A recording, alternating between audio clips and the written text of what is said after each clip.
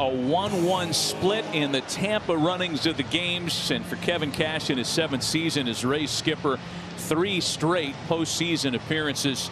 The Rays are the first team other than the Yankees to lead the American League in wins in back-to-back -back seasons since the Indians of the mid 90s and for Alex Cora among all skippers with at least 15 playoff games managed Cora's winning percentage is the best in MLB history 13 wins four losses in his postseason career.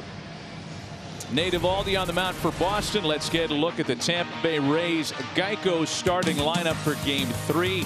Lowe, Franco, and Meadows lead things off. Tampa Bay used more lineup combinations than any other team in the game this year, and a new look for game three. Nelly Cruz, the seven-time All-Star, right in the middle of it at DH. Choi and Arozarena follow. Randy Arozarena 10 for 28 when batting sixth in the lineup this year. Kiermaier, Zunino, and Wendle round things out for the Rays. And for 31-year-old right-hander Nate Eovaldi, his last appearance is a large part of the reason why Boston has survived to go this far. Tuesday in the wild card game against the Yankees pitched into the sixth inning allowed just one earned run on a solo homer struck out eight did not walk a batter. Well he's going to attack you Matty. He's going to be able to throw his fastball cutter curveball slider split. He's got every angle covered. He's got every runway against the right and left handed hitters. And you know the one thing he does he throws a lot of strikes. So this is going to be the execution of the power hitting Rays against the power pitching Nathan Eovaldi. Today's first pitch is presented by Sirius XM.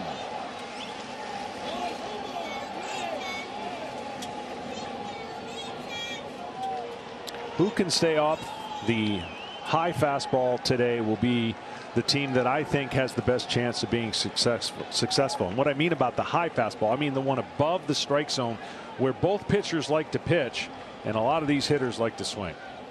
Game three is underway. Lowe, Franco, and Meadows here for the Rays.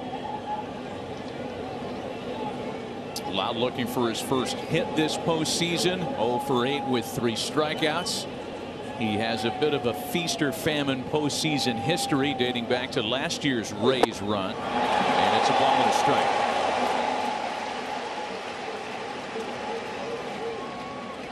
No secrets between Nate Eovaldi's repertoire and what the Rays are looking for today. Four regular season starts against Tampa.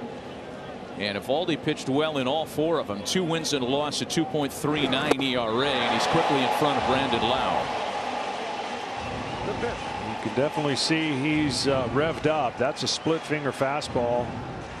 The previous pitch were fastballs. There's going to be a lot of grunting done by Nathan Eovaldi today. One two took something off and struck out Lowe one gone. Well, the arsenal for this young man has been incredible since coming back from two Tommy John surgeries. You see the fastball that comes in 97 to 100 miles an hour. Got the curveball, slider, splitter, and cutter. That last pitch being the split finger fastball. So when you can elevate up and you can throw this split that looks like it's going to hold its plane and then disappear, that's what the Ray hitters are trying to stay off of. And uh, good luck if he's on his game because the one thing he does is throws a lot of strikes, so you got to be on attack if you're a hitter. The switch hitting shortstop Wander Franco now. He does throw a lot of strikes. In fact, Nate Eovaldi led all major leaguers as 55% of what he threw landed in the strike zone. We're not talking about swinging strikes, pitches in the zone. And nobody threw a higher percentage than Eovaldi. Franco sends one out to right center field, a one out base hit in the Tampa half of the first.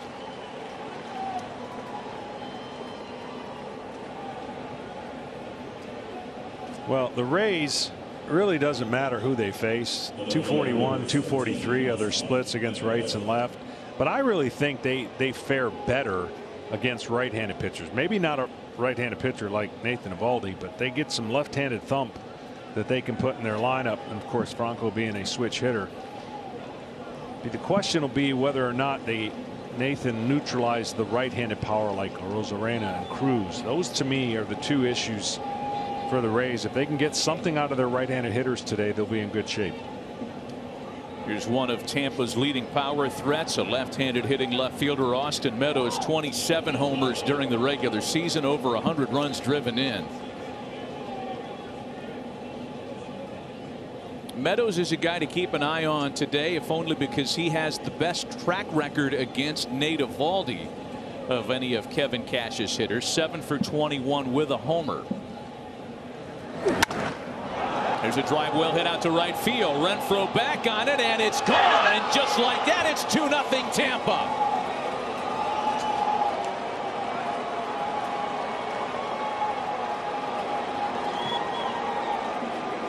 Keep an eye on him indeed.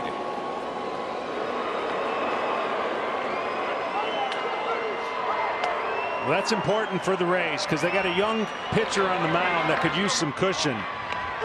Only about 40 innings or so that he's had with the Rays this year, and this early lead being on the road after really getting thumped yesterday goes a long way. Aggressive hitting team against aggressive pitcher. And the Rays got off to a quick start. Scoring first has been a harbinger of good things to come this postseason. Teams that score first are 8 and 2 oh, so out. far. And Austin Meadows gets the Rays on the board first today. I mean center cut and you got to hit it a lot further to right field than you do left field. And that one's yanked foul. Counts a ball and a strike to Nelson Cruz. He just gets a flat bat through the zone and uses the power of Nathan Eovaldi. This is what the Rays do. They hit homers. They run they pretty much do it all. That's why they won 100 games. It's hard to explain how they can turn their roster over and do this. Well, already more damage in a third of an inning against Nate Eovaldi by the Rays than what the New York Yankees were able to muster in five and a third Tuesday night in the wild card game. Ball and two strikes to the seven-time All-Star and a swinging strike three. That's two punch-outs for Eovaldi.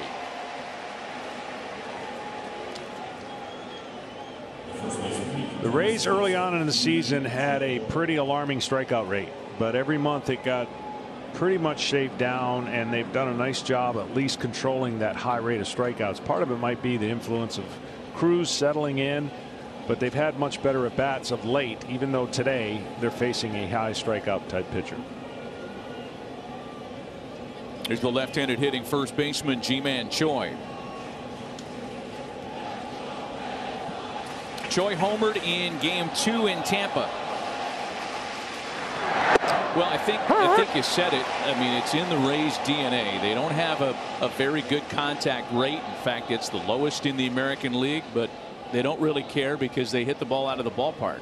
Almost 41% of their hits are for extra bases, and that's the highest percentage in the game.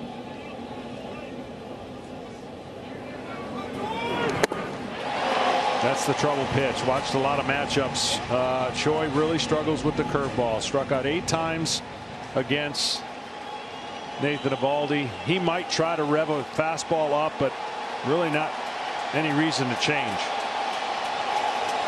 The 0 2 to Choi. Able to play off the 99 mile an hour fastball up top. And the reason to do that is you just reset the eyes of Choi, who's seen two breaking balls that he hasn't been able to stay back. Go right back to the breaking ball right here. Little two strike momentum from the crowd. And a ball in two and two now rather to Ji-Man Choi.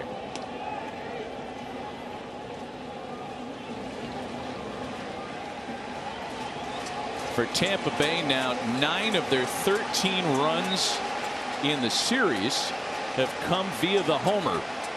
And Austin Meadows the latest to strike. Swing and a miss. Three strikeouts. But it's a trade the Rays will gladly make because they get two runs.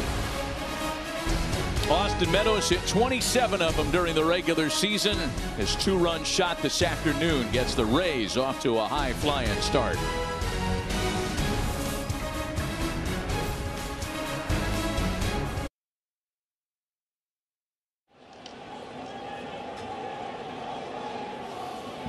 Well, for 26-year-old Drew Rasmussen making his first ever postseason start today and doing it on the road against a very difficult lineup. what better circumstance to make it than with a two run lead after just a half inning of work. And his first postseason start offering his in for a strike to Kyle Schwarber. Last Wednesday was his last start at Houston. It was a good one, five shutout innings. In fact, it looked a lot like his last start here in this ballpark, which came against the Red Sox September 7th. Allowed one run over five innings. Not a big strikeout guy, but Rasmussen has been terrific in a starter's capacity for the Rays. Kyle Schwarber greets him with a high drive toward the monster. And that one goes! Oh, so it's going to be one of those days.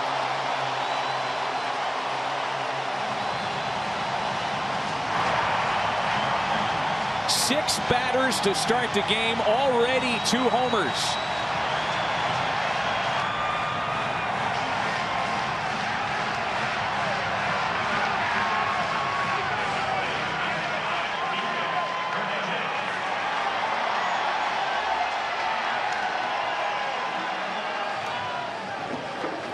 The first leadoff batter to homer by a Boston Red Sox player in the postseason since Dustin Pedroia in game one of the 2007 World Series.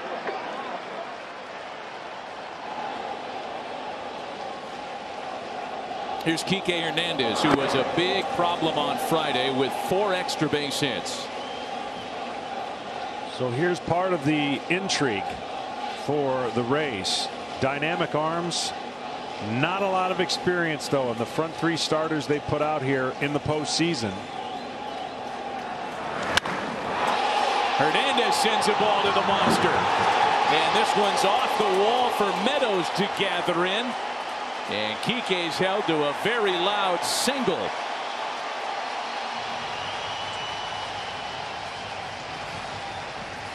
Basically a two pitch pitcher and the slider is going to have to be huge. The slider was not a very good pitch that Schwarber was able to hit. It pops out of his arm his hand and see how it just rotates in the middle of the park of the plate and he takes it to the shorter part of the park where that monster has made these Red Sox a monster at home and you talked about it how many runs they score at home two pitch pitcher is okay if you hit all your spots and you make the pitches you have to make but it's not okay against a lineup like this when they are feasting on fastballs. And here's Rafi Devers now. Kike Hernandez, by the way, channeling his inner Billy Hatcher. That's five straight plate appearances with a hit this postseason for Kike. He's at first, a run in on the Schwarber homer.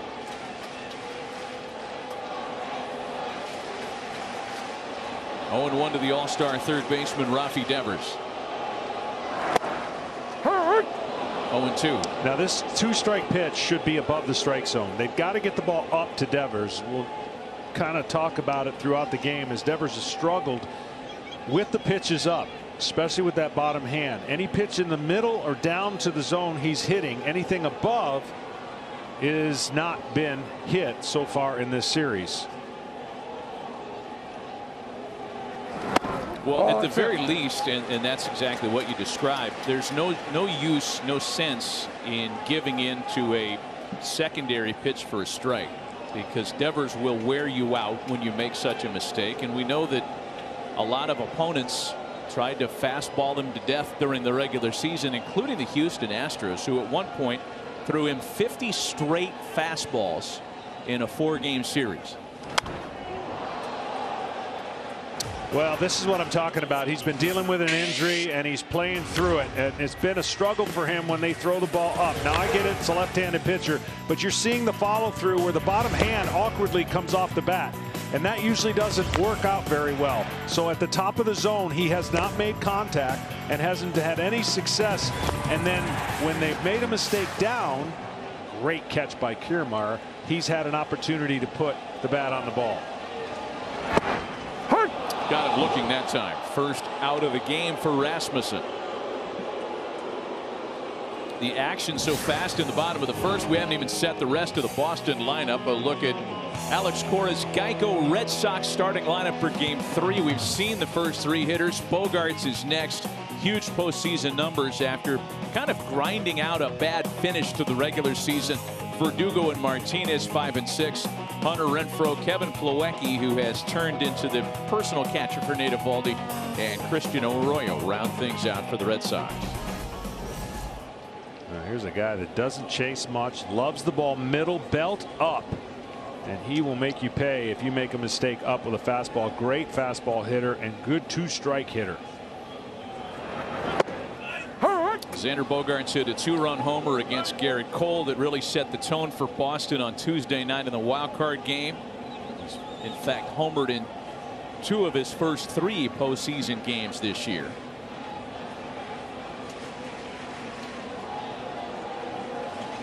This guy just always reminds me when he's hitting like nothing in a hurry, swinging underwater, but with tremendous power. Good slider that time swung and a missed. That pitch right there has to be perfect for this young man to navigate through this lineup, which sometimes a day off cools you off. It doesn't look like it's cooled him off much with the 20 hits they had in Tampa, but his fastball command is what's going to be his strength. And that fastball command is on the outside part of the plate, which we talk about. Pitchers have a glove side command or arm side command. His glove side command is really good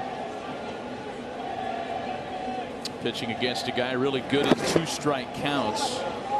One and two to Bogaerts now. And I guess it's a it's an example of what you talk about, John, being able to slow the game down. Bogaerts in this series alone has three of his six hits in two strike counts this year.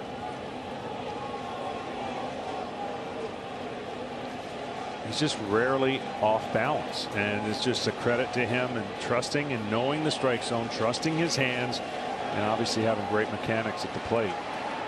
So he ranks among franchise greats and postseason starts at his position. He's back to an even two and two count now. It was really the top of the Red Sox lineup that did all the damage Friday in game two. Here's some of the two strike numbers that we talk about well above league average.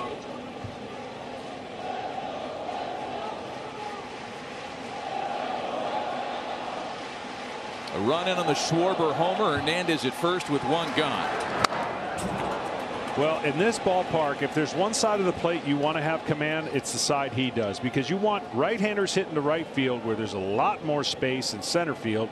You don't want them playing pepper of that left field wall, and you want left-handers to pull the ball. So you really do as a pitcher. Now he's a young pitcher and doesn't have much experience here and you don't want the hitters to feel comfortable and play what we call pepper off that wall and use that wall to their advantage which the Red Sox do so well.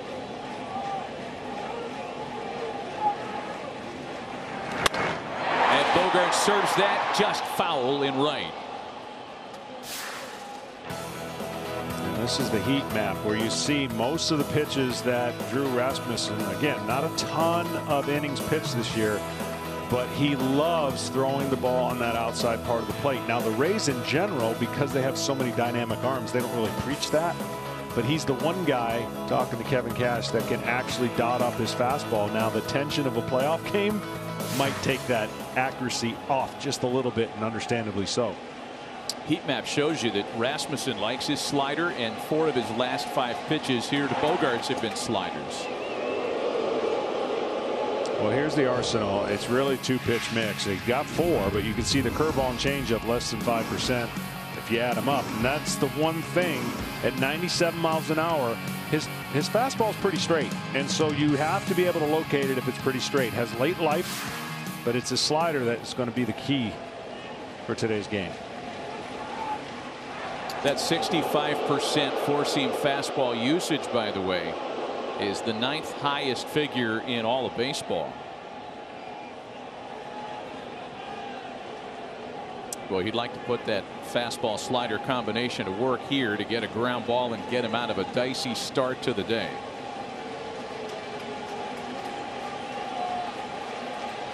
Was in front of Bogaerts 0-2. Here's the 2-2 home, and Xander sends a fly ball into the infield. Brandon Lowe is under it, and that's the second out of the inning. Remember that pitch, and I know that Bogaerts will remember that pitch. That was a huge mistake. And if he faces him again, that mistake will be to Bogart's favor. Watch where this pitch is. It just right center cut. He gets the barrel of the bat just underneath it. And you could tell he wanted to eat his bat right there. that was one you don't get too often, and that's one he doesn't miss too often. So he went five out of six pitches sliders to try to finish him off there.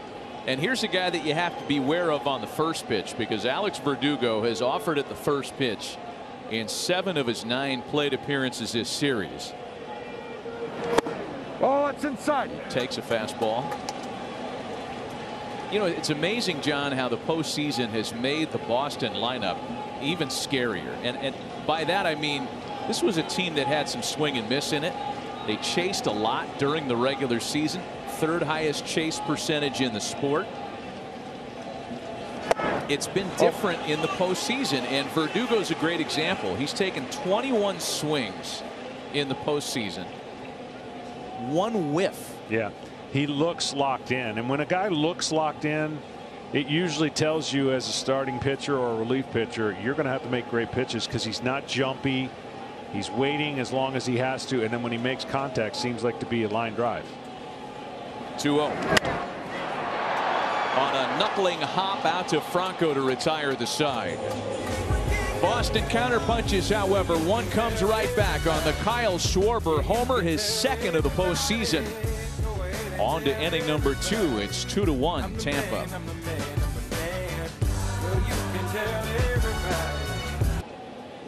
Two to one Tampa as Randy Arozarena leads things off in the Rays half of the second. He's followed by Kevin Kiermaier and Mike Zunino. The American League Division Series is brought to you by Good Sam Rentals. Travel America with Good Sam. And by Good Sam RV Parks, America's largest campground network. And this MLB Network telecast is presented by Geico. Happy Geico-ween. Switch to Geico for more ways to save. Mistake there. If you're going to neutralize a Arozarena, somebody has to be able to pound him in. They tried to go in right there and left over the middle. You get him to think inside with his fastball, you're going to have success against him. And Nathan Eovaldi's had success against him in his career. And Arozarena waves and misses. All four outs for Eovaldi via the strikeout.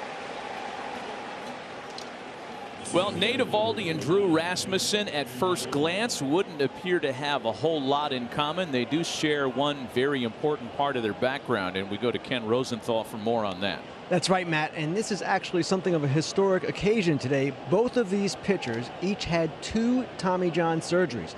It's the first ever matchup of a postseason game between such pitchers. We had one earlier this season, the first one ever in the regular season. That was between Eovaldi and Jameson Taillon.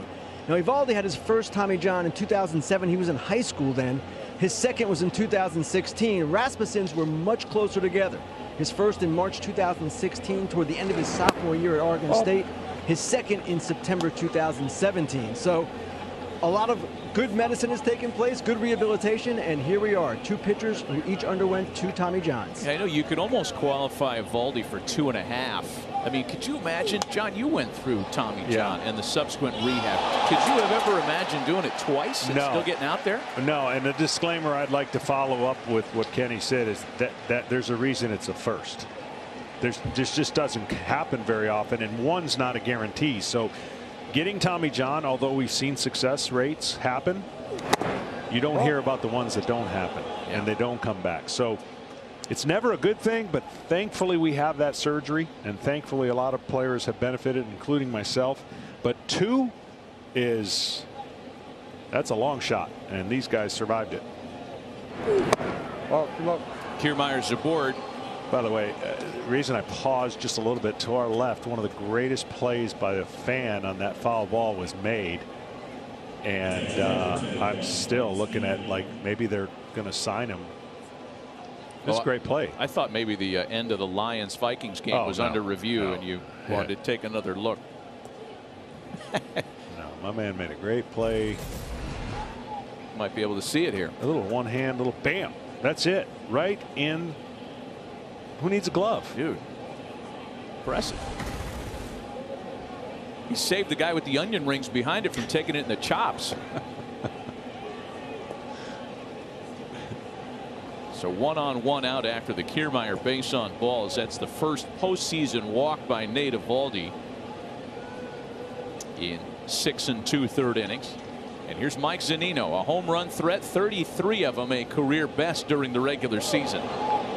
Mike Zunino, uh, of course, making the All Star team. What an incredible tribute for him and the years he's put in. But you mentioned it. I mean, he gets more extra base hits than he's gotten singles on the year. And his power numbers have benefited, but he's a swing and a miss or extra base hit machine. It's a nice play by Kyle Schwarber, by the way. Still kind of growing into the position at first base by everyone's admission. And there's a bell ringer for Kevin Plawecki. That's catcher on catcher crime. 0 and 1 to Zunino. I mean, this this is amazing. Uh, you see the names above them. I think everybody recognizes those. But 45.8 percent. 72 hits, 33 of them homers. Yeah.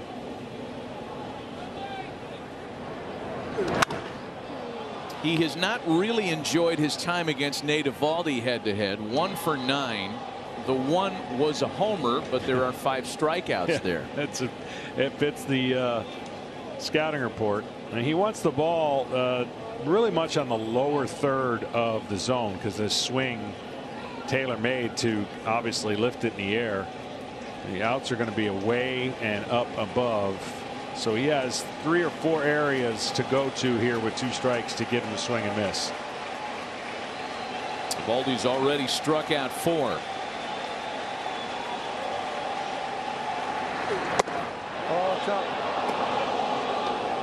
I would imagine, John, for a hitter, it it would be hard to cancel things out when you're facing Nate Eovaldi. He's the only pitcher in baseball that throws five pitches and has a usage of over 10 percent on all five. So he he can go to anything. No, he can't. He has every every quadrant covered, and that's that's a beautiful thing if you're a pitcher. Not so much if you're a hitter, because now you have to literally, you know, you're going to get strikes, but you don't know which strikes you're getting. You don't know if it's coming out of his hand as a fastball, a split. The curveball is a much improved pitch that slows down the hitter, and then he can speed him up with the velocity up at upwards of 97 and above. So he just had a good feel for the strike zone and uh, for his secondary pitches. Foul tip. And it's still the ball and two strikes on Mike Zunino. And he's just so strong from his legs. I mean, that's where he's generating. He's got a freakish arm. But I believe his favorite pitcher is Nolan Ryan. You can see why. And he's built a lot like Nolan Ryan. Same hometown. Mm-hmm. Alvin, Texas. And Zunino pops it foul. Still the ball and two strikes. Well, the Red Sox didn't think they needed to have a, a contingency plan today on the case of a short start, though it's in the back of every manager's mind in a postseason series. The Red Sox have announced Nick Pivetta as a game four starter tomorrow. But Pivetta would be available and in line to come in early if needed today.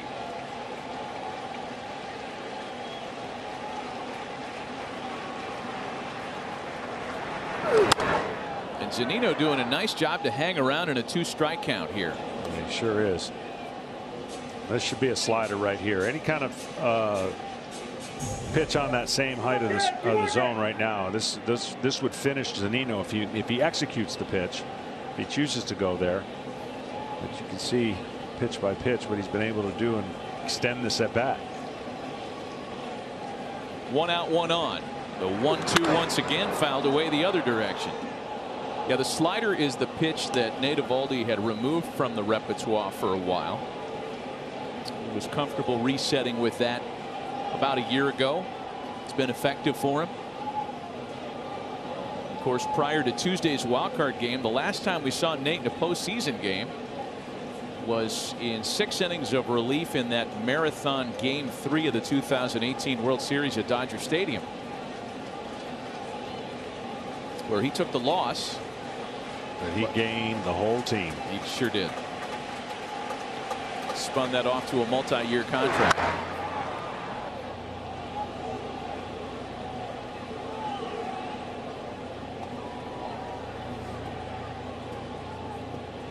Yeah, the Max Muncy homer well into the night in the bottom of the 18th inning. Six innings and three hit ball.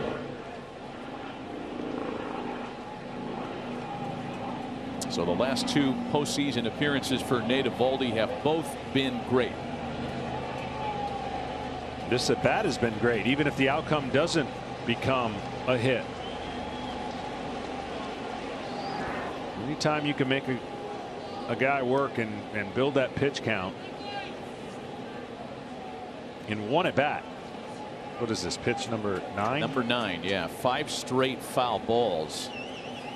Number nine, number nine. Still going. Because I tell you what it does. I mean, to a starting pitcher or any pitcher, you, you just get a little bit frustrated. Like, come on, put it in play. Even if you get a hit, let me move on. And you're making pitch after pitch, and you get to see all these pitches if you're Zunino. And as the game progresses and you face him two or three times, you get a better feel for what he's got.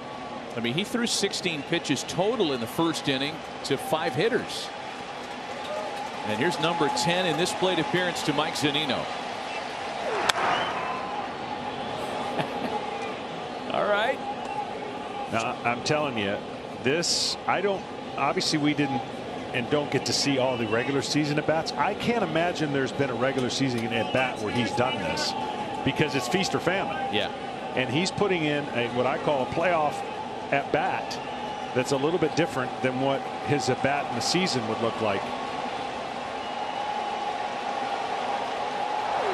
Got it. Finally, Nate Eovaldi says it took 11 pitches to strike out Mike Zunino. And that's where a lot of the strikeouts for Zunino comes. 94 coming into this game on elevated pitches since 2019. And he went just above the belt and near the letters after all those pitches down in one area that he was able to get a bat on. I know the scientists tell us that a baseball does not rise on its way to the plate, but boy, it sure looks like that sometimes. Here's Joey Wendle with two gone.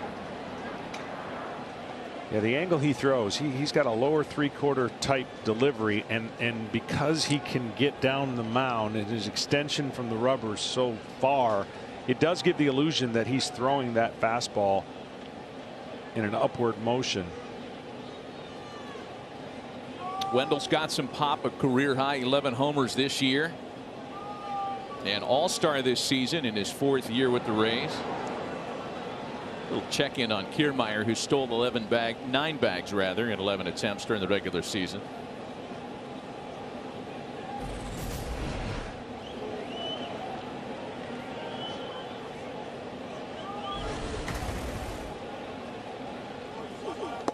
Oh, it's inside. One to one to Joey Wendle. Joey Wendle is another typical hitter for the Rays. Likes the ball in the strike zone, has struggles with the ball up, and you can crowd him inside like he tried right there. But anything in the zone, he he is uh, he's kind of mastered that.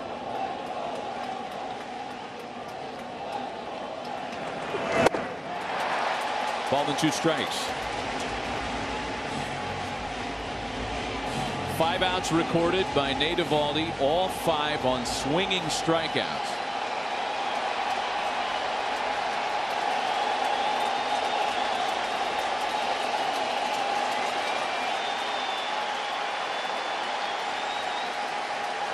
There goes Kiermaier. The one two is swung on and missed. Six Ks through only two innings for Nate Eovaldi. The Good Sam ALDS telecast on MLB Network presented by Geico continues two to one Tampa.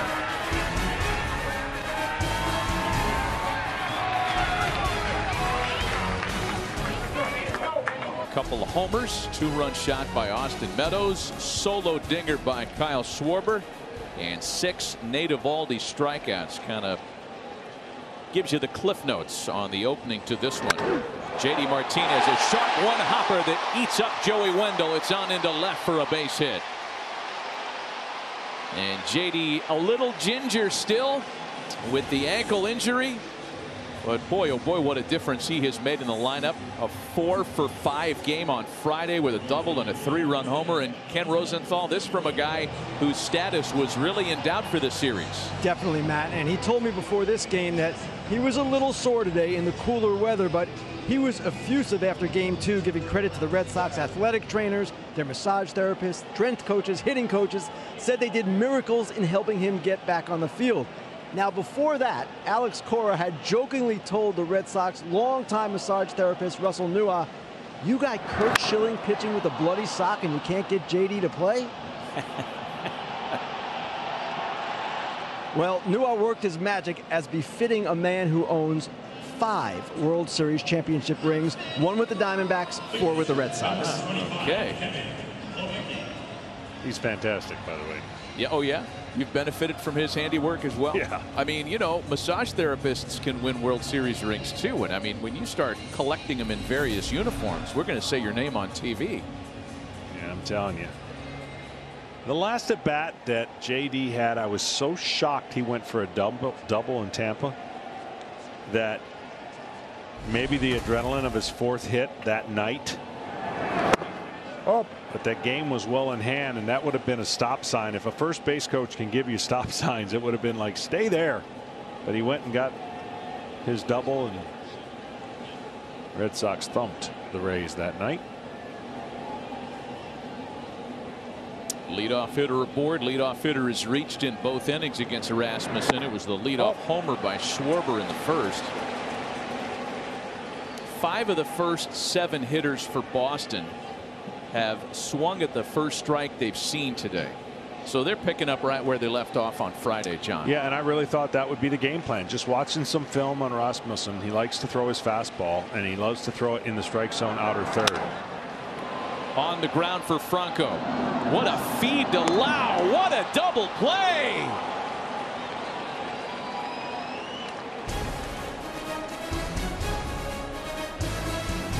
They call him the eighth wonder of the world. Tampa's all-world shortstop initiating an inning-ending six to four to three twin killing.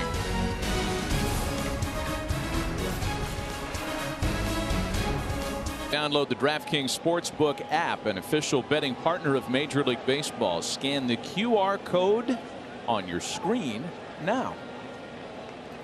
All right. Brandon Lowe leads things off in the visitors half of inning number three two to one Rays top of the order Lowe Franco and Meadows. Lowe struck out to open the ball game the first of six hosted by Nate Eovaldi through two innings. Yes all six of his outs on swinging strikeouts to start the game. yeah, you did. Lowe behind 0 2 again. It's not that he uh, trusts his defense, he just trusts his arm. I mean, this is like bingo long on the traveling all stars. Just everybody have a seat. You take a look at the Citrix shift tracks showing you in real time the defensive positioning. 0 2 the count to Brandon Lowe. See, the thing that most people may not understand when they're sitting at home going, why do they keep swinging at that split finger? Well, his fastball's so good, you got to be geared up for it. If he had a 90 mile an hour fastball, it'd be a little different deal. You could sit back a little longer, but when the ball comes out of his hands, most of the hitters are hoping to see the spin right away, and you can't see split spin because it tumbles and looks like a fastball. Lowe puts it in play. Schwarber. Oh, wonky toss. Yikes. That's going to go down as an error on Kyle Schwarber. As we mentioned earlier, Kyle still learning the position, and uh, he just didn't. He got in between and he got flat footed and so he's trying to guide a, a, a he tried to make a soft toss a little firmer and as he made it firmer see that's too long for a toss to make it firmer he tried to throw it harder underhand and what he did is he threw it higher and so that would have been much easier right now to make a soft toss overhand and that is something he wishes he could have had over but you talked about it they're learning the position got to get his bat in the lineup and an unfortunate play. Boston's defensive efficiency, one way to measure team defense, the lowest in the American League this year. And you got Kyle Schwarber, who's making just his Oh, 11th inside. career start at first base today. And, and to a degree, Alex Cora had no choice because if he wants JD Martinez in the lineup, he has to DH him. The ankle will not allow him to play the outfield today. And because he was so far away from the base, being flat footed, normally when a first baseman underhands the ball to a pitcher, he's moving towards him. You practice those plays all the time. So you get the ball and you're moving towards the player and the, the pitcher, and you toss the ball as you're moving, and you got better feel. He just literally was sitting there, tossed it, and threw it up in the air.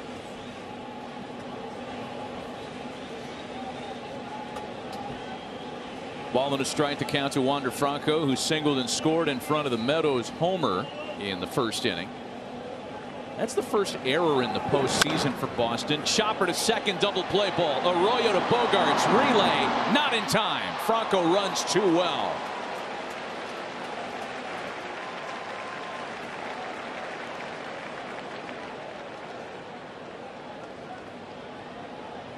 He runs all right. And this was a uh, watch the ball in the glove, how little time it spends in Bogaerts almost pops out, but he flies down the line. He puts a safe sign right about now.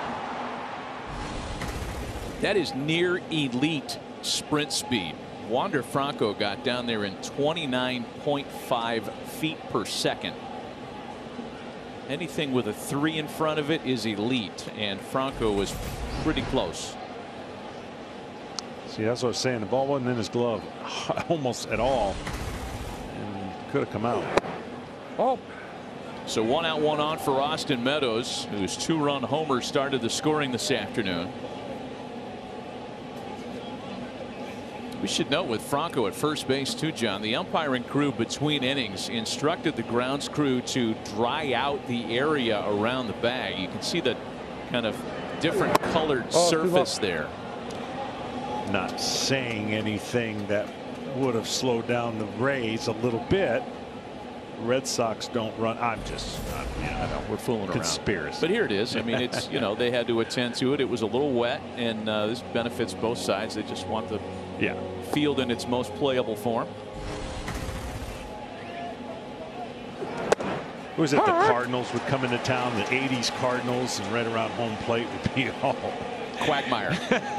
just try to yeah. prevent that speedy team from chopping down on the ball and beating out infield hits. You know, in terms of postseason history, I believe it was the 1948 Indians were the first team to vote a share of the postseason payday to the grounds crew because everything was exactly as they liked it. Heads groundkeeper here at Fenway is uh, really a legend in the industry. David Mellor, who did wonderful things in Milwaukee's County Stadium for years before coming to Fenway. He is renowned for his grass cutting technique, design, and ability. And Fenway is beautiful every night. I'm digging it, the way they cut it. You know, I love cutting grass. I do know that about you.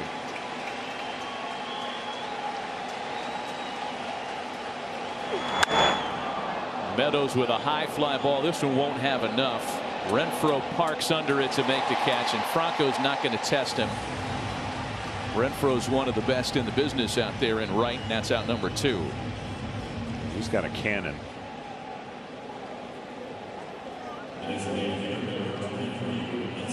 Well, Nelson Cruz has been swinging down and off the plate a little more than uh, than used to. Very comfortable in Minnesota. Struggled in the transition coming over here. First time he had been traded late in his career. Has made some adjustments lately, but he is a force in the lineup for the Rays. A great trade to boost their offense, and he's looking to try to see if uh, Eovaldi can leave one over the middle, and then No Park holds it. oh, Yeah, Nelson Cruz hit just 226 in the 55 games he played in with the Rays after being dealt by the Twins. He did homer 13 times. But all but three of those home runs came on the road. And the suggestion was that Nelson doesn't really love hitting at the trop. The numbers would certainly bear that out. And there's been a couple players, and one most notably, Adames. You see the StatCast powered by Google Cloud talks to exactly what you're talking about. By venue in 2021, the number of games and the homers. Hard to ignore that. Yeah, I mean, Adames went over to Milwaukee and started raking right away. Yeah. And he had been talking about how he had a hard time tracking the ball there.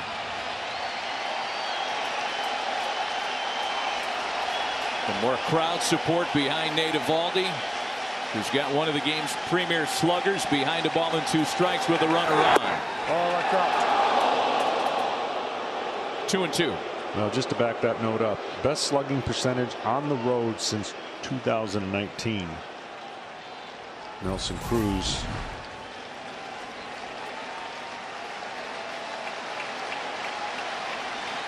Relatively easy take on the cutter that missed.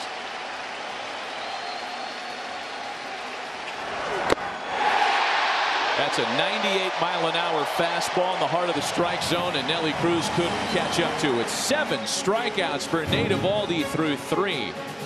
Still a one run Tampa lead. Game seven of the 2008 American League Championship Series. Jed Lowrie was pinch hitting for Alex Cora, Boston's last hope that year. David Price in relief. A first pitch called strike, second pitch a sharp ground ball that ended the series. And the Rays survived a memorable ALCS that year. I don't know how he survived that. Another leadoff hitter that reaches base for Boston as Christian Arroyo singles on the first pitch of the at bat. I was going to say, I don't know how David Price survived that last minute tackle on the pile. He got crushed. Look, when you when you start a postseason game, the the what you want is you want stressless innings and easy outs. So far, it hasn't been stressless and there hasn't been easy. Uh, the leadoff hitter's gotten off three gotten on three times now for the Red Sox and when you're Drew Rasmussen that's the last thing you want to do turning this lineup around. He will not be in here very long if he continues to put the first bat batter on base. There's Kyle Schwarber. Oh, too hot.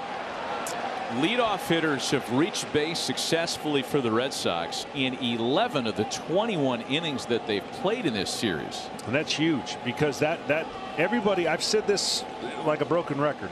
Regular season game, you get a base hit to lead off the inning, the crowd doesn't go crazy. They just kind of applaud. In a postseason game, when a when somebody gets on base, it's like the biggest rally for the crowd because they know the postseason means that much more, and so the intensity goes up, and therefore your stress goes up. Ball and no strikes. The count to Kyle Schwarber, who opened the bottom of the first with a home run, and now it's two and zero. You know, and the bad news here for Rasmussen and the Rays is his OPS first time through an order is really good, and he didn't exactly get through the first time today in great shape. Second time through, it raises by about 200 points.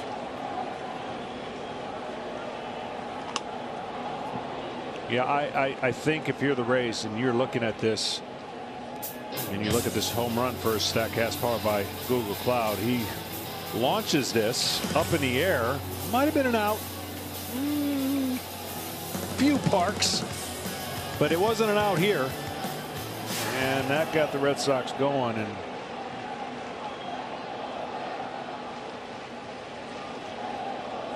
Yeah, to your point, John. Oh, That ball that Schwarber hit the first is a homer in only four of 30 major league parks.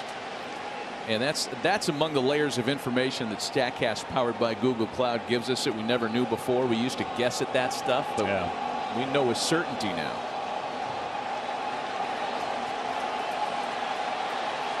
Rasmussen behind three balls and a strike leadoff hitter aboard. Schwarber with a rocket into right field. Arroyo around second on his way to third, and here come the Red Sox once again with runners at the corners and nobody out.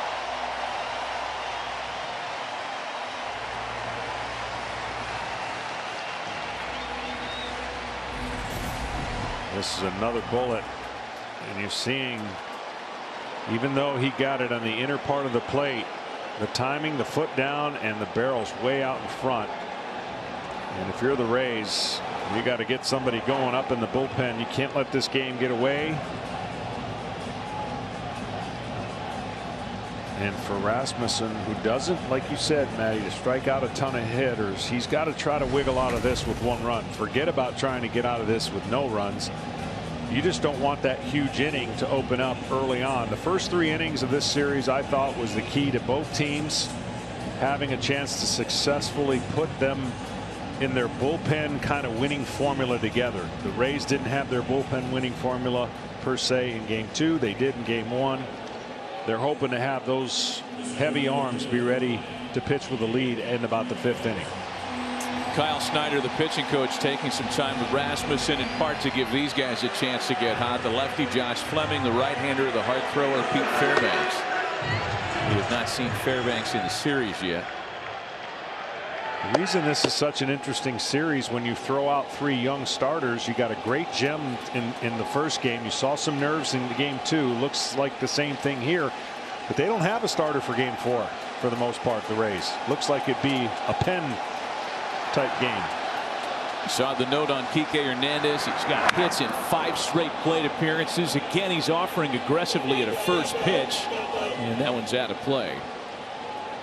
Hanley Ramirez has the franchise record for consecutive postseason plate appearances with a hit at six. And that's a mark that Kike can tie here in this at bat.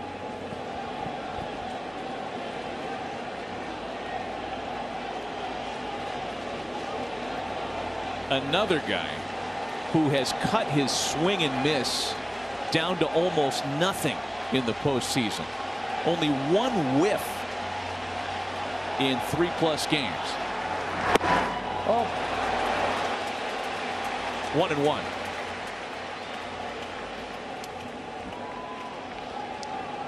Well, the Rays have put this defense consistently against the Red Sox, and the Red Sox exposed it on three occasions in game two. They just serve balls to the right side of the infield. I don't think Kike can do it as much as some of the other guys can, but certainly playing them to pull. That one's going to get down another base hit for Kike Hernandez, and Boston is tied at two.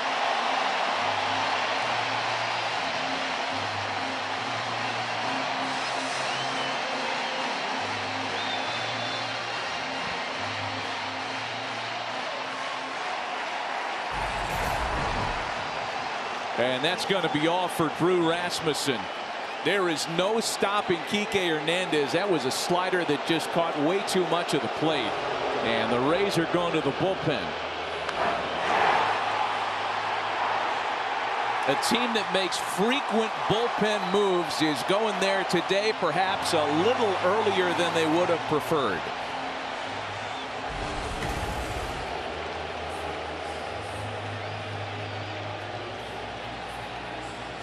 Enter left-hander Josh Fleming, and we'll be right back.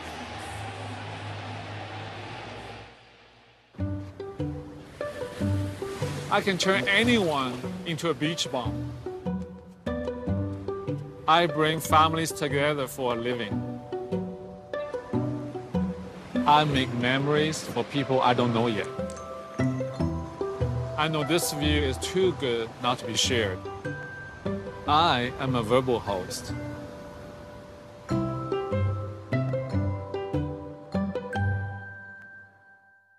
Reggie Bush used to eat breakfast somewhere else. Then he tried Wendy's breakfast. Now we can't get rid of him. Can you believe this breakfast croissant is only $1.99? Yeah, Reggie. I put the sign up. Choose wisely. Choose Wendy's. With Early Paycheck, you can get your direct deposit up to two days earlier. That's another reason banking with Capital One is the easiest decision in the history of decisions. Even easier than this. Well, honey, which one are you going to open up first? That way!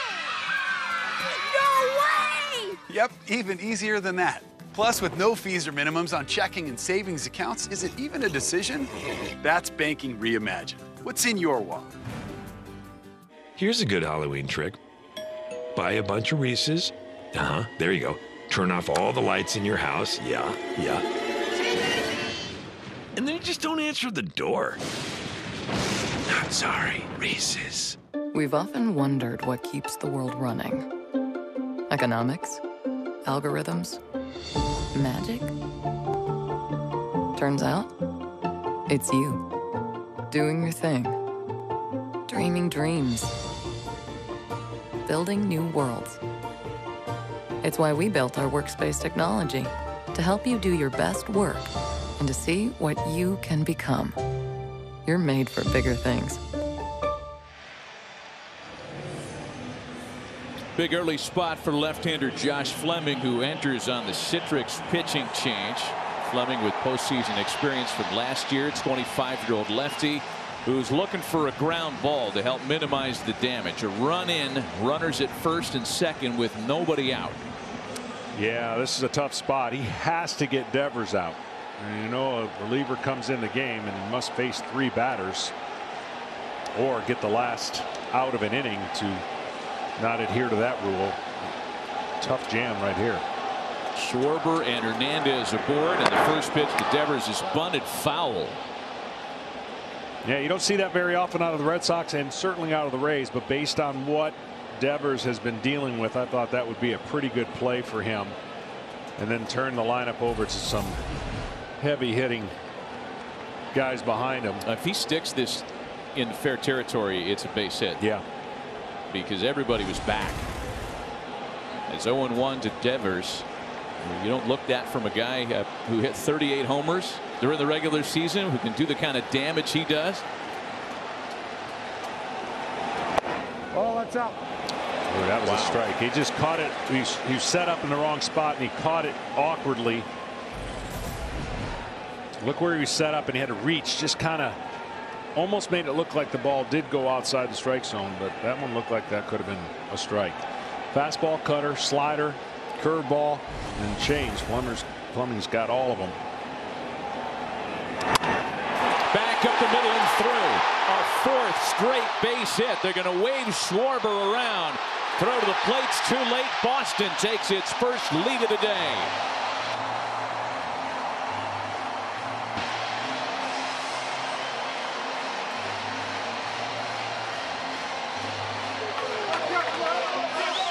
Talked about Devers being able to get to the ball middle to middle down and having to struggle with the ball up. This is right down the middle. He does a nice job keeping both hands on the bat and going right back up the middle. And I'm telling you, the day off didn't hinder the Red Sox whatsoever.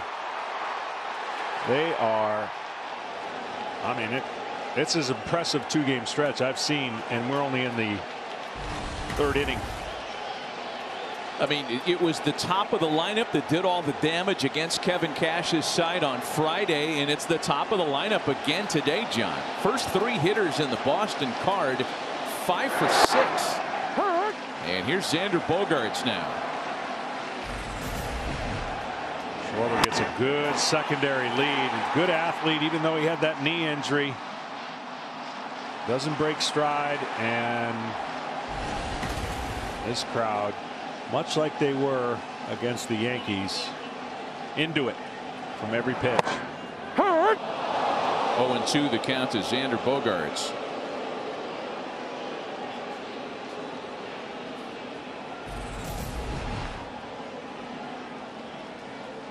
Hmm. Well, a couple of borderline pitches.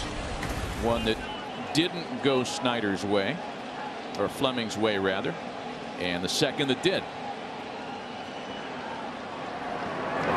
Oh.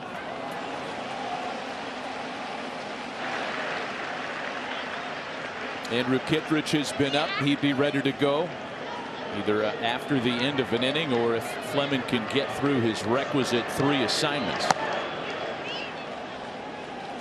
I mean, they're looking for an out here. Yeah, they got to get an out quickly four straight singles in the Boston third. And there's the first out of the inning. Well, that strikeout probably had a lot to do with that one call that they were able to get for a great disciplined two strike hitter swinging at an off speed pitch thinking okay it might be in that outer outer quadrant and it dips below.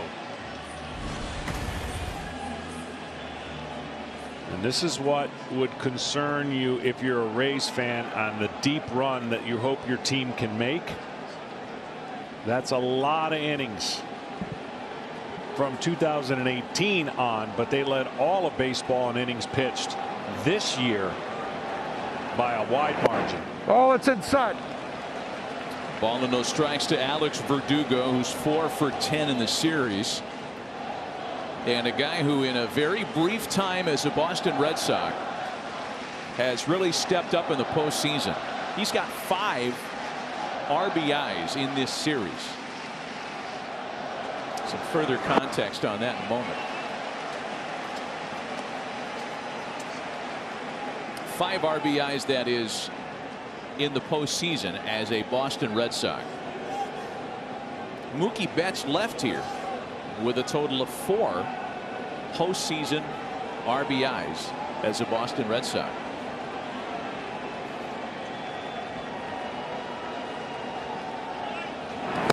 Oh.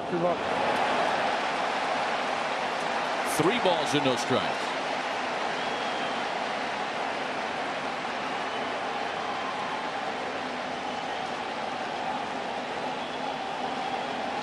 Kevin Cash knows he's in some dangerous territory here. And is desperate for a ground ball.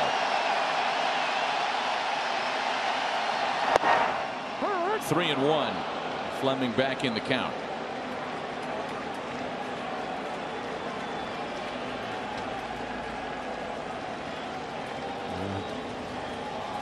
Verdugo prefers hitting off starters, but he's got the count where he wants it in 3 1. He's just trying to cherry pick a pitch and drive it. There's the ground ball. And Choi has no choice but to get the out of the first base bag. All right, that might not seem like a lot. That could be a game saving pitch and at bat if the Rays stay in this game and win it.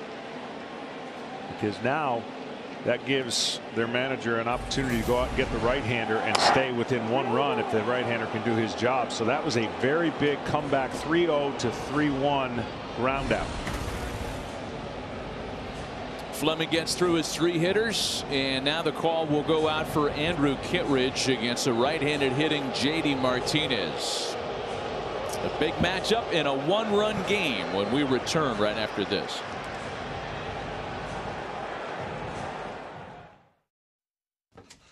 That's half the fun of a new house, seeing what people left behind in the attic. Well, saving on homeowner's insurance with Geico's help was pretty fun, too. Oh, it's a tiny dancer. They left a ton of stuff up here.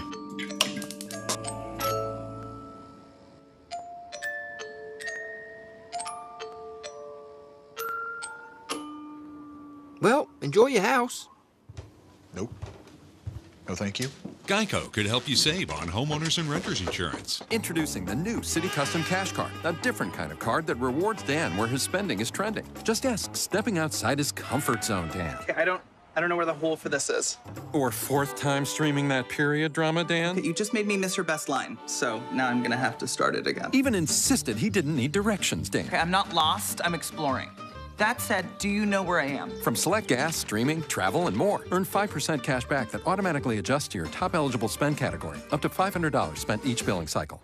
It's a nice truck. Yeah, it's a Chevy Silverado. Check out this multi-flex tailgate. Multi-flex, huh? Wow. Comes a step. Mom, Dad's flexing again. That's not all. You can extend the bed for longer stuff. Is he still? Still flexing. That's right. And it becomes a workspace. You can put your laptop here. I'm sending an imaginary email. Hey, Dad, dinner! Hey, look who stopped by Daddy's office. Wait, you work here? The Chevy Silverado with the available multi-flex tailgate. Find new flexibility, find new roads. Chevrolet. I look fly. Yeah, I look good. Look good. Feel good. Play good. Gillette Pro Glide. Five blades and a pivoting flex ball to get virtually every hair on the first stroke. Look good, game good. Gillette.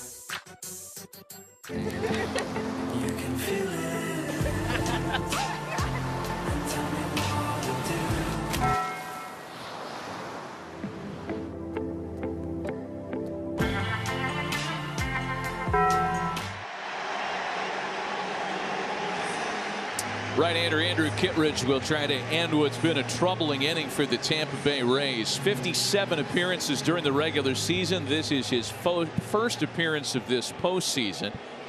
And uh, one of the guys who leads the Rays in saves is in the game here in the third inning. The other one, Pete Fairbanks, was up in the bullpen. Gives you a little idea as to how important this inning has become for Tampa.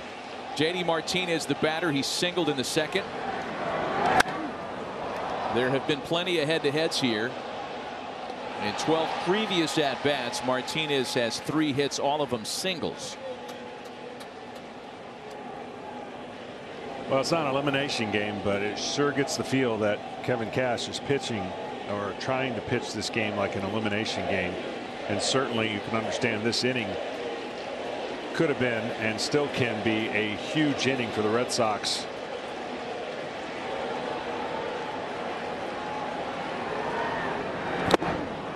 Oh, and 2 the count to Martinez. Boston opens the inning with four straight singles off of two different pitchers. They chase Drew Rasmussen. Martinez has long been a terror with runners in scoring position. And this year, no exception. He's been crushing breaking balls off of right handed pitchers this year. Stays with the firm stuff and strikes him out. Does Andrew Kittredge a big punch out. Two runs in the inning for Boston, however, as the Red Sox have earned their first lead of the afternoon. So the fourth, three to two Boston.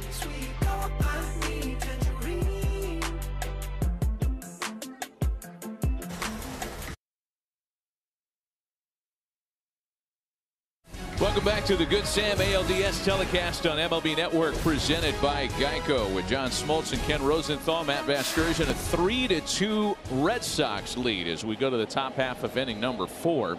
Nate Eovaldi, Randy Arozarena, and Kevin Kiermaier. Ji-Man Choi, Randy Arozarena, and Kevin Kiermaier against Nate Eovaldi. Odd pregnant pause to start the inning.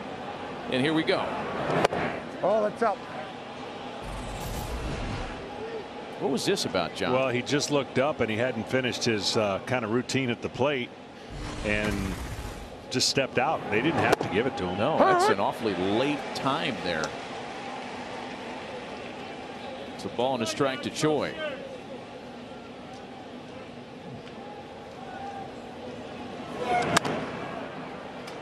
Nate Eovaldi sat around for uh, about 23 minutes while that last half inning took place. He goes back to work with seven strikeouts already today in just three innings. In front of Choi, a ball and two strikes. Whew, what a take. That was a perfect pitch. And it was so good that I don't think Choi had any choice but to get lucky and see if it was called a ball.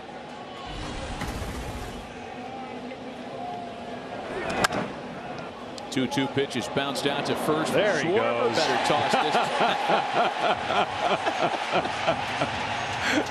There's the momentum going towards the pitcher. He's tipping his cap. Look at him working the room. Oh.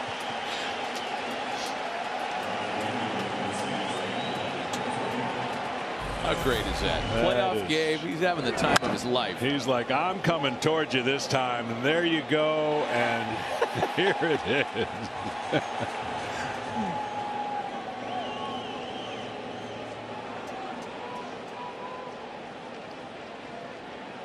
With Gibsonian fist pump there.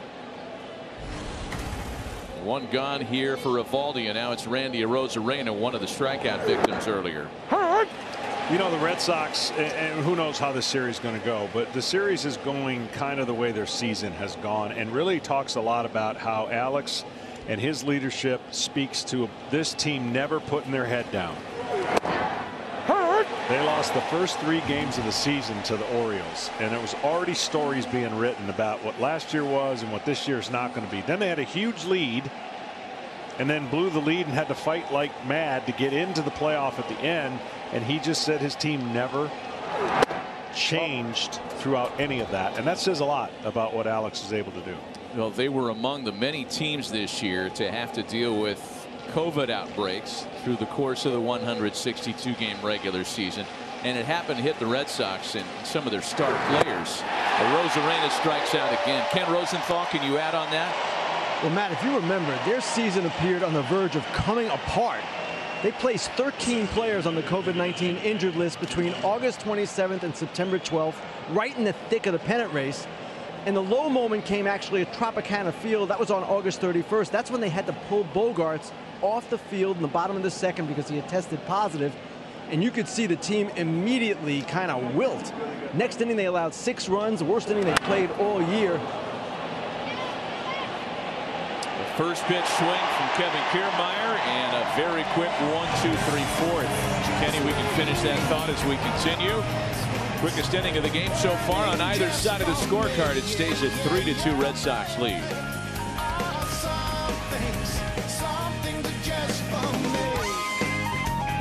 Williams Bourbon will give $1 million to one lucky fan. Enter the triple play sweepstakes at evanwilliamsdugout.com for a chance to win big. Oh, it's inside. Hunter Renfroe, Kevin Plawecki, and Christian Arroyo against Andrew Kittredge, who continues in relief. He was able to get the final out in the bottom of the third, stranding runners in scoring position when he struck out JD Martinez. And it's a ball and two strikes to the former Ray Hunter Renfroe. Check the count one and one, one and one. Andrew Kittredge has such a distinctive style. He stands with his back exposed to the hitter. Almost appears to lean back oh. until the very moment he lets the ball go. Uh, he's everything he throws moves and he certainly has tremendous movement on his fastball and the breaking ball and secondary stuff. Miss bats.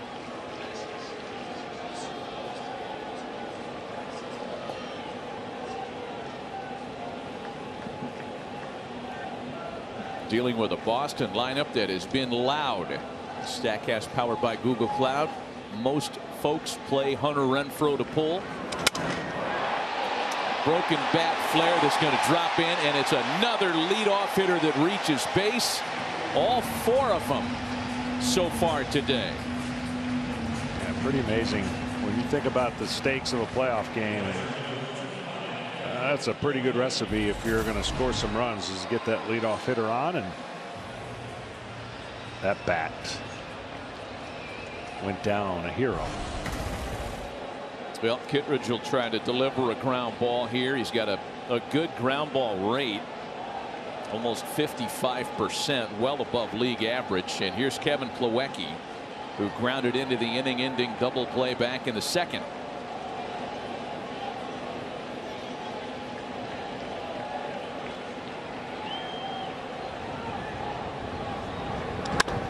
And there's another bouncer. Lowe to Franco and another twin killing off the bat of Kevin Plawecki. They're two gone.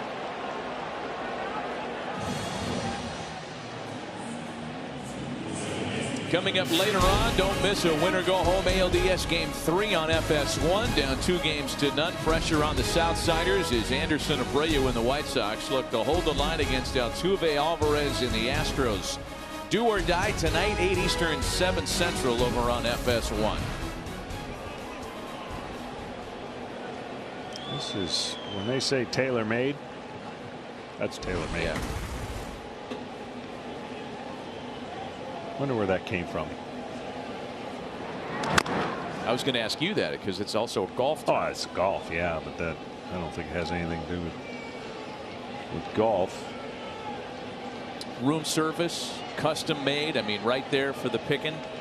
Yeah, we used to have uh, make sure a couple of our guys were never in room 643 because they hit in six four threes all the time or vice versa four six three we had to keep them out of it. ridiculous I've heard I've heard some ridiculous superstitions by you over the years that might be uh, that might be the topper You're like traveling secretary, please don't put so and so in room 643, please. We've seen enough of them. You're getting a text from Jeff Blauser right Rolled back up the middle. Franco smothers it, gets to his feet, throws to first, not in time. Almost another terrific play by the rookie shortstop. This is another selfish reason why, you know, I'd like to see the shift go away because of players like him that can field so many different places, right? He's taking care of that whole area and he almost makes to you call a great play had he picked that ball up maybe even sooner that would have been the difference but man covers some ground once again that gives Schwarber a chance to bat with the man on as he did back in the third when he kept the line moving. He hit the second of four straight singles that opened the inning. Ball, that's it. Among players that were traded at the deadline, Kyle Schwarber's OPS after the trade was the best in baseball. He was really good with the Nationals to start the year and has made a huge impact on the Red Sox. And a lot of people thought Rizzo was the can't miss choice. If you're going to improve and upgrade at first base, everybody thought Rizzo would be the guy. What with his background here in Boston and all. Chaim Bloom and the Red Sox went out and found Kyle Schwarber. He paid immediate dividends not only with his own performance but on the impact he'd had on Bobby Dalbec. Quite a one-two punch, quite a platoon combination at first base for Boston, a position that was thought to be a weakness early in the year. Caught the outside corner when he was trying to go to the inside corner. See if he throws a slider. Slider's that kryptonite pitch right now for Schwarber of all the ones that he sees, this one's he swings and misses a lot on. Time out! Schwarber wanted time. A long hold there by Kittredge. Yeah, getting a little deeper into that first base position. Schwarber and Dalbec combined to put up really good numbers this year. And a lot of it based on Dalbec's improvements after Schwarber was acquired.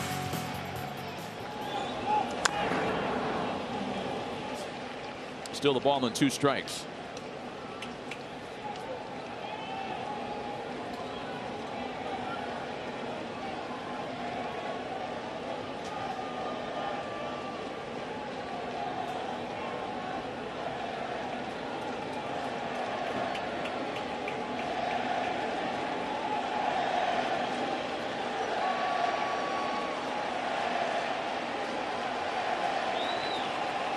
Allows out in short right in the repositioned infield alignment against a notorious ground ball pull hitter.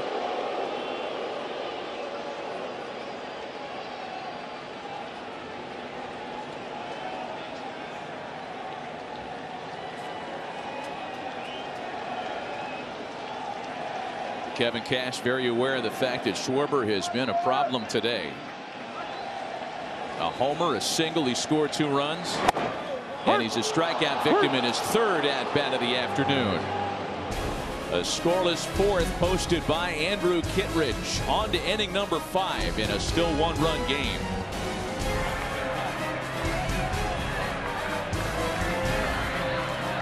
Geico Ween switched to Geico for more ways to save. Nate Eovaldi back to work to the top of the fifth inning we go. Mike Zunino, Joey Wendle, and Brandon Lowe. And one of the big differences in this game, in the whole series, if you want to go back to the Tampa games one and two, is Boston's ability to get the leadoff hitter aboard and the Tampa Bay Rays relative inability to do that. They are 0 for 4 trying to place their leadoff hitter on base today. Oh, it's outside. Boston's put their leadoff hitter aboard in all four innings today. And in fact, for the Red Sox, their leadoff hitter has reached in 12 of their last 22 opportunities.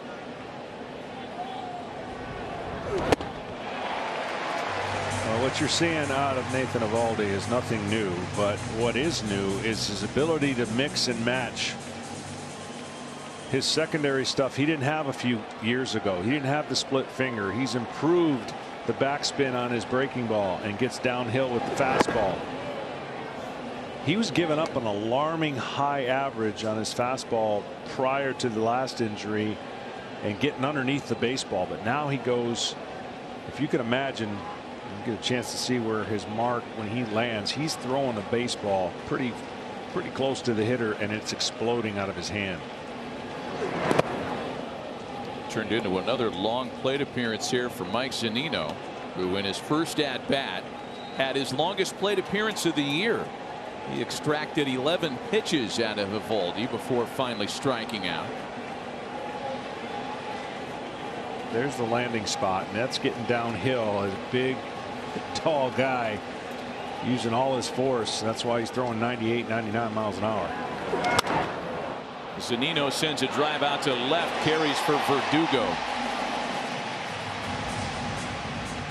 Well, when you talk about all the strikeouts, it's come via the splitter a lot, and that pitch is dropping out of the zone. You see the first three right there, splitters. There's a slider. You get a fastball above the zone. You just can't eliminate any pitches when a man is throwing strikes and utilizing his secondary stuff and getting you in a bind because you can't come off his fastball. That's why he has this many strikeouts. And really, the Rays are got to figure out a way to make him throw as many pitches in the next two innings yeah. as possible. Yeah. There's a number nine hitter, Joey Wendle. Well, back oh. to the splitter for Eovaldi. He's already thrown more splits today than he did in the entire start against the Yankees in the wild card game. He threw eight splitters against New York. He's thrown it 16 times so far today. It's garnered 12 swings and nine whiffs. And if those numbers stay like that, it, it's going to be one of the highest whiff percentage games against anybody's split finger fastball all year. And that just tells you that the hitters can't pick up it coming out of his hand, and the depth of it's great. Wow, he gets a call on a backdoor breaking ball there. Ball and two strikes the count to Joey Wendle. Yeah, you get a call like this now Wendle's in a bind. I mean not because he's gotten two strikes on him. He's in a bind because now the plate just got four inches two inches on either side bigger in his mind because what he thought was a ball was called a strike. A little hesitation there. Going back to some of his Daisuke Louis Tiant stuff that he showed us during the wild card game and has done during the year. He'll drop down in a different angle. He'll quick pitch. Watch the hesitation move. I'll show it to you again. He's working quickly here on a two and two count down to Joey Wendle.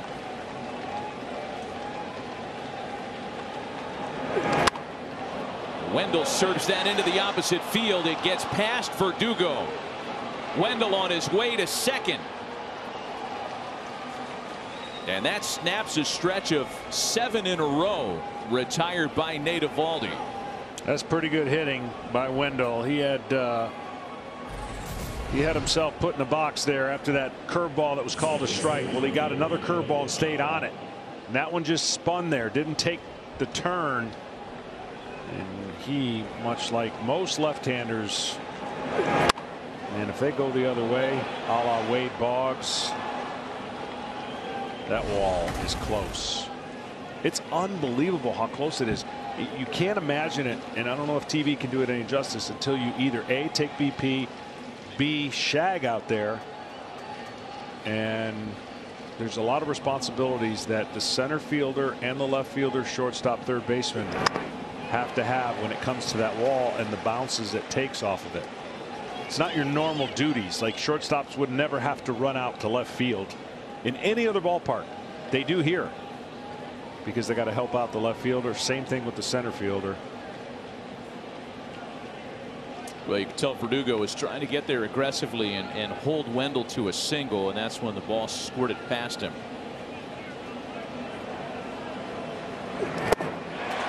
Oh, and 2 the count to Brandon Lowe.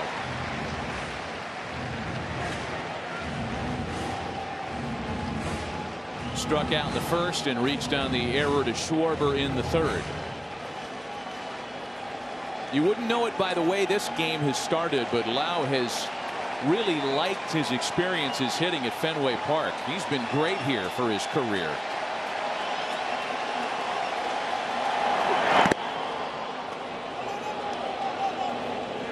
Great job there. That was a spiked, I think, split that ate up.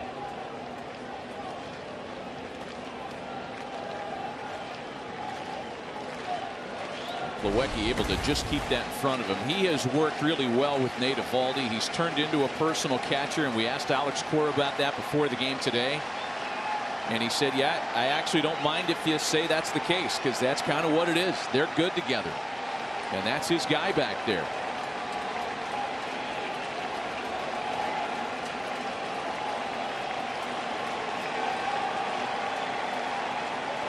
So it's a ball and two strikes to Brandon Lowe, who is a 444 career hitter at Fenway Park. And among players with at least 50 at bats here, that is the highest average ever.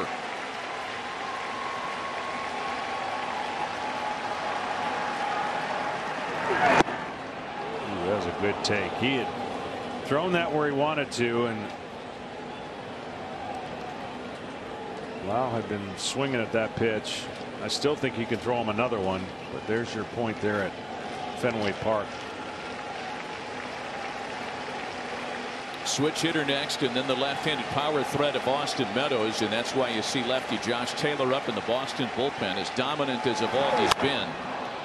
Lowe sends that to center field, right in the tracks of Kike Hernandez, who makes the catch for out number two.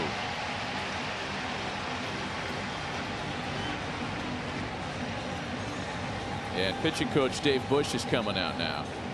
I feel like in this inning, John, there's at least some uh, louder contact by the Rays. Yeah, they worked him over 80 pitches, and that's huge if you're only in the fourth inning as a starting pitcher because that only gives you room for maybe two more innings. And, and right now, the way he's throwing and the way the Rays are seeing or not seeing the ball, moral victories are to get him out of the game as soon as possible. And so this meeting is going to be about talking about Franco and and the attack of how they want to see this young man who's so so living up to the highest of expectations. I guess when you're number one prospect in baseball, there's not much.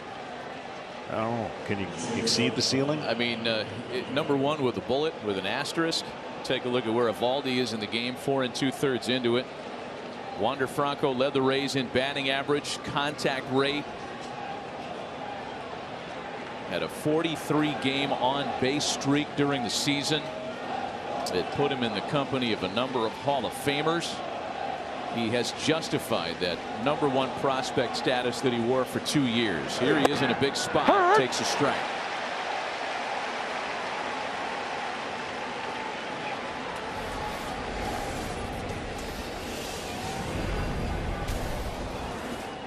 Frank Robinson, Mickey Mantle, Arky Vaughan Mel Ott.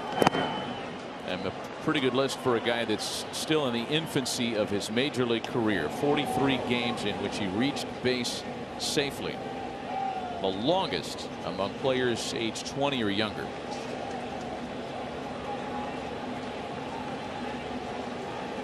Well, his average is uh, about 385 when he's facing pitchers that get over the 80 pitch mark. For whatever that's worth. Saw that number, so I thought I'd throw it out there. Like it. And a ground ball for Schwarber that's going to get Eovaldi out of the jam. A runner left stranded in scoring position. Middle of the late afternoon. And the home side still on top by a run.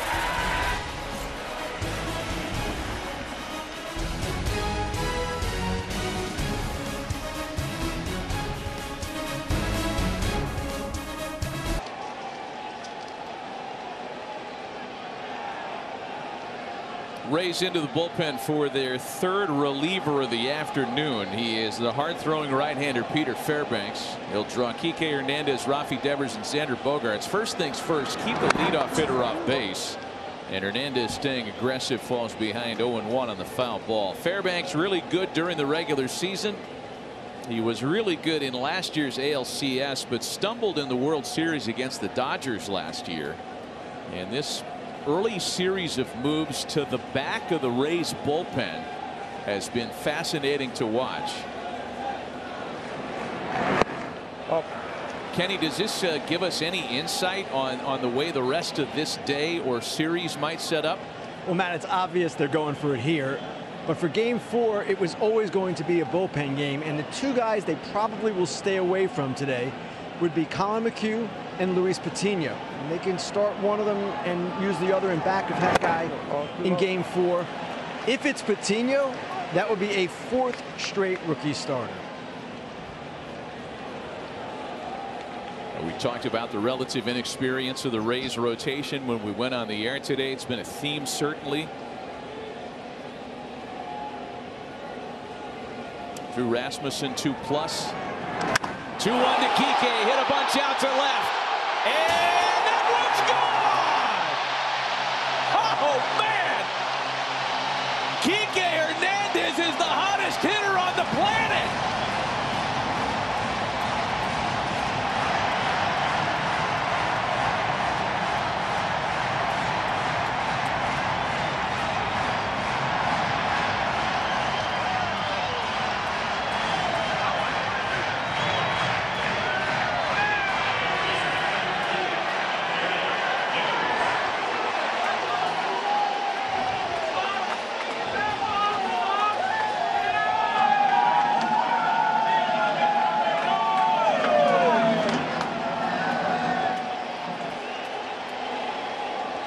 Four to two Red Sox. Devers trying to make it back to back. Right in the wheelhouse, inner third. That's where his swing plane is at his best. Man, is he at his best right now. I'll tell you what, that swing. I know we've been talking about Devers, but he walked out of the box after that swing trying to whatever discomfort in that bottom hand trying to get it back was he faces 98 99 miles an hour. Devers falls behind 0 2. Kike Hernandez has hits in seven straight at bats. I mean, bear in mind he had a record setting Friday and he's followed it up with a three for three including a homer here in game three today. It's too bad they don't give out any awards for the first series which I never understood by the way. With you I've never gotten that myself and that oh, looked like man. a really painful swing by Devers and there's one gone. I mean this is just foot down watch the bat path just right to the baseball let the power of the arm and the ball that came in there fly out and again what I thought was going to be so interesting in this series is starting to play out. How are the Rays going to navigate the games that were started by young pitchers against a vaunted really really good offense and right now that offense is flexing its muscles. Not to mention Matt you get to see these guys multiple times in a series. The Rays that is so yeah. that's why this game's being managed the way it is because Kevin Cash knows a what he's going up against and what he's got left for the next game. He's got to keep this one close. Ballman no strikes. The count is Xander Bogaerts. Second leadoff homer of the game. The Rays still have not retired a leadoff batter in an inning today. I, am just I'm, I'm speechless at what Kike Hernandez is in the midst of here. In game two, just by way of refresher, he tied the major league postseason record for hits in a game with five, matched the Red Sox record. It also tied a major league postseason record for extra base hits in a game. Four of his five hits were for extra bases, and there was no cooling him off tonight. Change of venue, day off, didn't matter. This guy is unstoppable right now. Not to mention what his postseason career average just went up to. I mean, that's that's significant. Two balls and two strikes. That's eight hits. I mean, he had, to your point, had success as a Dodger in the postseason.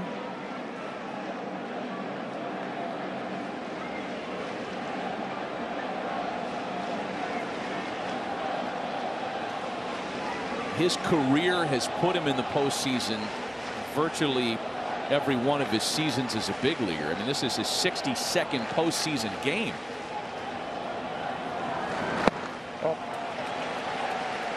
Full count now, three and two to Xander Bogaerts. Well, if there was a Division Series MVP, Kike Hernandez is off to a great start toward that. Born in Puerto Rico, originally drafted by the Astros, won a ring last year as a Dodger, and came aboard in Boston on a two-year, $14 million deal, the likes of which Alex Cora described as a deal that kind of cemented our team. And there's ball four. Kenny, I'm sure there's a, a, lot of other clubs out there with remorse over not getting involved in the Kike Hernandez sweepstakes in the uh, in the winter. There is Matt, but what's interesting here is that the initial plan with him was to play him at second base. Maybe we want to see what's going on with this meeting first.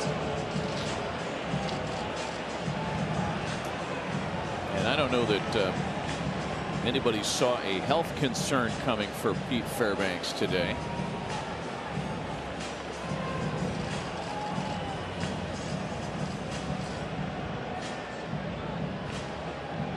Something to do with the mound and where he landed. Okay. In my opinion. All right, so the original plan with Kike was to play him at second base. That way he'd finally settle in at one position.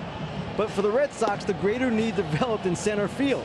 He played only five games there in spring training, but he winds up playing the majority of the time in center and is one of the best defensive center fielders in the game. If you go by defensive run saved, that's a cumulative stat.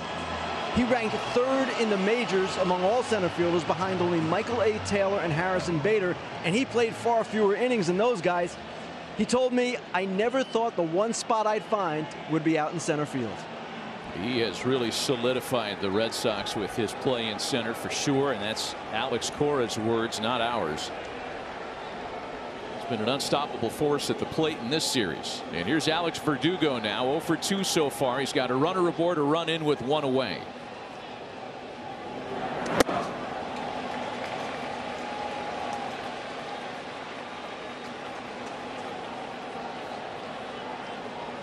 We're going to go back to the pitch before the mound visit to see if we can identify the concern with Fairbanks. Hey, he turned his landing foot there. Yeah, it was. It, you know, you're dealing with uh, when you come in as a reliever, you're dealing with everybody else's work. Runner goes. Boy, a big jump had Bogaerts, and it's a foul ball by Verdugo. And so the landing of these a little deeper, and so Fairbanks hits the spot different than you would if it was a clean mound and creating your own landing spot. So that's a part of being a reliever and understanding to navigate around the mound that's already been uh, used. And Eovaldi's looking like he's done. Yeah, that's a guy in exhale. yeah, right. you, you don't hang out like that in a game of this magnitude. Tampa's got J.P. Feyereisen up in the bullpen. The other player along with Rasmussen that came from Milwaukee on the Willie Adames trade back in May. We've showed you Josh Taylor who's been up for a while a couple times now with the Red Sox. It appears he's coming into the ball game next inning.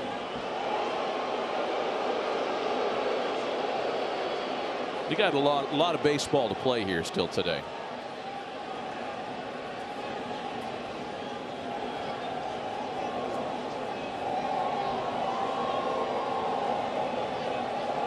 Fairbanks trying to hold the Red Sox to just the run on the Hernandez homer. One and one to Alex Verdugo.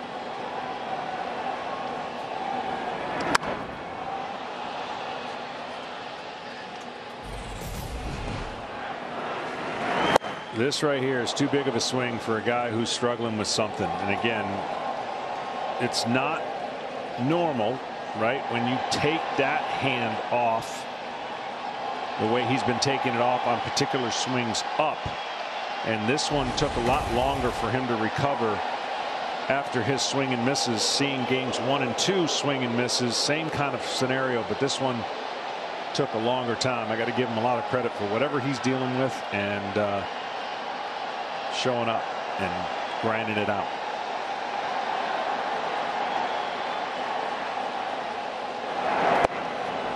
Verdugo with a swing and a miss. That one gets away from Zunino. In real time, we weren't sure if that was fouled away or not. It's a strikeout recorded on Verdugo with Bogaerts advancing to second.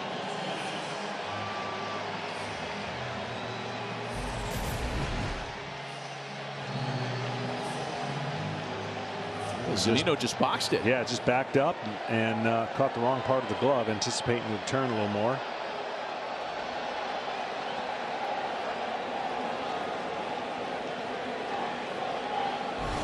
Runner in scoring position now for JD Martinez, who has singled and struck out. Oh, it's inside. And this is again where I would be a little nervous with the right field being right open, meaning the right side of the infield. Nobody there. You see Choi's way off the line to try to protect. But this is the kind of hitter where JD can serve one the other way. He did it twice in Tampa.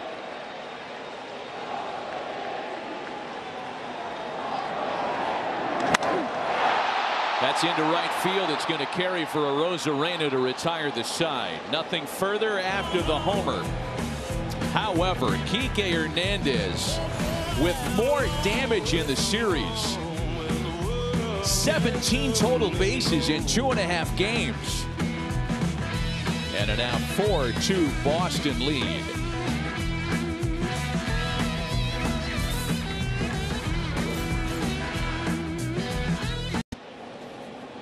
Boston goes to the bullpen for the first time as Nate Eovaldi is a wrap after five great innings today. The only damage the two run homer by Austin Meadows in the first. And it's Josh Taylor here in the sixth. Not a lot of left handed relief options for Alex Cora. Taylor's first offering to Austin Meadows is fouled off into the seats. It's really Taylor and Martin Perez who spent most of his time in the rotation as a Red Sox this year. But this is a, a key moment in the game by virtue of the two left-handed hitters that are scheduled to come to the plate here. Taylor fastball touches 95 or above and pretty much slider curveball and we get a chance in this type of game because of the series and where it's at to see about 13 pitchers maybe between two teams. Good good what are we at now postseason baseball at its finest. Six and counting. Meadows with a bouncing ball for Bogaerts on the other side of the second base bag for the first down. Reminder to get your game on at MLBshop.com for authentic on-field caps, tees, hoodies, and more. Get all your postseason gear and wear what the champs wear at the official source, MLBshop.com.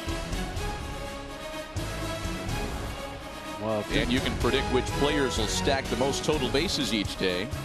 You Kike Hernandez, congratulations. Compete to win $20,000.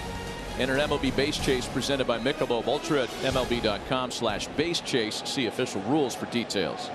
This is one of those games that if you're the Red Sox fan, you're like, you're not happy that you're only up two, right? Feels like you should be up five, six. You're mashing the ball. You're on base all the time. So it's still within striking distance for the Rays. And I think that's why Kevin Cash is approaching it from his bullpen standpoint. But now the Red Sox, whose bullpen was hot down the stretch, needs to deliver in the moment from the sixth, seventh with the lead. Nelly Cruz struck out twice against Eovaldi. Oh, too hot. It's a ball and a strike. Well, the Boston bullpen was not in great shape at the end of the regular season. Remember, Boston had to come from behind on the final Sunday of the regular season to earn a spot in the wild card game. But ever since oh, the postseason started, Boston's bullpen has been on lockdown. A 2.50 ERA in the playoffs. The home run's been a little problem. They've allowed five earned, four of them on homers. But Alex got a couple guys that that guy in particular he got a couple guys hot that he wanted to go to and Brazier Robles maybe overall the numbers didn't look great for a lot of them but they got in a kind of a mode where he could go to three guys that he wanted to And that's the dream of every manager to have three hot starters, three hot relievers, and three hot hitters in your lineup. And then you, you, you can navigate a lot with that formula. Tanner Houck was unbelievable Oh. on Friday. Brazier, three strikeouts and a perfect inning on Friday. And Cruz one hops it past Bogaerts on into left. A one out single in the Tampa sixth.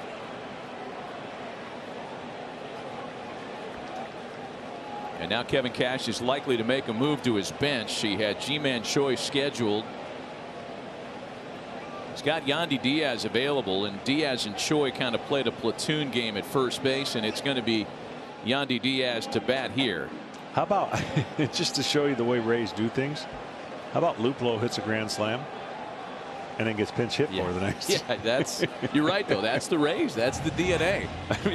and that Dave Bush is going to come out with a little reminder on how to attack Yandy Diaz since he was not in the starting lineup.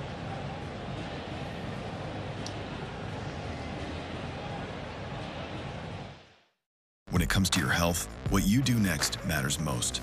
Roman, official partner of Major League Baseball. So the Rays go to the bench for a Citrix pinch hitter. And after Diaz, it's the right-handed hitting Randy Arozarena.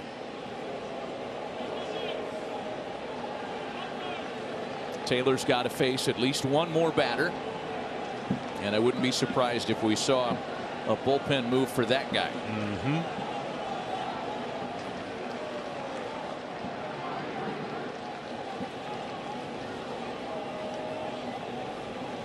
One out, one on. And a strike to Yandy Diaz. Diaz has had some postseason success a couple of years ago, a pair of homers in the AL wildcard game against Sean Manaea.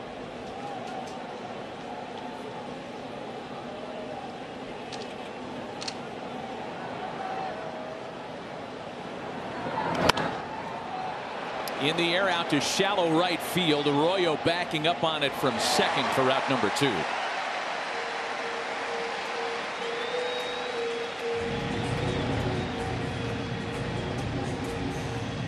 So Arozarena is scheduled, and here comes Alex Cora to make his move for Brazier. I mean, we keep saying this, but this is setting up the biggest at bat of the night so far. Sure is. And they've done a nice job after Rosarena did his thing in game one, shutting him down. Boston goes to the bullpen. The story of last year's postseason, Randy Arozarena has a chance to make his mark on this year's postseason when we come back.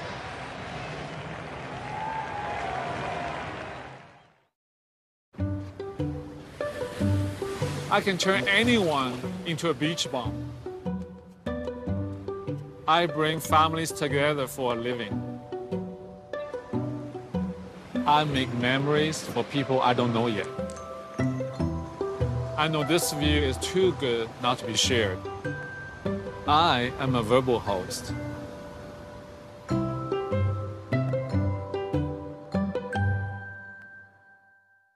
Here's a good Halloween trick.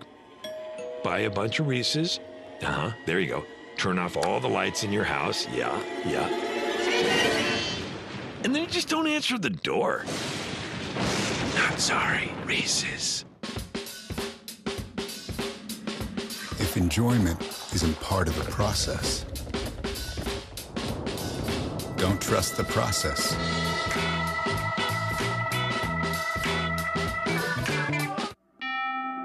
Our house seemed like a dream come true.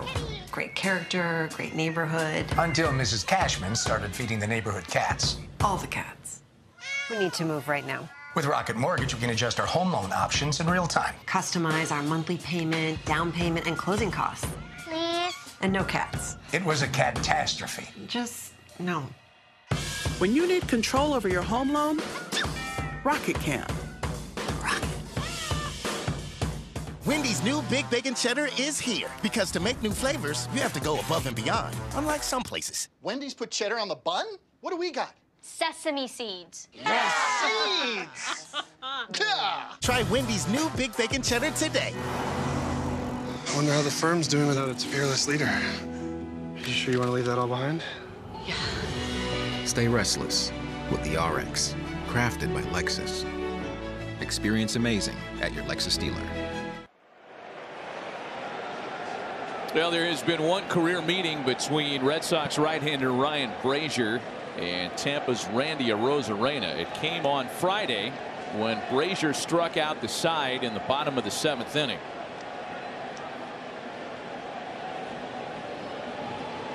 Arozarena represents the tying run here.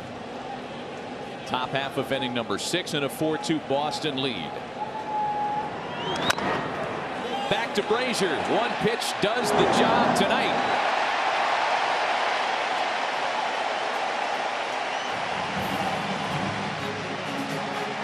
To the bottom of the sixth. Still 4 to 2 Red Sox.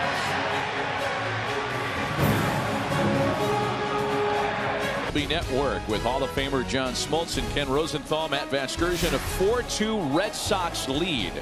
Go to the bottom half of inning number six. Yandy Diaz, as we guessed, staying in the game at first base for Ji-Man Choi, and JP Feyereisen takes over on the mound for the Rays. He'll get the bottom third of the Boston order, oh, it's inside. and will try to retire a leadoff hitter for the first time tonight. All five have reached base safely for Boston. That includes the two homers that led off innings by Schwarber and Hernandez. Yeah, pretty amazing to be this far into the game and can't gotten the leadoff hitter out yet. It speaks to the volume of offense that the Red Sox have.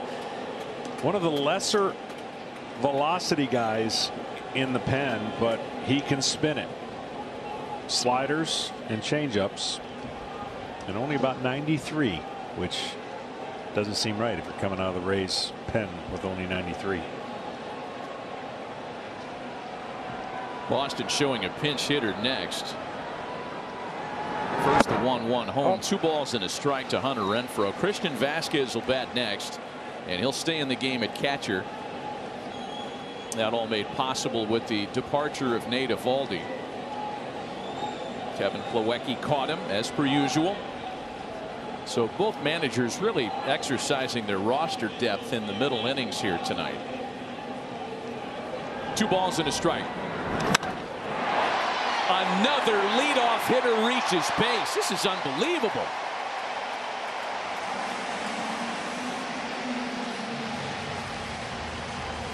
And they're all hits, too. We're not talking about leadoff walks. That matches a Red Sox postseason franchise record. That's the best you can do. Six for six. I mean, wow. It's been Renfroe twice on singles in the fourth and now here in the sixth inning and another visit from Kyle Snyder.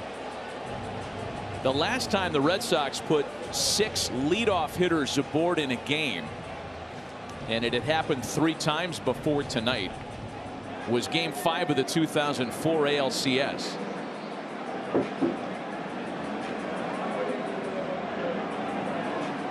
Alex Cora signaling to the umpiring crew that he's announcing a pinch hitter. As Christian Vasquez goes to get some last minute instruction from Carlos Febles. They going to put something on here? Well, we know Alex likes to step on the gas pedal. He's got the leadoff hitter aboard. Guy handles the bat pretty good. I mean, he had his power stroke working a couple years ago, and he's lost that power stroke. Only six homers this year for Christian Vasquez.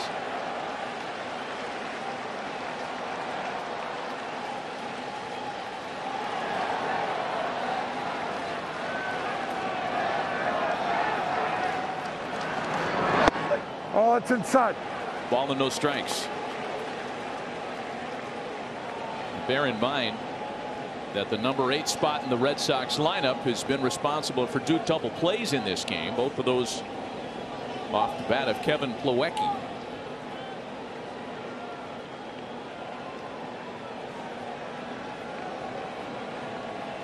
Arroyo next and then it's the top of the order and then the trouble comes with Schwarber Hernandez and Devers. There goes the runner and it's a swing and a foul tip. Yeah they had something going here. Hey, Was that a swing and miss or a foul ball? Because Renfroe still at second base. That was just a swing and miss. Oh, that's fouled. Yeah. He's coming back.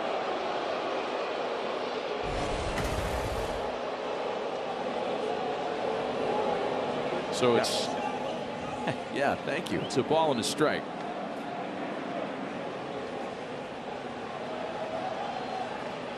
Vasquez better against righties than he is left-handed pitchers, and he likes the ball in the middle third, inner part of the plate. They're going to send him again. I don't. I don't think back to back, but you never know.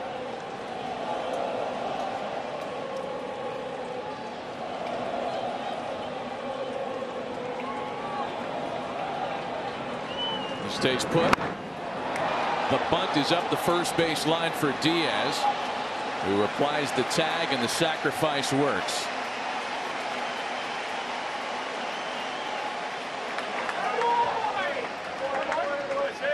A reminder to follow all the action of the postseason with the MLB app. From real-time tracking of every pitch to in-depth analysis of the games, download the MLB app today. Make sure this postseason is major.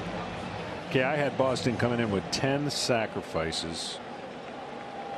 Put them 24th in the league, and Tampa is dead last with six. So you just saw something rare. I mean, postseason, right? You just throw it all out, don't you? Yeah. Especially with Alex Cora. And here's Arroyo now with a chance to play to run a man in scoring position.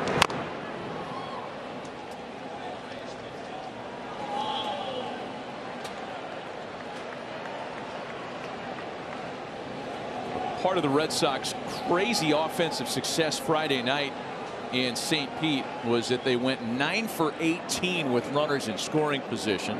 They're 2 for 6 in game 3 today.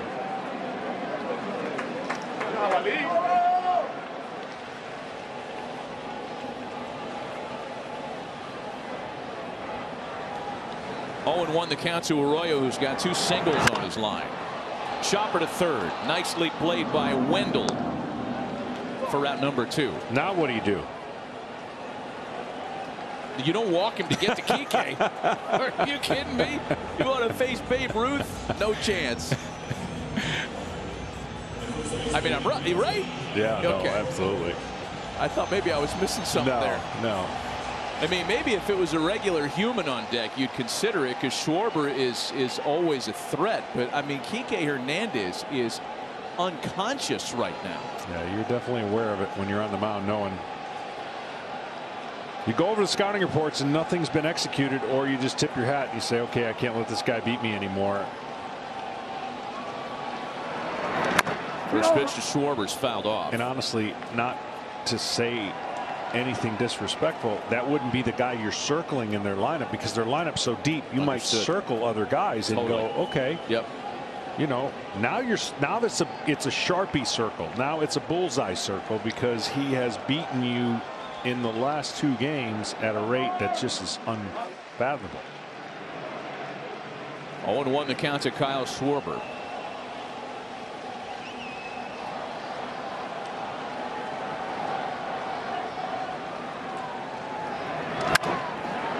Bouncing ball into the shift for Lowe. And that runner in scoring position is left stranded. A big hold by J.P. Feyereisen and the Rays to the seventh. 3:30. It's the White Sox if they can hang on tonight, forcing a game four against the Astros. That'll be followed by at 7 o'clock game four of this Rays Red Sox series on FS1 and then at 9:30 back to TBS for game three Giants Dodgers. Terrific action all day tomorrow. Ryan Brazier continues top of the seventh inning. They'll get Kiermaier, Zunino, and Wendle. And yes, we're in the seventh inning. But this is the time of the night when the Rays feast. Christian Vasquez takes over at catcher as we guessed. Tampa has a plus 113 run differential from the seventh inning on this year. That was the best in baseball during the regular season. 0-2 to Kiermaier. They have already tonight, however, used two of their high leverage relievers. Boston holding a two run lead in the seventh.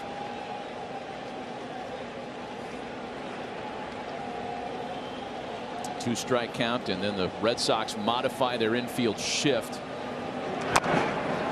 That's foul. Kiermaier fouls that one off.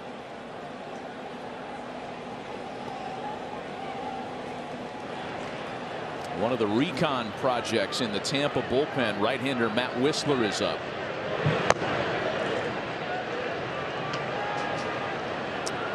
Rays have that unique showed it before the arm slots so many different arm slots that come out of the bullpen kind of like every angle you want to try to offset the style of hitting that exists today.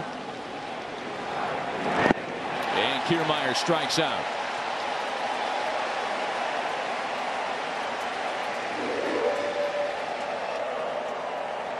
So Brasier got the Rays or the Red Sox rather out of a tight spot in sixth with one pitch when he got Arozarena to tap out in front of the plate. He strikes out Kiermaier and now he faces Mike Zunino.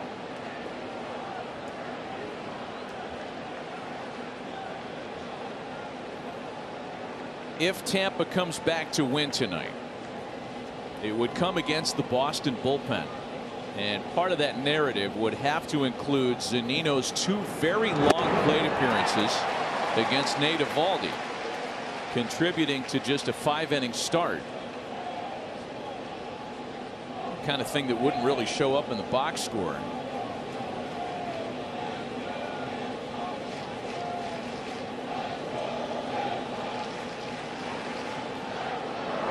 It's very rare when a reliever in back-to-back postseason games, John, you know this as well as anybody, faces the exact same part of a lineup. Yeah. And that's what Brasier's doing here. He faced Zunino, Kiermaier, and Arozarena on Friday. And he gets that same group in reverse order tonight. Yeah, it doesn't always work that way, but it's nice if it does because then you've got some history to go on.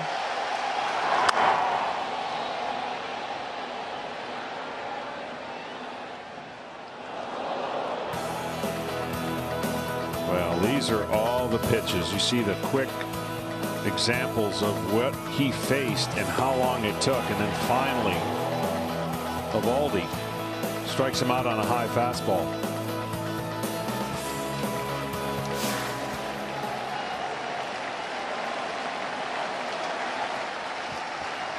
It's the other left-handed reliever, Austin Davis, up in the bullpen for Boston. Again, you can include Martin Perez in that group, though he pitched primarily as a starter this year. Zunino fouls another one away.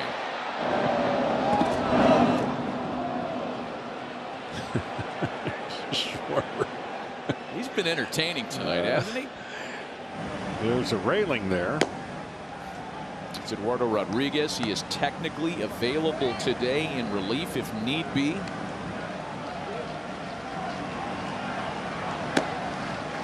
Short start from Chris Sale on Friday. You throw all those availability equations into a different mix in the postseason for sure. Still 0-2 to Zunino.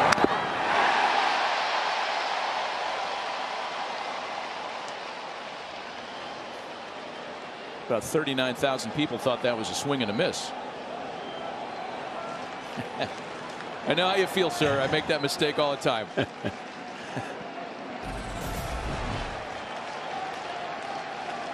Does fouls off the breaking ball.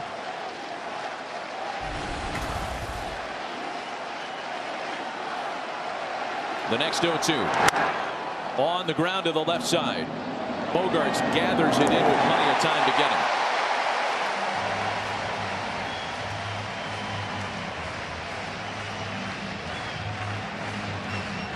This crowd's fired up, standing up. About what? Hour or so ago, they were relieved by their other hometown team when winning on the road on a field goal. That's right. So they're relaxed. They're Yeah. ready for a doubleheader. Sweet. Yeah, I mean, it did not start out as a good day for the Pats. It's going to be all for Brasier with Joey Wendle scheduled to hit. The call will go out to Austin Davis. A pitching change for the Sox. We'll be right back. It's a nice truck. Yeah, it's a Chevy Silverado. Check out this multiflex tailgate. Multiflex, huh? Ah. Wow. Come step. Mom, Dad's flexing again. That's not all. You can extend the bed for longer stuff. Is he still? Still flexing. That's right. And it becomes a workspace. You can put your laptop here. I'm sending an imaginary email. Hey, Dad, dinner. Hey, look who stopped by Daddy's office. Wait, you work here? The Chevy Silverado with the available multi-flex tailgate. Find new flexibility, find new roads. Chevrolet. Does your deodorant keep you fresh all day? We put Dove Men deodorant to the test with Nelson, a volunteer that puts care into everything he does. It really protects my skin. It's comfortable and it lasts a long time. Dove Men, 48 hour freshness with triple action moisturizers. I can turn anyone into a beach bum. I bring families together for a living. I make memories for people I don't know yet. I know this view is too good not to be shared. I am a Vrbo host.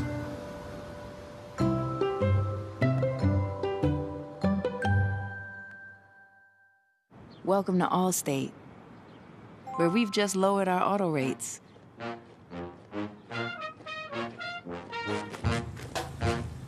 And savings like that follow you everywhere. Now get new lower auto rates with Allstate. Because better protection costs a whole lot less. You're in good hands with Allstate. Click or call for a lower auto rate today. I look fly. Yeah, I look good. Look good. Feel good. Play good. Gillette Pro Glide. Five blades and a pivoting flex ball to get virtually every hair on the first stroke. Look good, game good. Gillette. All right, the wheels continue to turn in both dugouts. Changes on both sides, starting with a new pitcher, left-hander Austin Davis. Austin Davis, 93 to 94 mile an hour fastball with a slider, curveball, changeup. He will face a pinch hitter batting for Joey Wendle, the right-handed hitting Jordan Luplow. And if you saw the grand slam he hit against Chris Sale on Friday, you know all about what he can do against left-handed pitching. He has been used in this capacity throughout his career in Cleveland, in Tampa. Base is empty with two gone, and it, it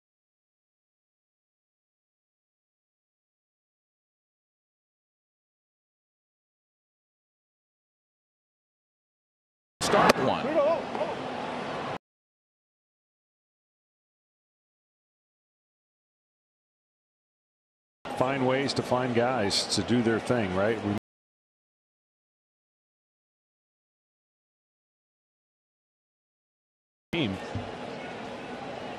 But they put guys in positions to uh, have success.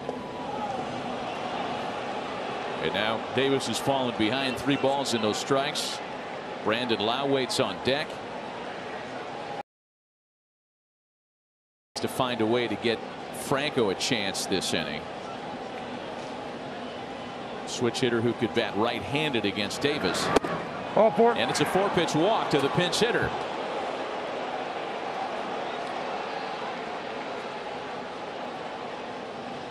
Now I got some thunder coming to the plate. Tying run coming to the plate.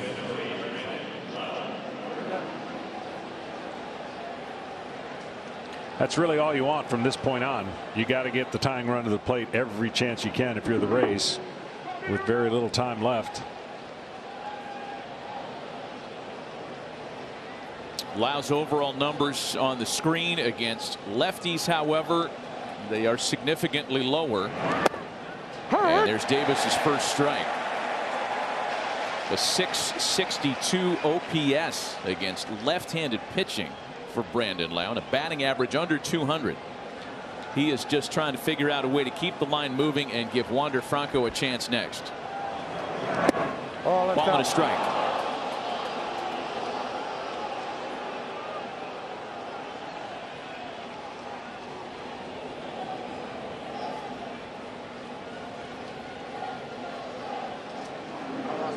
At this point, you're in the dugout, the Rays, you're like outfield grass. And the reason you say outfield grass, you want that ball to touch outfield grass. Two and one. seven pitches, only one strike issued by Davis since entering the game.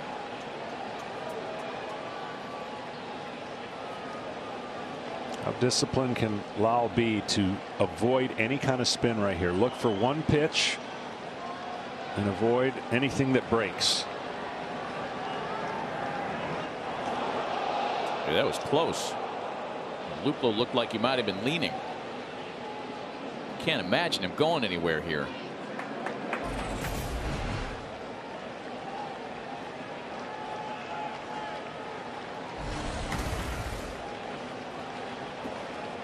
Some of those splits that we talked about a moment ago with Lowe, much more damage against right-handers.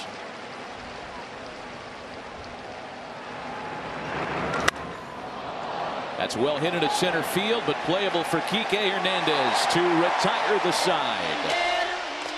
Kike leads things off in the bottom of the inning, trying to further a franchise record.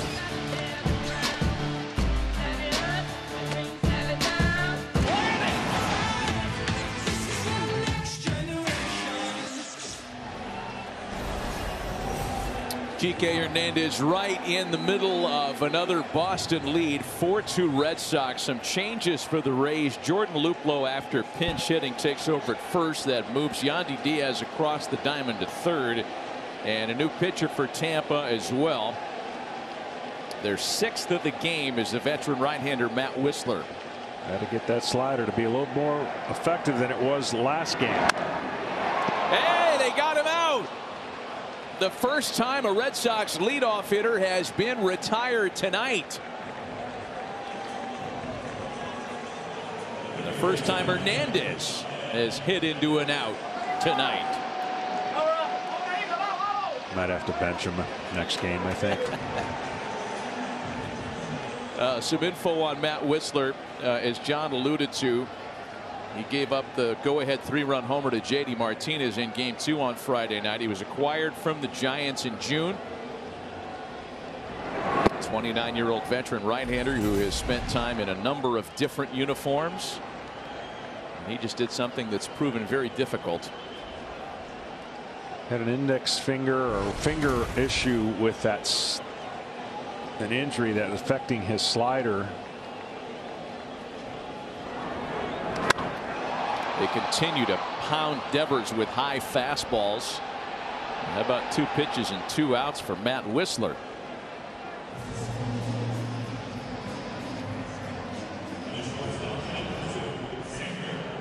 Let's go down to Ken Rosenthal with a little bit more on the Rays right-hander.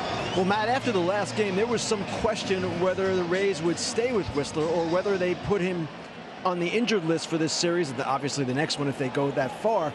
That right middle finger problem sidelined him twice, once in August through early September, and then again from September 10th to 30th. But asking Kevin Cash about this today, he said he is too valuable for us to run from. He's okay. He's looking for the Rays' first one, two, three inning since the fourth inning on Friday night. Xander Bogaerts hitless 0 for 2 with a walk today.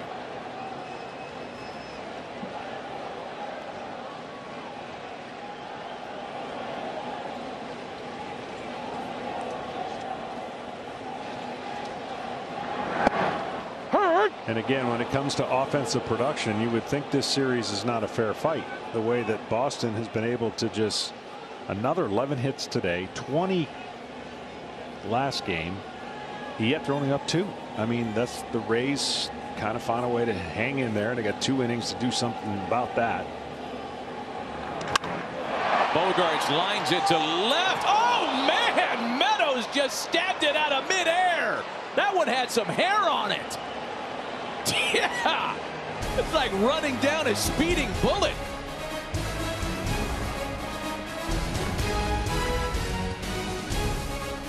A five pitch inning with a little help. And a still two run game in Boston.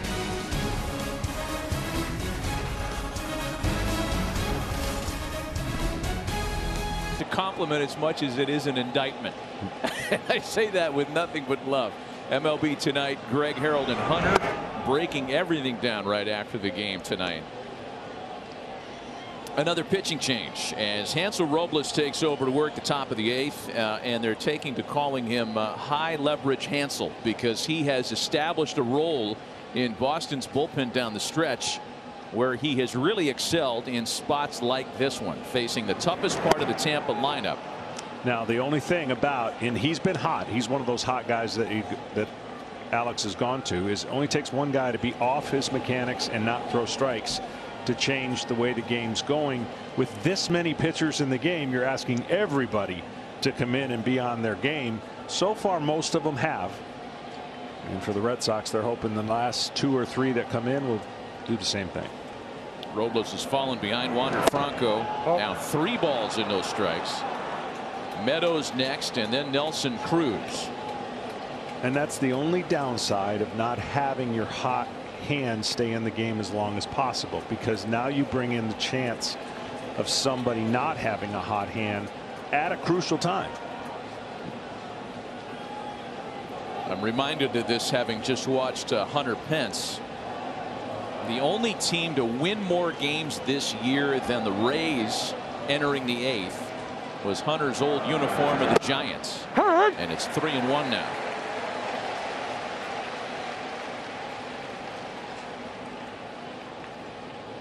Robles has been great in the playoffs. Predates this year. He's retired 15 of 16 he has faced in the postseason. Franco sends a ball toward the monster. Verdugo looks up and it's gone.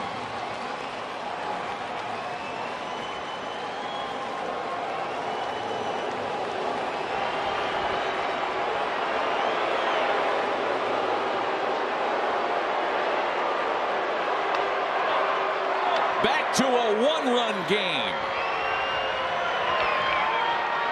It's a strong human. Young guy.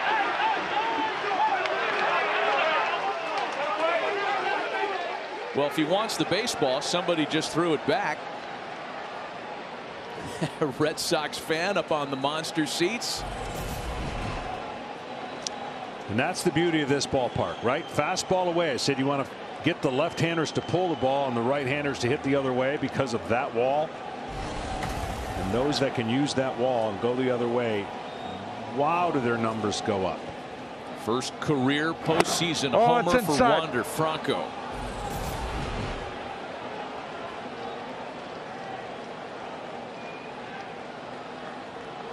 I mean, you could say he's going to be a star, but he's already a star. Yeah, other than the first two weeks, he really looked a little overmatched. He made the necessary adjustments and then went on that long on-base streak that you talked about. 1-0 pitch to Austin Meadows is hit well out to center field, and that's off the monster. Meadows smelled double out of the box, and he's the tying run in scoring position with nobody out. Here come the Rays.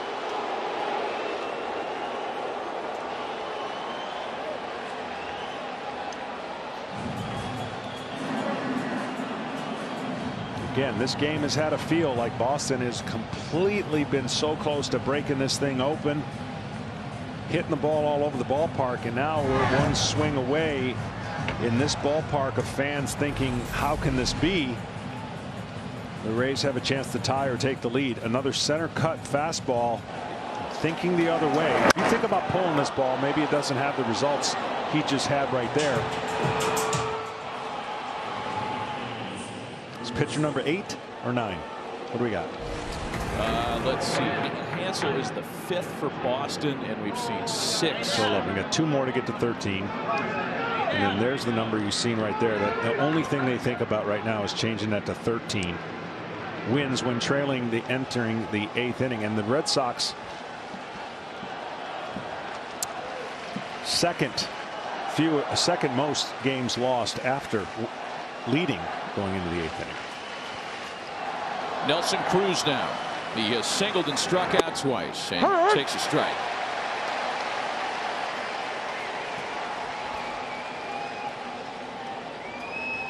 Boston bullpen is getting hot in a hurry with Garrett Whitlock and Adam Ottavino.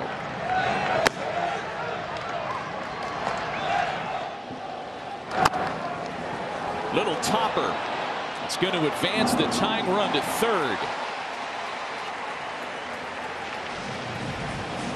Well, not what you wanted your slugger to do, but in a weird way, at least he got the tying run at third with less than two outs, puts pressure on Boston to bring the infield in.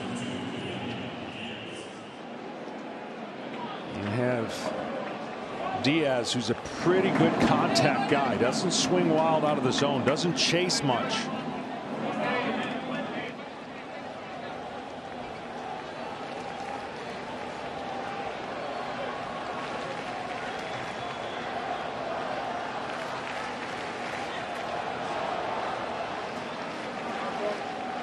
Yandy Diaz has been really good this year at scoring the run from third with less than two out 35 opportunities and he's plated that run on 21 of those occasions terrific success as you see the pinch runner Emmanuel Margot pinch running at third for Meadows. Now you look for sliders in the dirt.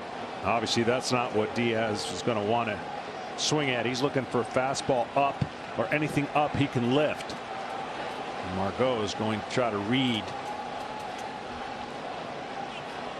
the ball off the ground. I highly doubt they have the contact play on, meaning as soon as he hits it, you go to home here in the eighth. You got a Arozarena waiting on deck. And the first pitch to Diaz misses low.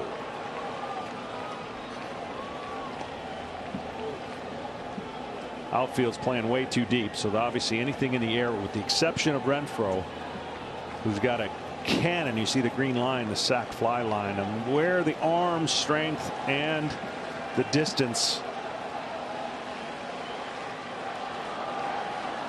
94 is pretty pretty solid and right.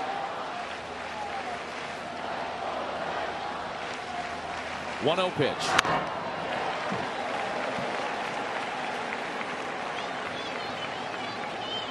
What's the first thing you think of when you see Manuel Margot at third in the postseason? Well, trying to steal home against yeah. Kershaw, yeah. right in the World Series last year, and he came so close.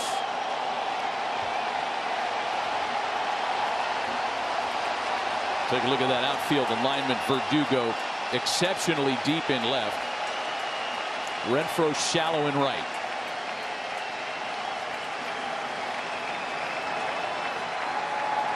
One one to Diaz. Foul back. Challenged him with a 98 mile an hour heater. That was a great pitch because he threw it in. And he, he buried it in.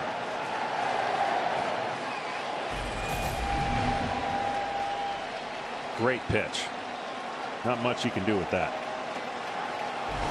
To your point earlier, Diaz is awfully tough to strike out. Strikeout rate of less than 16% of his plate appearances.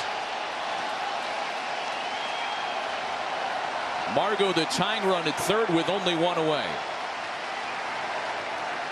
The one two.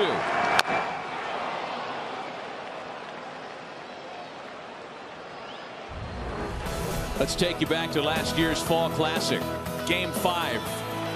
See, I, th I think it. I looked at that a bunch of times. That sure looked like it could have been called a balk, but he stepped back and he tried his best swim move. And we've said this many times. If it's a full ballpark, maybe Kershaw doesn't hear the Yeah. help that he got from the Dodger dugout. Maybe the whole thing goes down differently.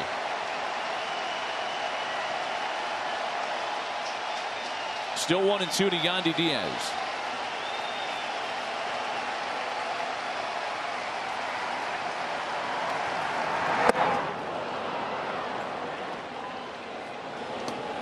Two balls and two strikes. He tried to throw that one a hundred. Biggest lead of the night from either side's been two runs. Tampa had a two run lead early after the Meadows homer in the top of the first. The Red Sox two run lead late has been cut into by the Franco homer. 2 2. And Yandy a little early. Hit that a bunch.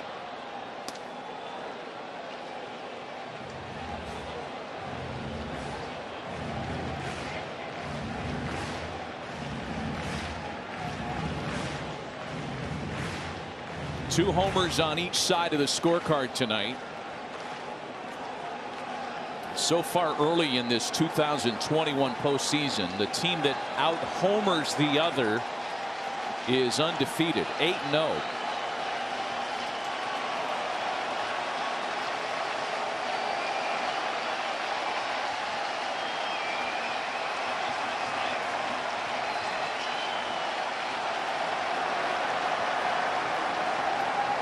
Two two.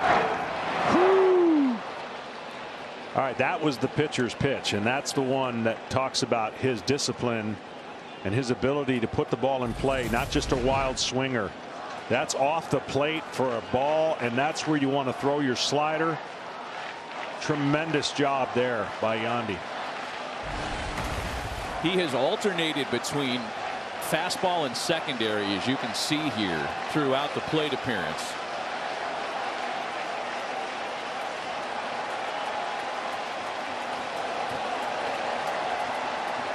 Just guard against trying to throw a better slider and bouncing it. Here's the next 2 2.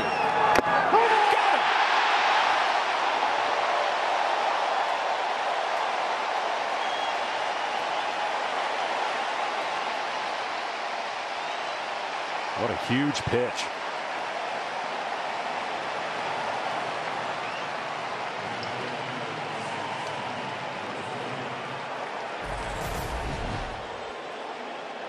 Above the zone, foul tip, 98. And now the Red Sox have done a great job against Arozarena by at least making him aware of the fastball in. And when he's aware of the fastball in, he gives up on the sliders away, and it gives kind of a feeble effort.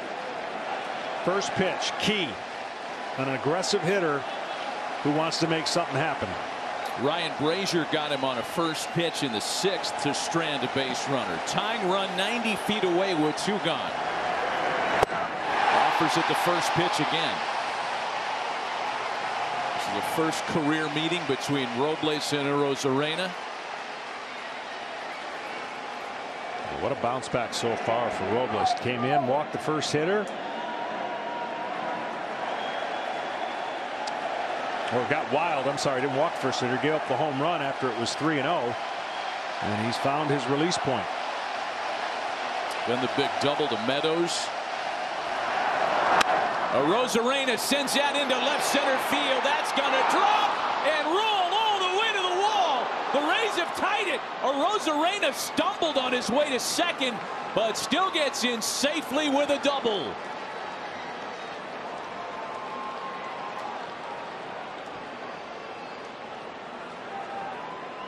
And Arozarena is calling for some attention at second base. I'm not sure whether he's hurt or if he just wanted to talk to his first base coach, Ozzie Timmons. It looks like he's okay. Well, and, and Kevin Cash is just going to try to get the umpires to agree with him and tell him that he thinks he could have got to third base. But he reaches out and hits the gap. An unbelievable effort in center field. But watch where uh, Schwarber just Oh, trips him up.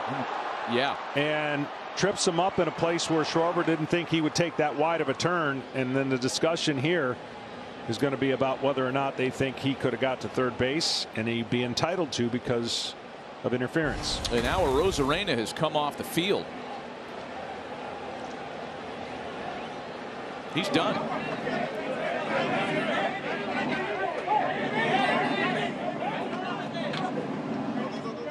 I think he's just getting a drink of water.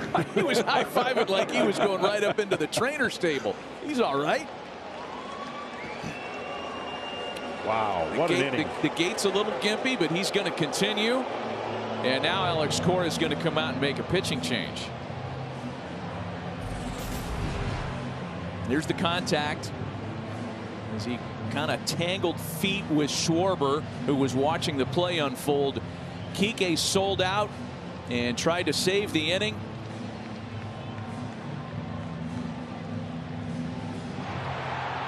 And the Rays, who've done this all year, have roared right back to tie the game.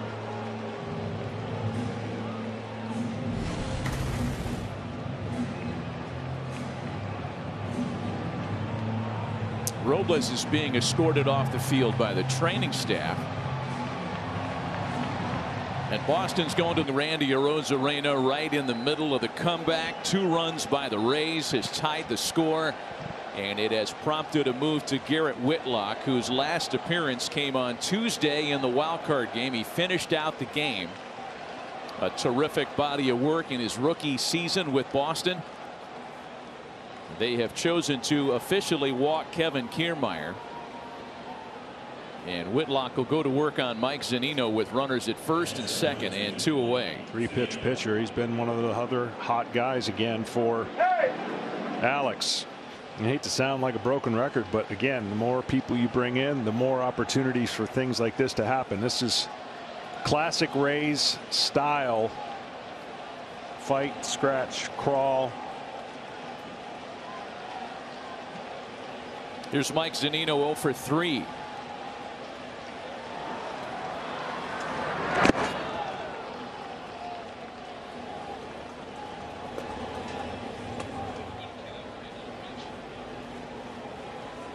The inning started out with the Wander Franco homer.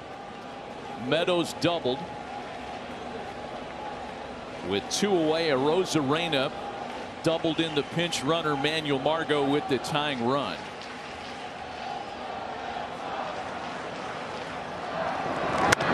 And Kenny, it, it strikes us all that these two Rays rookies right in the middle of their success during the regular season and again tonight. I know Arozarena was the MVP of the ALCS last year, but yes, he is still a rookie. And Franco has so little professional experience still. Before he made his debut with the Rays on June 22nd, all he had done was one short season of rookie ball, one full year of Class A, time at the alternate site last year, and 180 plate appearances at AAA. That was it. Ball, it's out. Two balls and a strike. But we're seeing it play out before our very eyes tonight why those two players are considered the favorites for American League Rookie of the Year.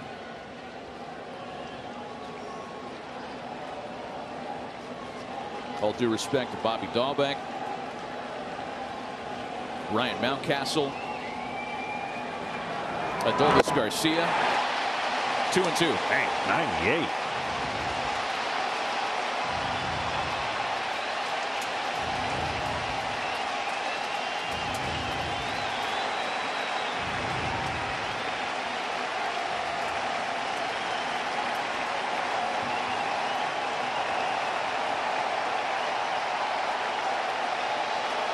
Go ahead run in scoring position. And a called strike three.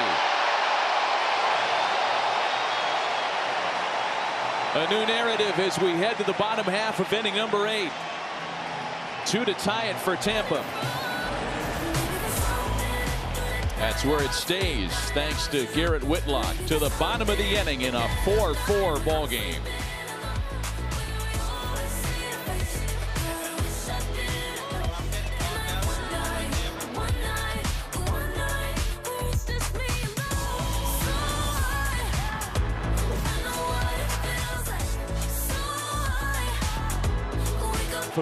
Number eight. Alex Verdugo leads things off against Matt Wisler. Into center field. Coming on hard is Kiermaier to prevent another leadoff knock. The three-time gold glover. What a great play. They got to play so deep in center field because of the space they have to cover. So he's playing real deep, and this is a soft liner coming down. So his ability to get there and dive, precision, and he has made two great catches already in this series, one in their home ballpark. And that one could have been easily gets by him and a game changer. Longest tenured member of the Rays, such an important part of their success over the years, and we're going to have a pitching change now set the realigned outfield defense and tell you about the new pitcher when we come back.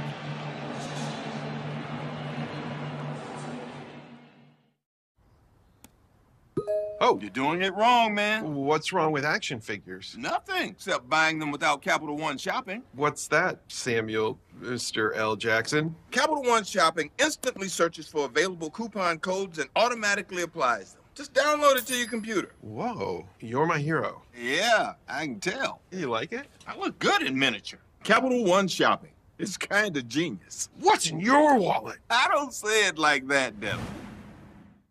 Incomparable design makes it beautiful.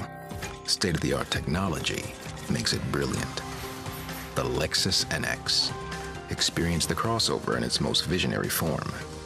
Experience amazing at your Lexus dealer. Look good. Feel good. Play good.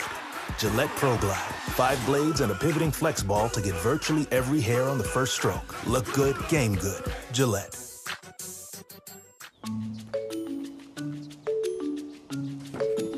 I know the best coffee spot in town. I can make a rustic cabin feel modern. I am a guidebook for guests. I can make an indoorsy person outdoorsy. I give families a home, not just a place to stay. I am a Vrbo host.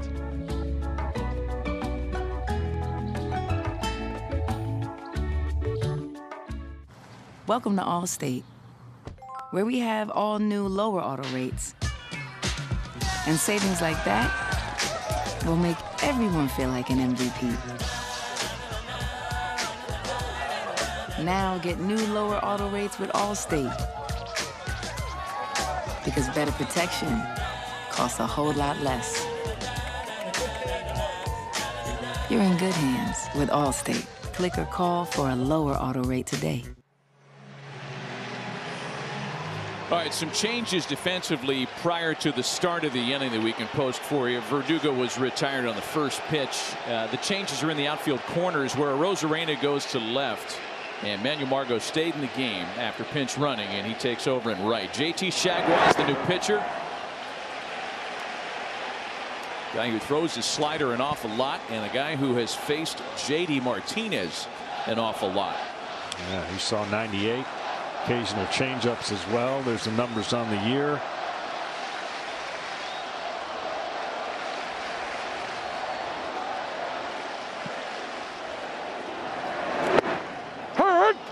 One and one. Martinez is singled in three tries today.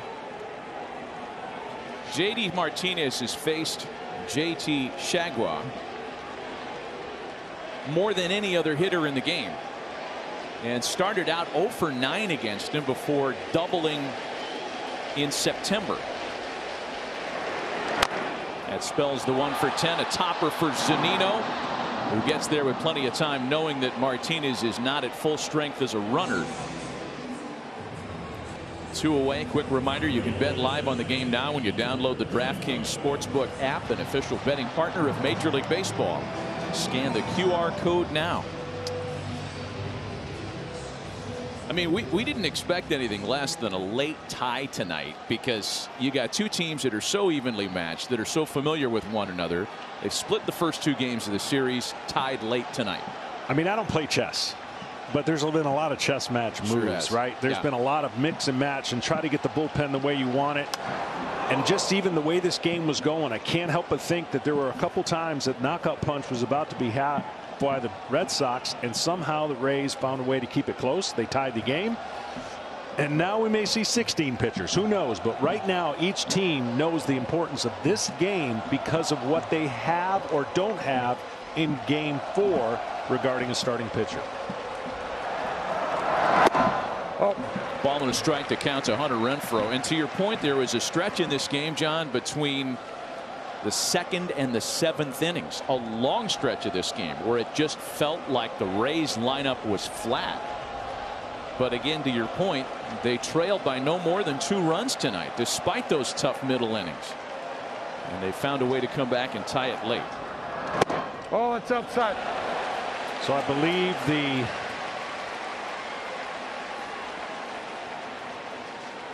third inning.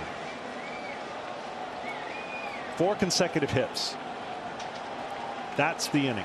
To start the inning. To four, start the four inning. straight singles for the Red Sox, and they had had to settle with just two runs. Yeah, I agree. Lively fastball at 99 miles an hour by Chargois. It just had to check my sheet that normally is I'm, I'm normally staring at yours, but I've, I've, been locked in in this playoff game and at least keeping score. Because I normally give don't, up. Don't look at my sheet. it's a messy. Full count now.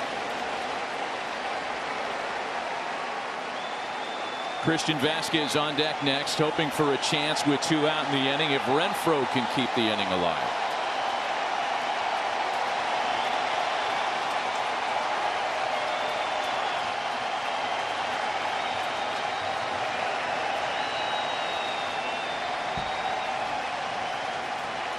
Three-two pitch. Did he check it? The appeal, he did check his swing, and it's ball four.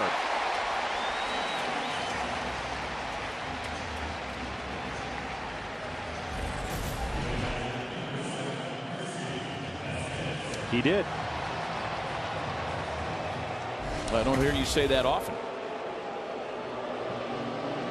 Kyle Snyder making another visit now. I mean, I would think one of this is about look. If he's going to get a hit, meaning Vazquez, the ball's got to be away. Don't give in to the inner part because that's his stroke for power is the inner third of the strike zone. You just don't want to make a mistake there. You don't say it like that. You give a positive command by saying attack him away with sliders and fastballs away. And that's how you kind of fill in the scouting report without setting a negative in somebody's mind. Vazquez laid down the perfect sac bunt back in the sixth inning that advanced a base runner with less than two out, but the Red Sox failed to score. Oh.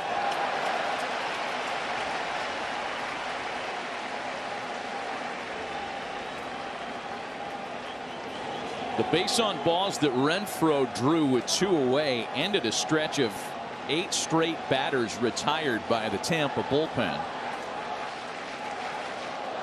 And they got into it early today when Rasmussen was removed in the third. 1 1.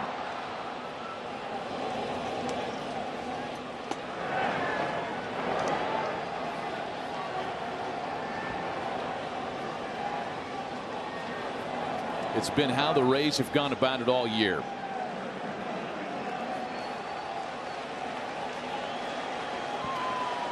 So much confidence in their bullpen group that it doesn't matter if they're just deploying one or two of them late in the game or if they have to chew up bulk innings as they have tonight. Broken bat pop to retire the side. We're headed to the ninth inning in game three. The Rays and Red Sox still tied at four. Good Sam ALDS telecast on MLB Network presented by Geico written consent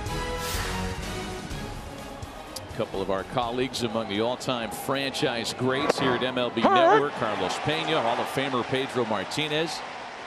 With Hall of Famer John Smoltz and Ken Rosenthal, Matt Vasgersian back in a 4-4 game top of the ninth inning. Garrett Whitlock continues. He's got a nothing and one count on Jordan Luplow, who drew a, a pinch hit base on balls in the seventh. I mean, this guy's been nasty to just think about being a rookie, right? In this spot. Throwing cheese.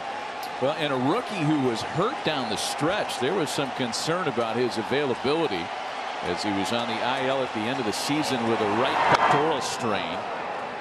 They activated him for the regular season finale at that game on Sunday the 3rd where Boston had to come back and win on the road in D.C. As we mentioned, Whitlock finished out the wild card game Tuesday night.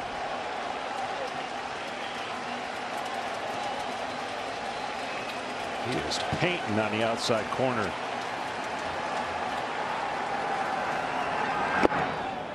He did give up a home run on Tuesday. Again, it was not a high leverage situation. It was a comfortable lead that he inherited that night against the Yankees. A ball and two strikes. Lowe and Franco to follow. Oh. Two and two.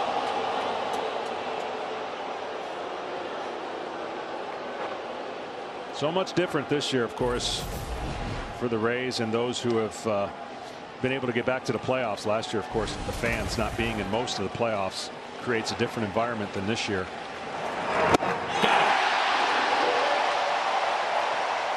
And you start feeding off that adrenaline, good and bad. You want to be the adrenaline at home, but you have to know how to handle the adrenaline at home because it's ramped up.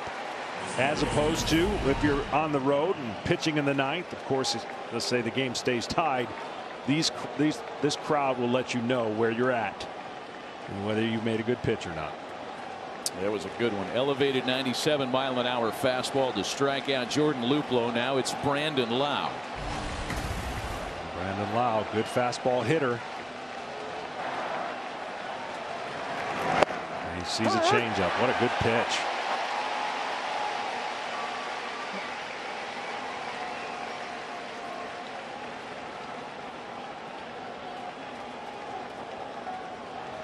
In Rays franchise history, there have been two go ahead hits in a postseason game in the ninth inning or later. Oh, We certainly remember the most recent Brett Phillips memorable walk off in game four of last year's World Series against the Dodgers.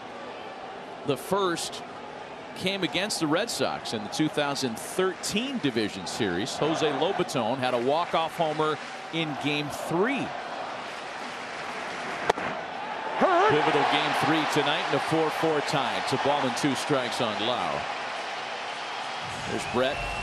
There is just nothing you can do with those two pitches. He dotted each corner, and now he can drop this changeup and make it end up in the dirt and, and could possibly get Lowe to swing at it because he's he's already set his eyes down low looking at that pitch. Oof, yeah, it was. What a great job there. That is his classic. You set the eyes hitters, the hitters of the eyes down to that spot. He puts a lot of pressure on that 98 mile an hour fastball and throws a great changeup. That was that. That's one you just you put in the hopper and you keep watching if you're Whitlock. And he threw it in the dirt.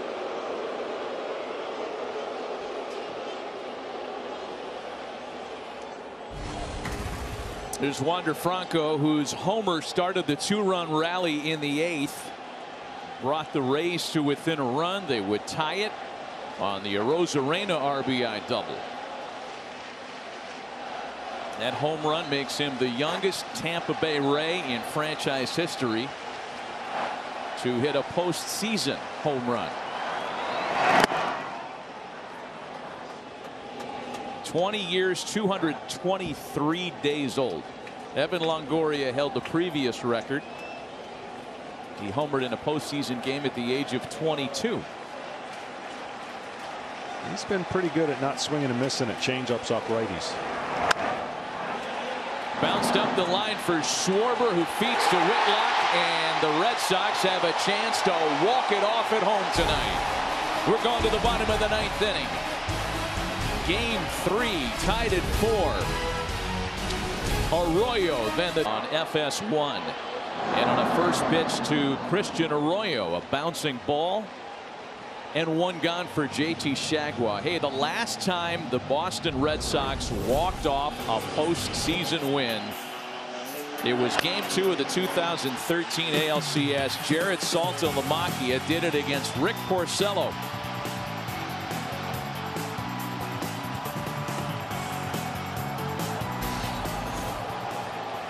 Doesn't seem like it was that long ago. Eight years ago. 12 postseason walk-off winners, second only to the Yankees in Major League history.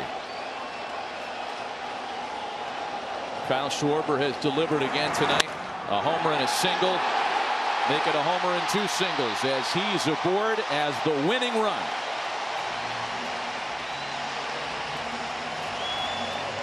Well, two pitches, two action balls, uh, ground ball, now a base hit. So they're coming up here ready to swing, and nobody's been ready to swing more than Kike. Going to have a pinch runner as Bobby Dalbec will run. And if a 10th inning is needed, he'll stay in the game to play first base. It's amazing how the game always finds a guy who's been in the limelight the entire night, and it's Kike Hernandez. 17 total bases, not just in the series, John. Remember, he was hitless in game one. 17 total bases in two games. That's insane. The major league record for total bases in the first three games of a postseason series, Pittsburgh's Bob Robertson with the 1971 Pittsburgh Pirates, and that was 20. Strike one from Chargois, former Dodger teammates, with the game on the line here in Boston tonight.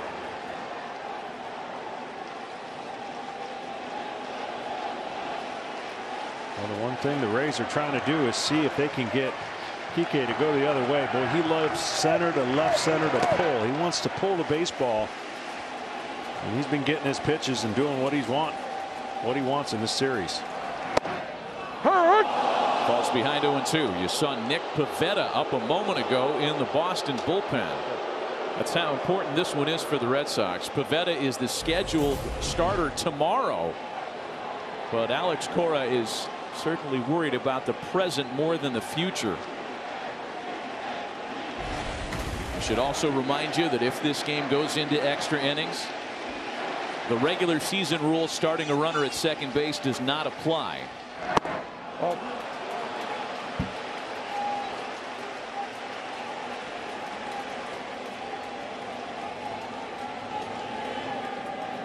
One and two.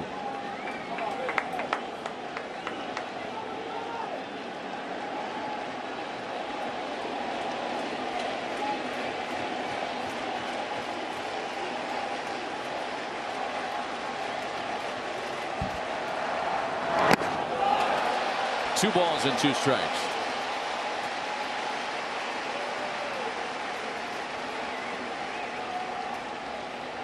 The previous Red Sox record for total bases in the first three games of a postseason series was held by Nomar Garcia Garciaparra, and it was 14.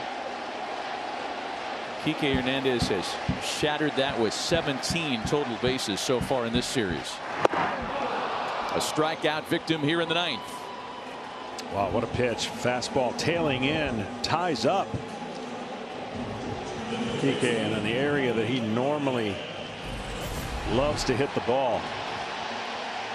That late movement right there just couldn't get the barrel in his hands to the ball. And now the guy that's probably playing through the most discomfort has a chance to be the hero.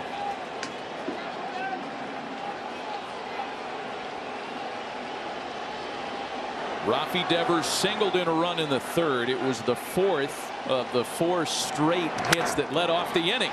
That's into the shift for Lowe, and we're going to the 10th inning tonight. Extra innings in game three, a 4-4 tie. Boy, have we.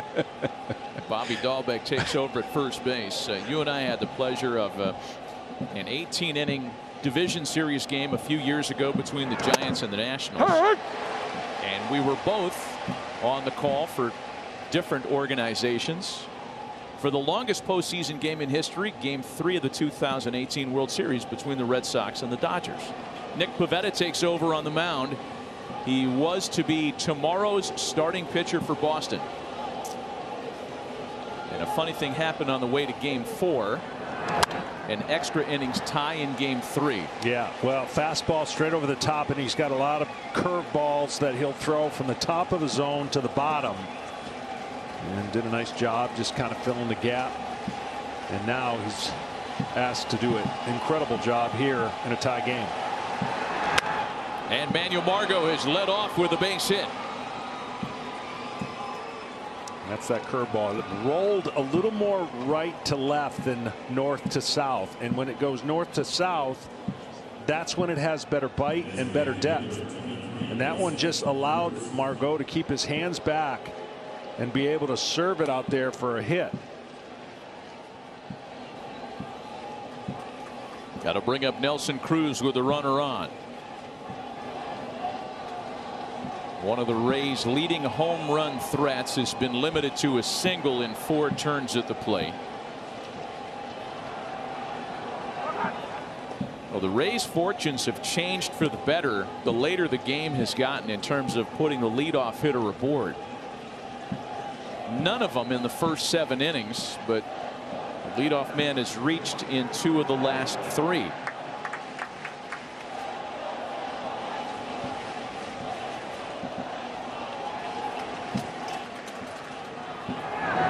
Oh, time out.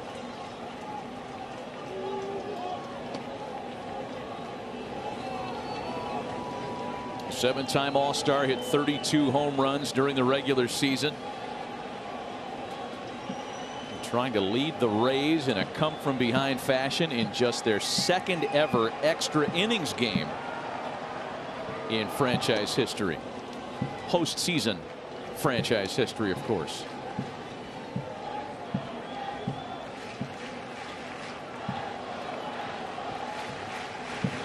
We already talked about that 2008 ALCS between these two teams. Tampa's only previous extra innings game in the postseason happened in that set. And Cruz slugs a high fly ball into center field for Kike Hernandez.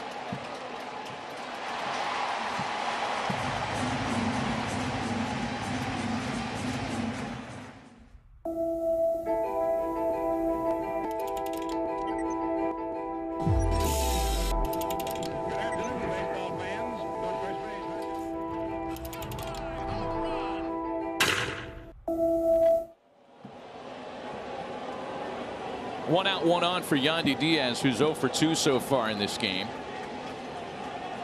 Began the night as a non-starter. Ji-Man Choi started the game at first base.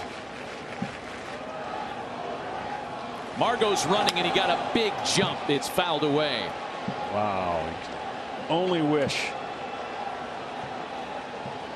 Diaz could have seen that, but tough to make that call out of the corner of your eye. What a huge jump. Yeah.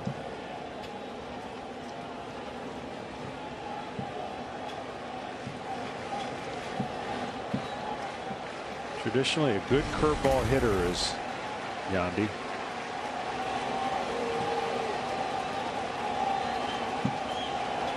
Margot stays put this time, and it's 0 2 to Diaz. So we've seen the fastballs at the top of the zone.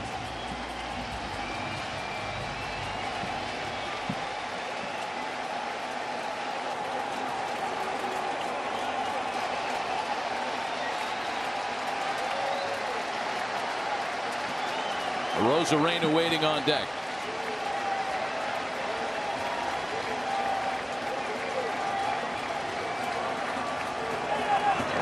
Oh, too hot. Oh boy, it looked like Yandy was fooled that time. Turns into a good take. Yeah, ball ball started pretty high. You see the late break, top of the zone easily, above the strike zone.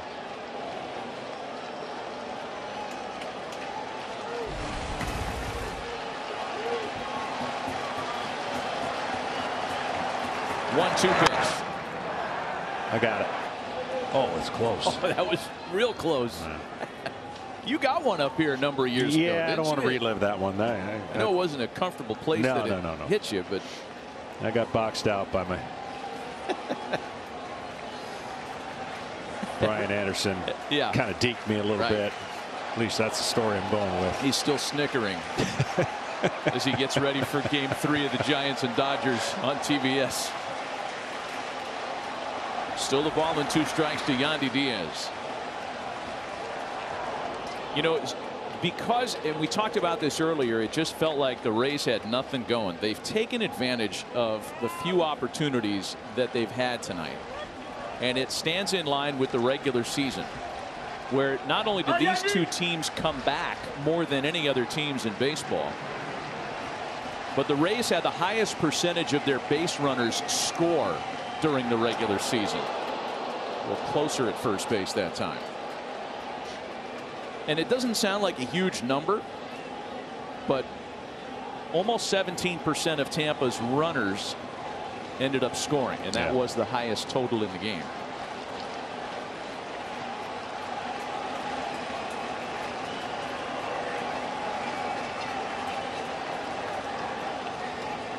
Another throw to first. Well, again, the way this game is played out, the resources used on the Rays end is very costly if they don't win the game. I mean, they poured in all of their resources to win this game because they're going to have to use a bullpen game tomorrow. Now, by the looks of it, we'll see which direction that Alex goes now that Pivetta's in the game.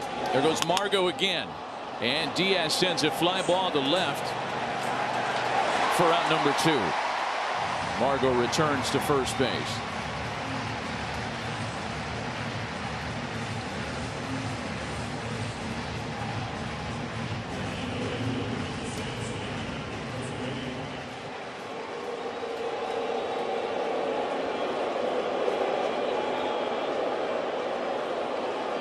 So now Randy Arozarena, who's two out doubled in the eighth inning, tied it at four.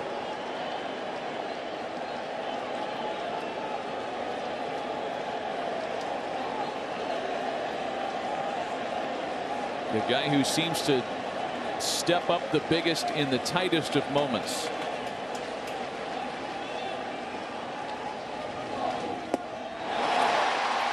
It's kind of an awkward pass at a fastball there.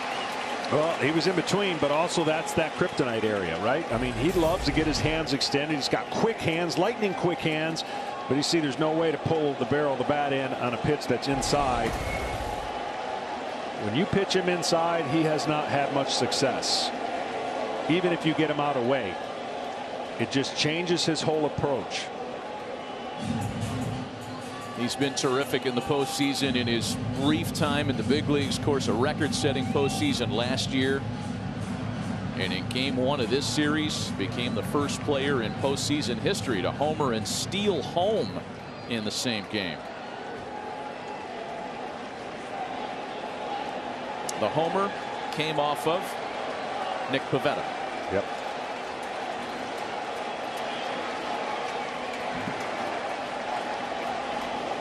Margot runs. Throw down to second base. Not close.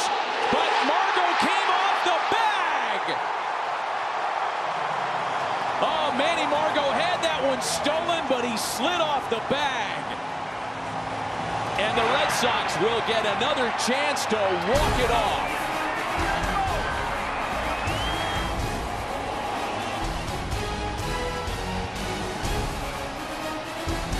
Wow, was that close?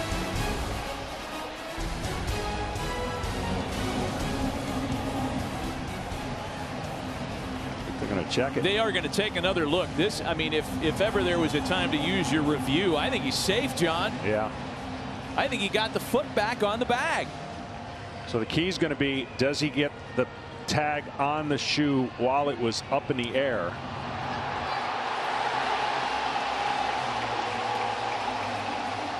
I mean, this is a difference of like a spike, He's, right? He's safe there, and it looked like he tried to move his leg back, which gave the appearance that he had come off the bag. So watch this part right here. Does he get the cleat while it bounces up right there? And was he off the bag? And did he get back and get it in time? And I'm I'm under the impression no, but we haven't seen all the angles. And remember again, the call is he's out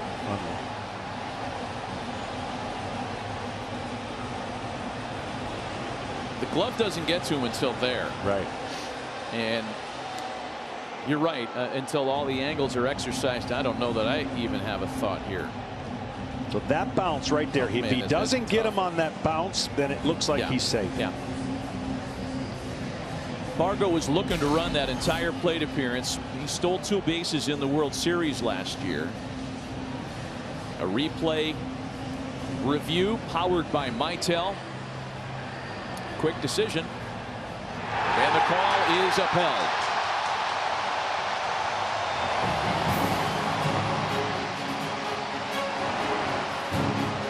To the bottom of the 10th inning in game three. Still tied four apiece.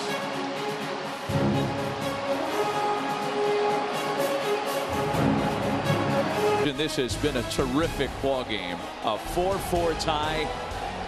To the bottom of the 10th inning we go. And David Robertson becomes the eighth Ray to pitch in this one. He and JT Chargois, who pitched a scoreless inning in two thirds, setting this moment up.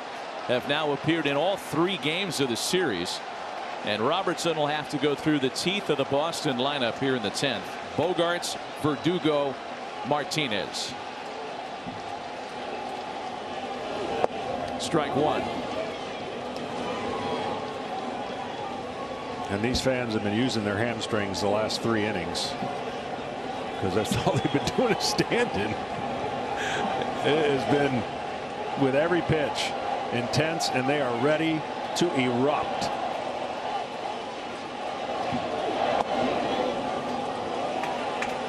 You Got to use your hamstrings to stand, right? Yeah, yeah. I mean, followed you there. I was just thinking about my own, which have been rather inactive for the last 18 or so months.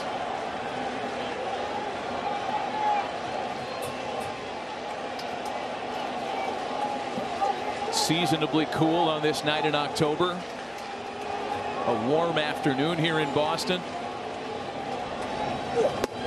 Just a fantastic ball game. A ball and two strikes now. The count on Bogaerts, who has walked in four turns at the plate. For David Robertson, he appeared in game two of the series on Friday night in St. Pete. Pitched around a two out double and ended up working a scoreless sixth inning. He has been through these postseason fires before, as you can see. Broken back ground ball for Franco. One away in the bottom of the 10th.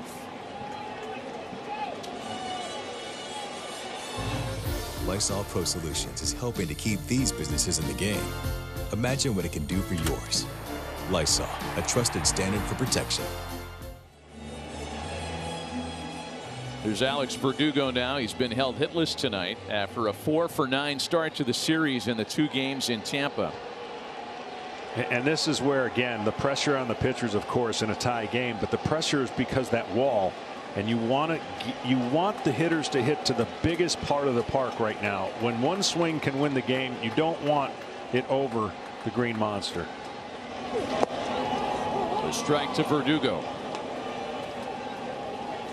The fact that each team has gone deep into its bullpen really makes tomorrow's game fascinating. And if you're looking for starter candidates on the Red Sox side, it, all signs point to Martin Perez. Kenny, do you have any insights on that? Well, we all thought it was Pivetta, right? Yeah. Martin Perez would be one possibility. Keep in mind, Eduardo Rodriguez on short rest. He pitched one and two thirds innings in game one, Sale one inning in game two. I don't know how much confidence the Red Sox can have in either right now.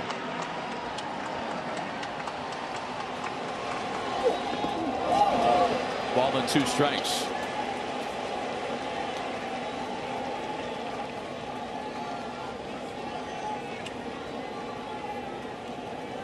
Those initials TBD have appeared on the Rays press notes all year long.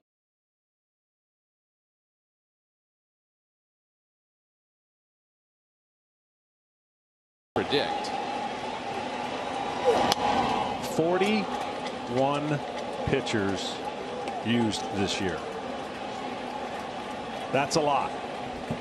That got him 100 wins in the regular season. Now the question will be can it get him a deep run with the amount of relievers that have been used. They led all of baseball in innings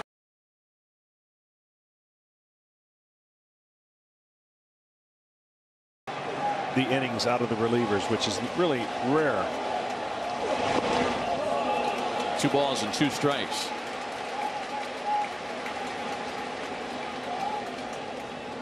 Been quite a year for David Robertson. A free agent to start the season. Went to Tokyo and won a silver medal with Team USA. Pitched in the Olympics.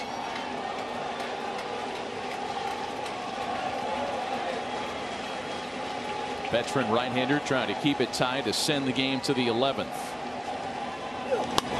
And Verdugo has an opposite field base hit.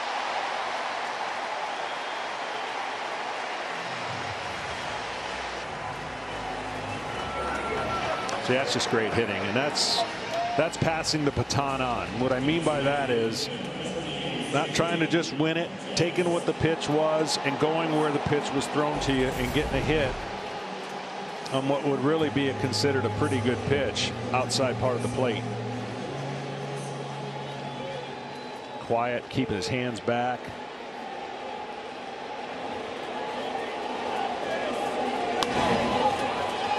Winning run is on base with one away in the 10th.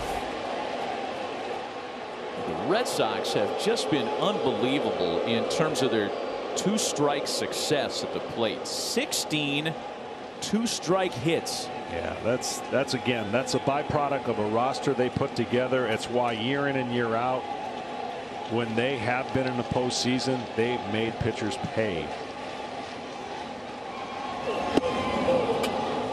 0-1 the count to JD Martinez. A lot of it has to do with the influence of this guy. Once he got here, everyone thought, oh, his power numbers are going to go down. Look at right field. That's huge. He's a great opposite field hitter. Well, they haven't gone down. And the influence that he's had throughout the lineup and the organization for in helping so many other players kind of with their philosophy of hitting, whether it's drills, whether it's what to do with two strikes something that uh, hitting coach Tim Hyers, who you saw a moment ago there with Alex Cora, has talked about a lot in his time here, the, the JD Martinez influence. Tim's had a lot of success here. A ball and a strike.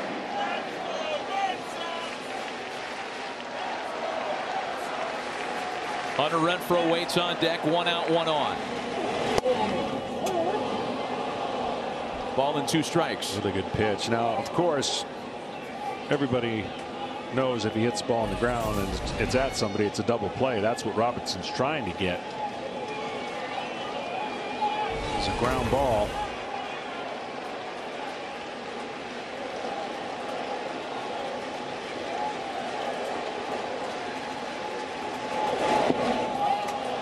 Good block by Zunino. You know, the importance of a game three when a five game series is tied at one apiece is clear, right? It's a swing game. It's crucial. But since 2013, the winner of game threes in a best of five that start tied one apiece have claimed only 54% of those series, a little better than half. I just suspect that in this particular series, the game three winner it's going to be different because both pitching staffs are going to be a little messy heading into game four. Yeah, absolutely. So while history says it's not a big deal, I, I just think it's going to be a really big deal in this set. Tomorrow for the Rays, you could start wondering about starting candidates. Would they bring Michael Wacha back to start tomorrow? He's certainly going to be in the discussion. Still two and two to JD Martinez.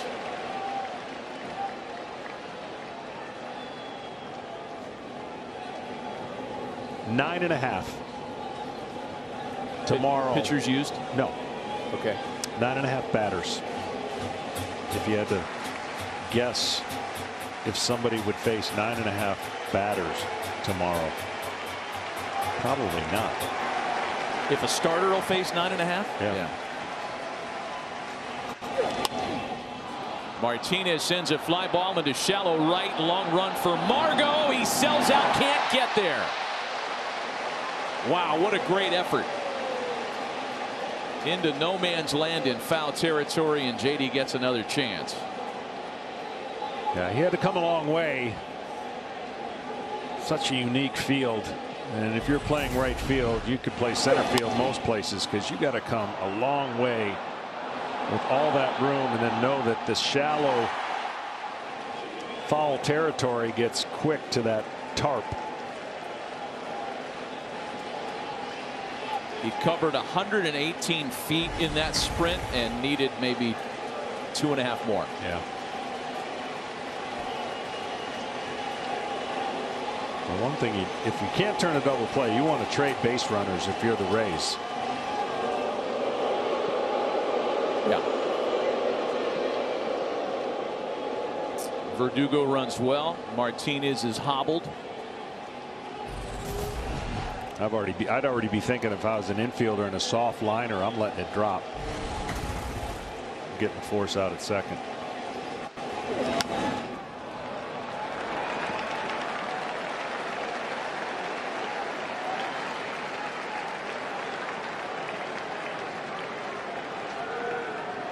There's all the pitches there. Everything that um, he throws cuts. Robertson throws, I don't think he throws anything straight. Of course, under the influence of uh, Mariano Rivera uh, with the Yankees, so I'm sure he had some nice.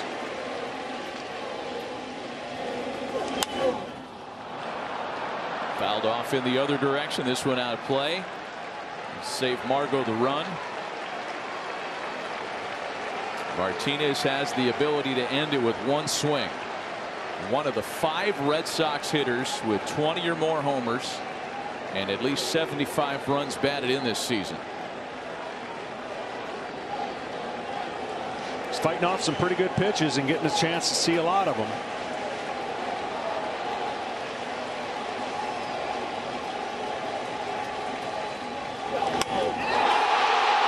Well hit out to center field.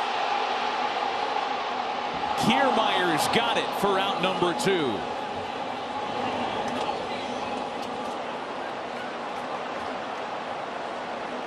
There's nothing like the crowd roaring when you know it's close. They've seen a bunch of games here, and he just misses about seven to ten feet of this ball.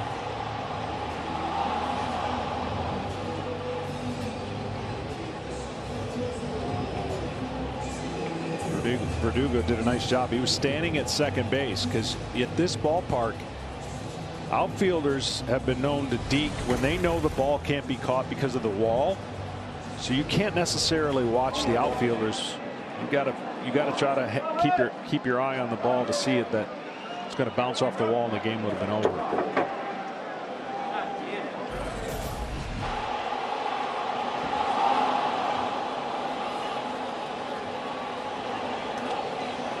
So two gone. Verdugo still at first base as the potential winning run, and it'll be Hunter Renfroe, who singled twice and walked. It's tempting not to think about how either manager is going to find additional outs tonight. Yeah. I mean, I don't know how much longer the Rays would go with Robertson if he's kind of a one inning guy at this stage of his career. If he could go multiple innings. I think in a postseason game he'd tell you that he could. The eighth Ray to pitch in the game tonight. And again, a, a couple of these guys have gone in all three games in the series. Yes, there was a travel day in between games two and three, but that's a lot of work. And Renfroe pops it in the infield, likely sending us to an 11th inning tonight. Game three is still a 4-4 tie.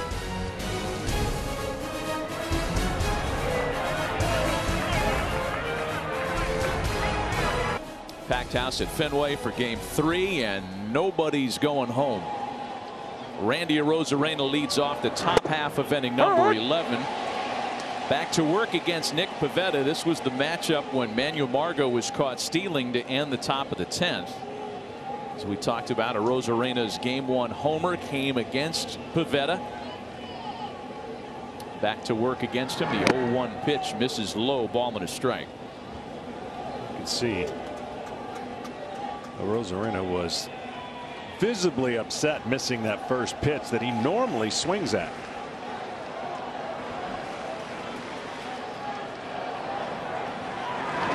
Oh, it's outside. Breaking ball misses two and one.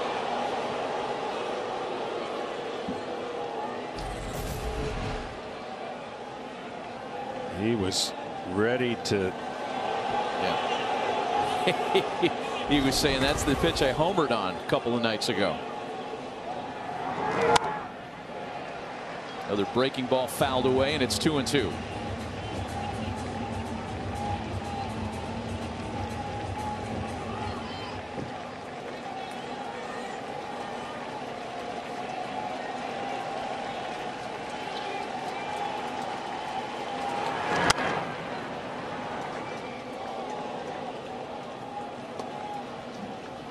Lot of names on the pitching box score on both sides.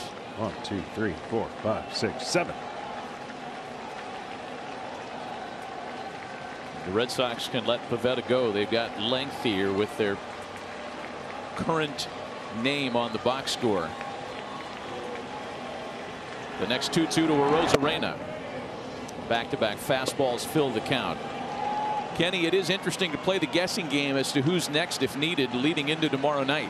It is, and for Tampa Bay, keep in mind, Collin McHugh has not pitched in this game. Luis Patino, the rookie, has not pitched in this game. They will be key pitchers tomorrow night. And Arozarena waits out a walk. That is a pretty good at bat for a guy who's really aggressive and wanting to make something happen. Now he realizes he can make something happen with his legs. This is a really good 3-2 pitch and that the reason you're throwing that pitch is you know the guy's going to swing and maybe just not enough on the plate when it left his hand. Rosarena has walked four times in the series. Another hitter who's kind of changed his stripes for the postseason. So a chance now for Kevin Kiermaier, who's walked twice tonight. Could it be? We have our second sacrifice bunt attempt on two teams that don't bunt. I'm going to say no for the Rays. I don't think they're bunting here. It, they just it's just not in their DNA. No, I think in the six, four were on their own. You're probably right. It might have been all six. Probably right. 0-1 to Kevin Yeah, it's not the part of the lineup that uh, is the strongest for the Rays, so you'd think they'd get all the swings they could here.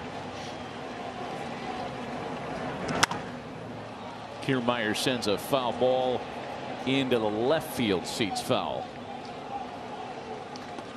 0 2.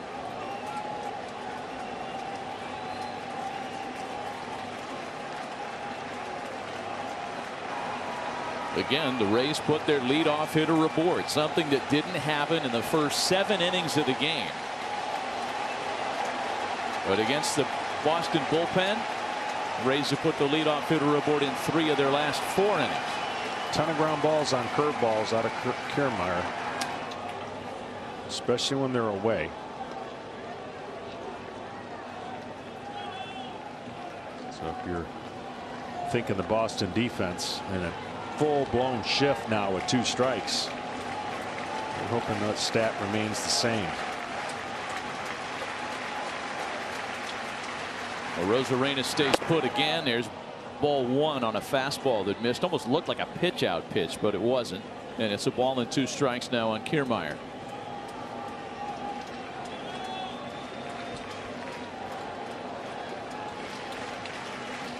Both managers low on bench options and bullpen options at this stage of the night. Top of the 11th inning tied at four. Rosarena again stays put. And Kiermaier takes ball two. Now the crazy thing about this shift is let's say there's a slow grounding ball to the right side and Devers is currently going to be the one who takes the throw. But let's say the throw doesn't come there because it's too slow. Arozarena can keep going to third if Devers is not on the awareness of what that play is going to be. So it's a tough scenario defensively for the Red Sox depending on how this ball is hit. If Kiermaier could figure out a way just to butcher boy a ball to the left side of the infield. Oh. He's got a base hit. I mean there is nobody home. And that's why I would think with this after fouling off that fastball that the, the, the pitch that he'll ground into that shift will be a breaking ball. The pitch he could hit the other way by mistake would be a fastball. And that would pose a problem for the Red Sox. Are you surprised that Rosarena hasn't tried to run in this plate appearance? A little bit.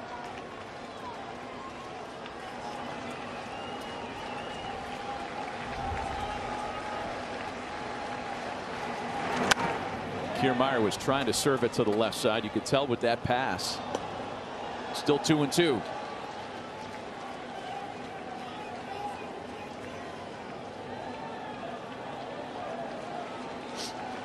The Tampa Bay Rays hit into the fewest double plays this season. 75, the lowest total in Major League Baseball.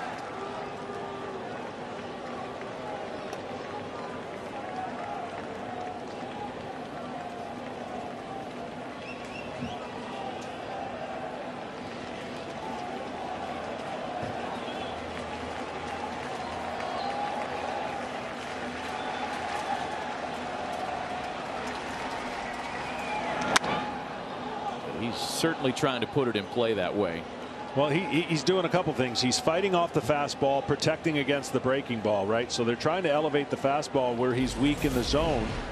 And you can see the target. They're trying to put it in the outside. But to what we've been talking about, that would be a much easier pitch, pitch to hit the other way, even in a defensive mode, protecting with two strikes. The next 2 2. Breaking ball that time foul back and Kiermaier knows he had a shot. Yeah that breaking ball was intended to be down more and he may be even checking to see if that curveball looked like it was going to be a strike to the umpire just to get a gauge and it wouldn't have been. It's four straight foul balls. Well we've had some classic at bats here. Yeah.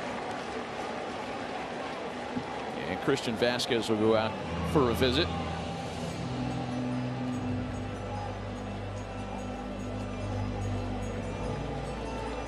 We just don't pay attention to mound visits during the regular season because it's not an issue. But this time of year, think of the many Jorge Posada to Andy Pettitte World Series visits of uh, not too long ago, and that was in part the prompting for the mound visit rule. Each side gets more when a game goes to extra innings. Still two and two to Kiermaier.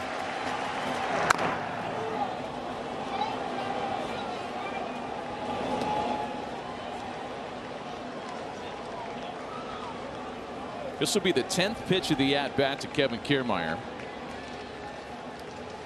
Prior to this plate appearance, he saw a total of 10, 13 pitches rather in his first four plate appearances combined.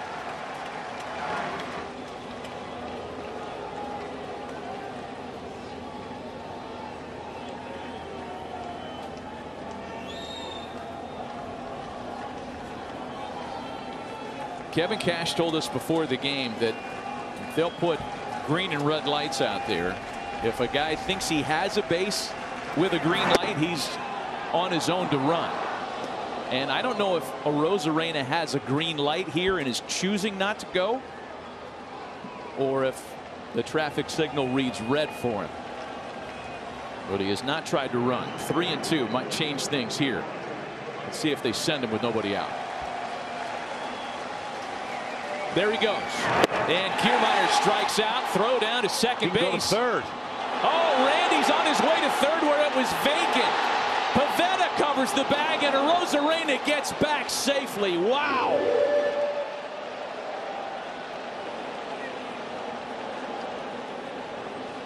But he didn't recognize it in time, right? To, to be able to get to third base, he slid in head first. That was the that was the pressure on the defense. See where Devers has got to come over, and then there's no one at third. Great job by Pivetta, and I know that Vazquez was coming, but you have all kinds of exposed bases when you're out of position. Great job recognizing right there, though, to get back in time to keep a runner in scoring position. That was the Johnny Damon moment from the 2009 World Series. Just keep running. And David Bush is going to come out for a visit now. The Red Sox pitching coach has been very active tonight. Mike Zunino's the batter. Go ahead runs in scoring position with one away. Randy Arozarena's second stolen base of the series.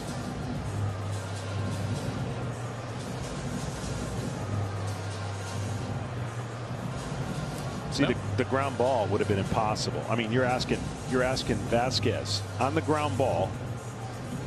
Usually he's going the other way because there's a man at third base to cover the throw to first. He would have to go to third on the ground ball. Read that right away.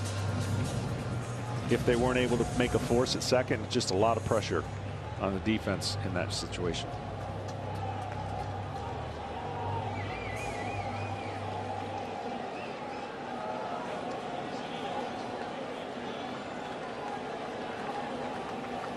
So now Mike Zunino. Zunino had a chance in the eighth after the Rays had tied it with runners at first and second and two gone and was called out on strikes.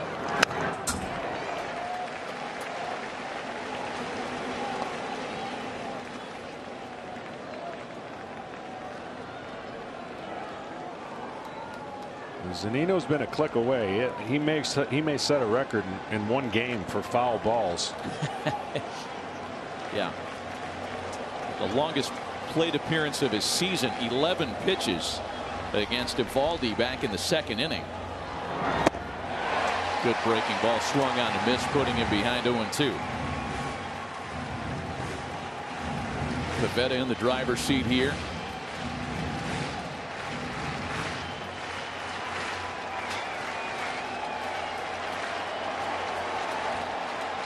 Jordan Luplow waits on deck.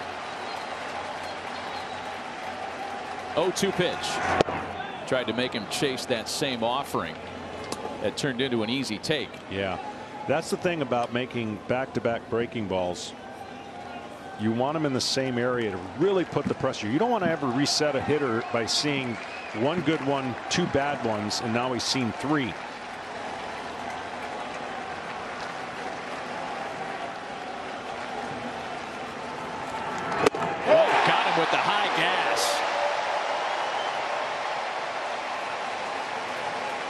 Zunino's a pretty good fastball hitter. Pivetta got the better of him there. Slowed him down with the breaking ball, sped him up with the fastball, and dotted it up.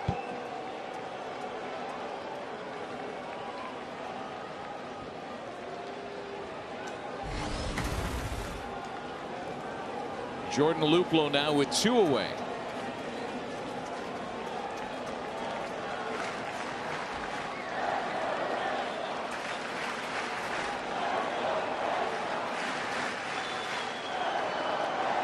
Luplow walked as a pinch hitter in the seventh and then struck out. Did you see what I just saw? Martin Perez is up in the bullpen for Boston. Yeah, he's just getting a side session in for tomorrow. Before making his start in less than 24 hours. Oh, man, if he gets into the game, eh, you know, there's no telling what we're going to see tomorrow in game four. This is back-to-back -back innings that the Rays have had the leadoff hitter aboard.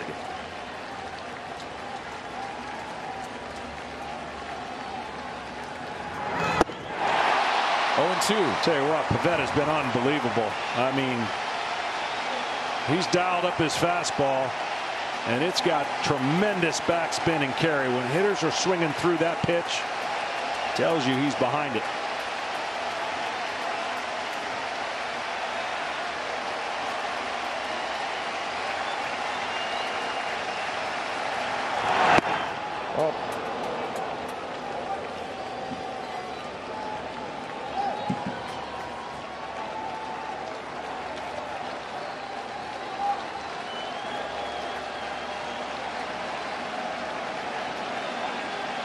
And two strikes.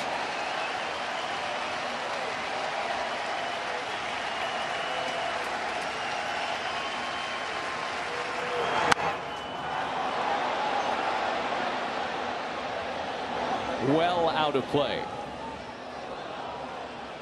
We go to the bottom of the 11th. Boston will have Vazquez, Arroyo, and Dalbec. And if somebody gets on base, Kike Hernandez would have a chance.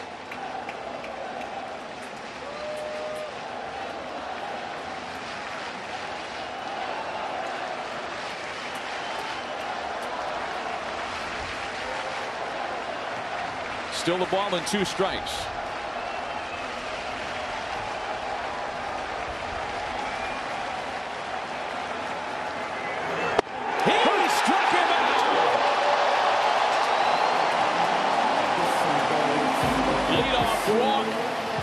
Straight strikeouts, and a still 4-4 tie.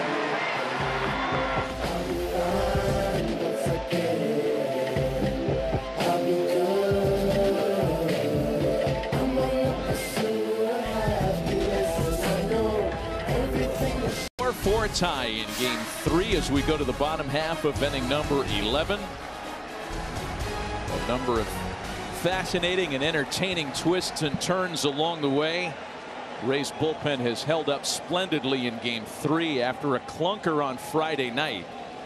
And David Robertson oh, continues. He faces the 8 9 and top of the order Boston batters. Christian Vazquez, Christian Arroyo, and Bobby Dalbec.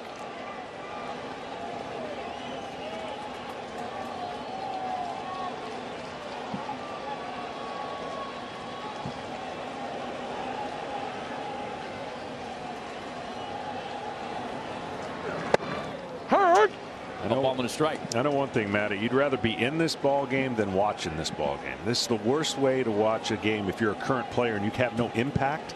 You'd actually rather be part of the action to know you have some kind of impact. Watching is just it's difficult.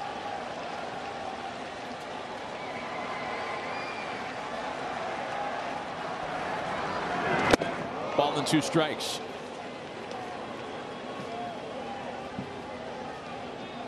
Martin Perez had been up in the Red Sox bullpen. Uh, the way Pivetta is going another inning or even more is certainly not out of the question. He threw a couple of really good curveballs to strike out three batters and strand that leadoff runner.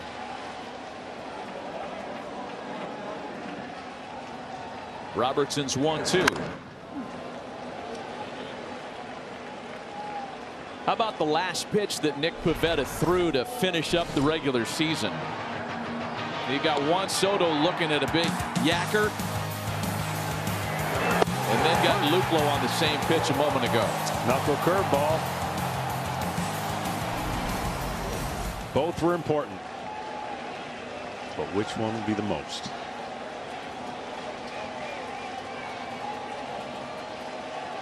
One and two to Vazquez.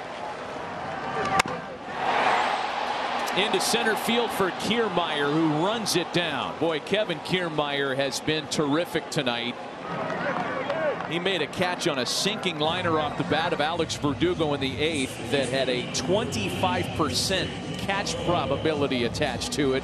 And that was another less than routine chance. Both center fielders have been outstanding. You watch the jump that he gets and he's always in the right spot reading the ball off the bat. Positioning's one thing but it's the reaction you have when the ball has struck and you got to read it immediately off of contact and he does it as good as anybody. Oh. Christian Arroyo he's got two singles on his line tonight. Three for 13 so far in the series.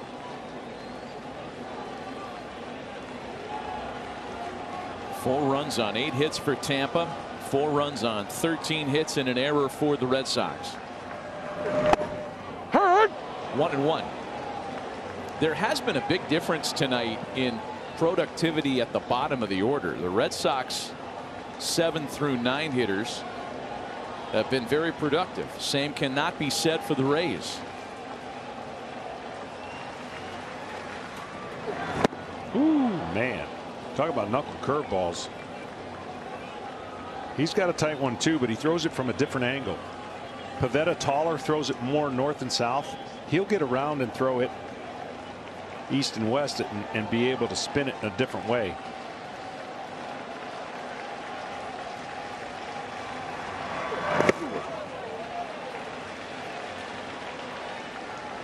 It's been an abbreviated body of work for David Robertson, as we talked about. Wasn't signed until late in the season. His longest outing of the year as a Ray has been just two innings.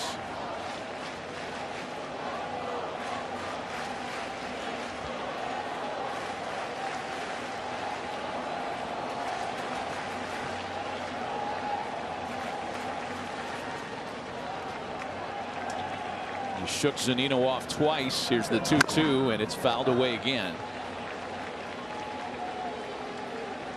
Bobby Dalbec next. It would be his first plate appearance of the game. He came on as a pinch runner earlier. He's got the power to end it with one swing.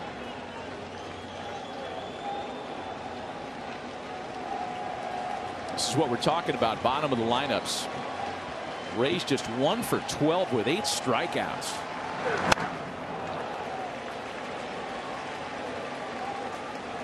Well, it helps when the longer your lineup goes, like the Red Sox, you got JD Martinez batting sixth. Yeah. right. That's a good point.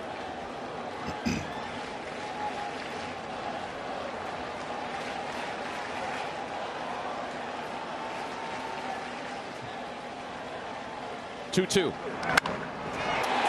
Into the left field corner. Arroyo into second base. The winning run in scoring position with one gone.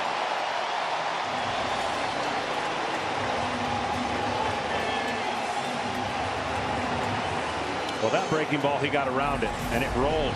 You're going to see it start on the inside part of the plate. And watch how it just rolls right there over the middle, gets on top of it, pulls it down the line, easy double, and stress once again.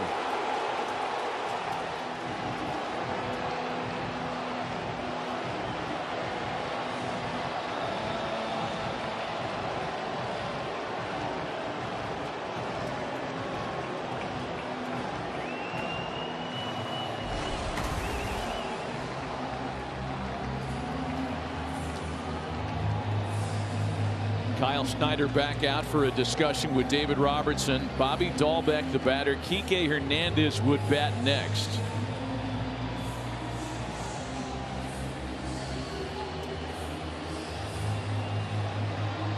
A little stalling here too going on maybe to give the reliever in the Rays bullpen an opportunity to kind of get revved up.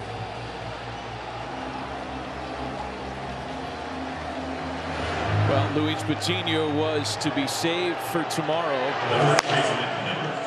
Said this a couple of times on both sides.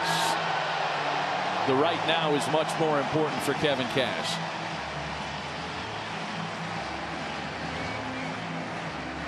Collin McHugh had been up for a moment and then they switched.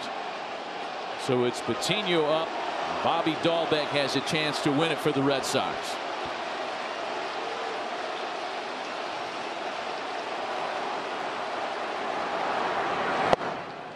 Strike one. Dalbec has played in each of the Sox first three postseason games this year including a couple of starts at first base. End of the regular season in fine form.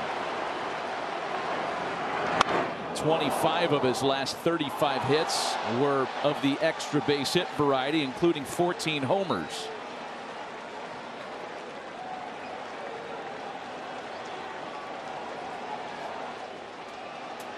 There have been opportunities on both sides that have been uncashed.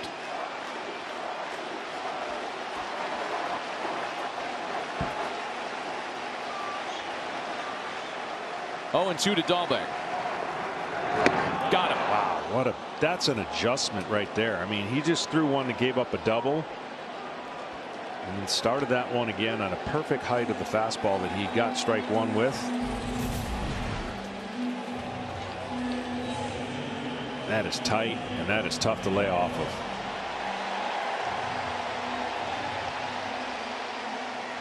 So now Kike Hernandez.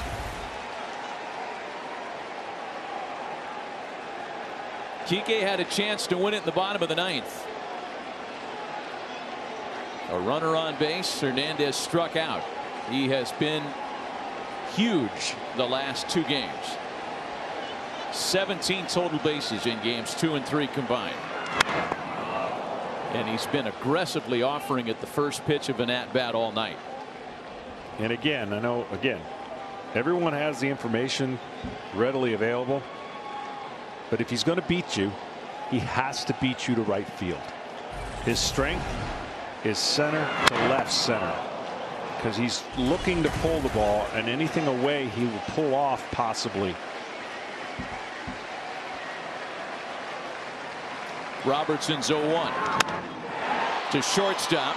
Franco backhands it and gets a perfect wow. throw off to first. He made that play look way too easy. A fine play by Jordan Luplow at the bag at first base.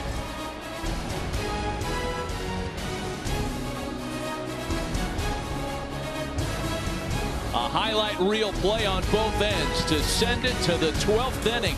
Still tied at four.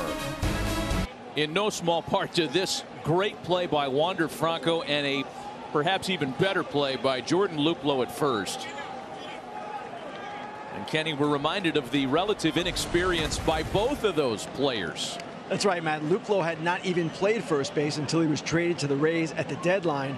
And Franco there are evaluators who believe he ultimately will end up at second or third, but he has shown improvement even during his brief time in the majors. Joey Wendle, his third baseman, said Franco's become more aggressive, wanting the ball, commanding the position. You've certainly seen that tonight. 0-1 the count to Brandon Lowe, top of the order here for Tampa. Make it 0-2. I mean, the job that these last two pitchers have done, Pivetta and Robertson, has been incredible.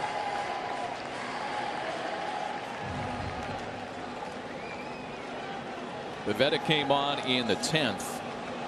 He has allowed the leadoff hitter to reach in both of his innings. Oh no. Boy, they say that Lowe pulled back. Pivetta's hot. yeah. And I think he has I think he has a good point. Yeah, he bunted at that. That's an attempt for me. Rays catch a break for the time being. I think he surprised everybody right there. By even bunting? The even, umpires and everybody. Yeah, yeah, I think so too. An 0-2 pitch to a guy who hit 39 homers and he squared around bunt. Just tells you what he thinks of the fastball.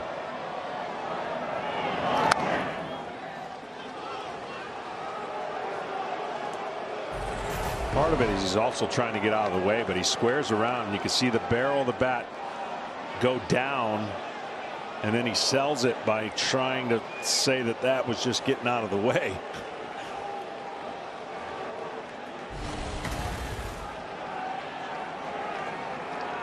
Ball and two strikes to Brandon Lowe. Got him anyway.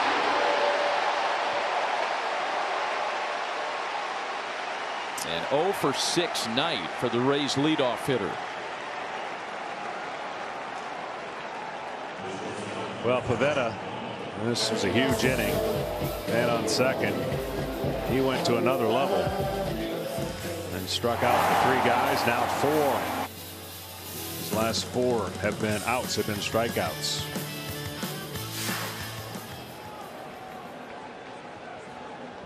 Here's Wander Franco now. He has homered and singled tonight. These are like 17 strikeouts for the Rays. Something like that. You want to go with something like that, or you want, you want the actual number? You know me. I'm. I'll, give, you the number here. Hang on.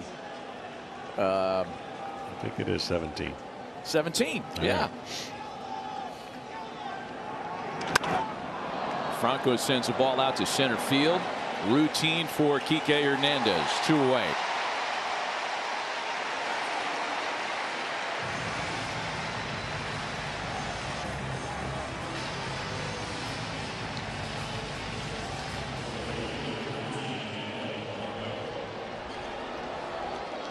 See, this is the part where the longer that Pivetta can stay in the game, he's in rhythm you feel good about what he's doing. The Rays are going to have to make a change because I don't think Robertson can keep going. Yeah, they had Patino up. Robertson just finished his longest appearance of the year, if in fact it is finished. And here's Margot now with two away and the base is empty. You go back to the curveball there. Yep. That was the the pitch that Margot singled on. when Pivetta was inserted into the ball game in the 10th.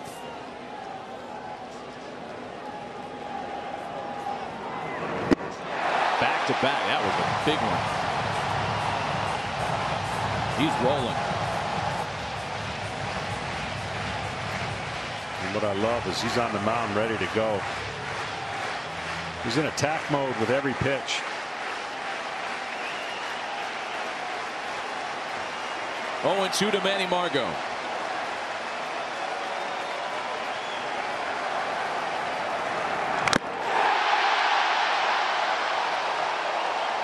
Just tipped. And judging by the way Vazquez reacted, it might have got him in the fingers. Got somebody.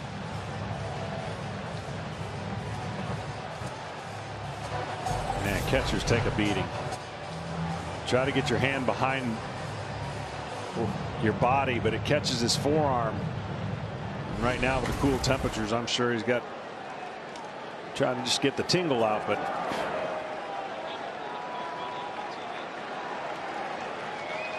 You may have heard Sam Holbrook went out and mentioned to Pivetta that, hey, that got him pretty good, as if to indicate, give him a sec. Well, he didn't need it. He is rolling. That hammer is heavy tonight. Five strikeouts in three scoreless relief innings by Nick Pivetta. For Tampa Bay. Their ninth of the game. Guy who we thought had a chance to start game four. Those plans have blown up. It'll be Luis Patino here in the 12th. Four pitch mix. 95 fastball. Wow. Big time velo and a swing and a miss by Devers, who the Rays have peppered with fastballs all night. Upstairs has got no chance. And I, and, and I know it's hard to see. Well, why can't you just stay off that pitch? Easier said than done. You're human. You want to make a good swing, try to end the game, or get on base. 0 and 2. Just clearly not right when that hand falls off the swing as it does. And he's doing his best to disguise his discomfort, but it's obvious that he's not right tonight.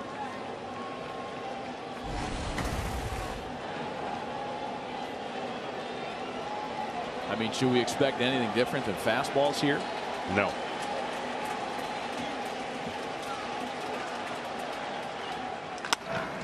Ooh, right wow. back to Patino on a sharp hop.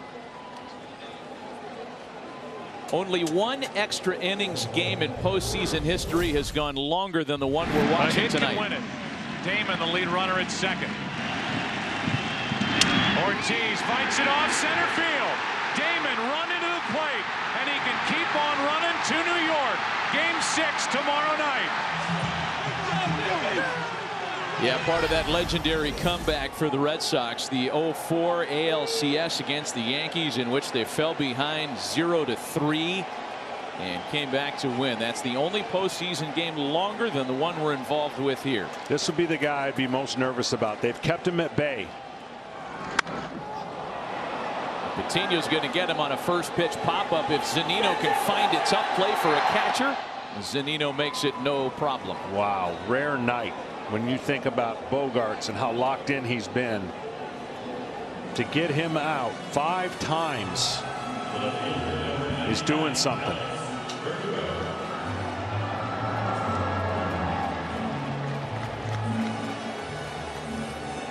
Here's Alex Verdugo. It looked like Verdugo's one out base hit in the bottom of the 10th was going to set the Red Sox up for a walk-off win. And then David Martinez went on to retire J.D. Martinez. David Robertson, that is, retired J.D. Martinez and Hunter Renfroe. Dave Martinez is the manager of the Nationals, and he's home tonight. Into center field routine for Kiermaier. Let's play 13. Kind of liking a man on second, aren't you? Still tied at four.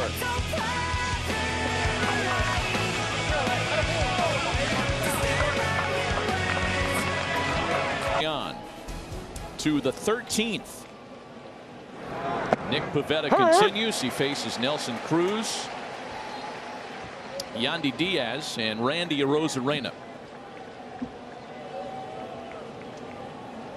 Three scoreless innings for Pivetta since entering the game in the top of the 10th. He's got Nelly Cruz behind 0 2. I'm trying to think where the Red Sox would be without Houck and Pivetta. Incredible job. Houck was terrific in game two, gobbling up bulk innings. Same set of Pivetta tonight. Oh, that's outside. Entering the postseason, Nick Pivetta's longest relief outing was three and two thirds. In game one, he went four and two thirds and is trying to give the Red Sox another four inning performance tonight.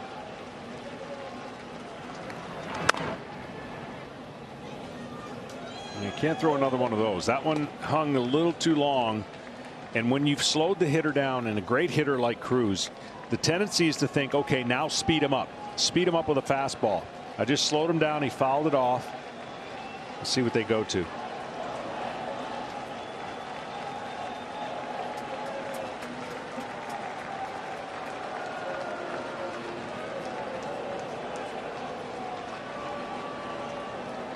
One ball and two strikes to Nelson Cruz, who's been limited to just a single tonight in his five at bats. He did it. Three strikeouts tonight on his line. One away. I haven't seen a lot of Nick Pivetta starts this year, but I'd be hard pressed to think he's had a better fastball. Maybe the relief role just kind of an adrenaline of the postseason has gotten his fastball up a tick. He has struck out six of the last seven Rays that he's faced. And now it's Yandy Diaz who serves a base hit into the opposite field.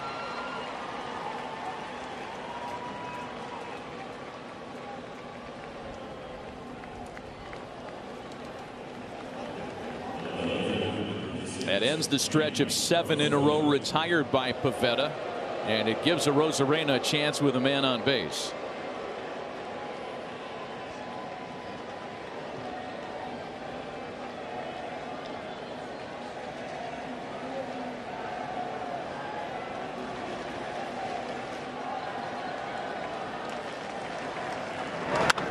Arozarena with a drive out to left field. Verdugo on it to make the catch.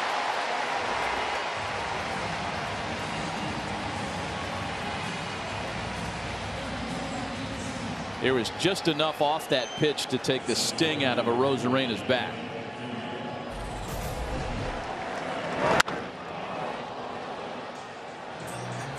trying to think the last time someone's touched third base or even been on third base. It's been a while. Well, for the, for the Rays, it was when they scored the two runs in the eighth.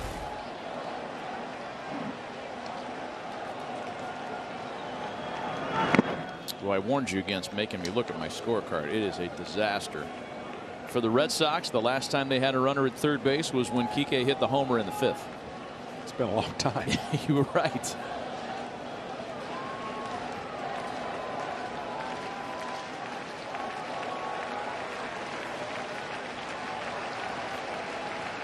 One to 0 to Kevin Kiermaier.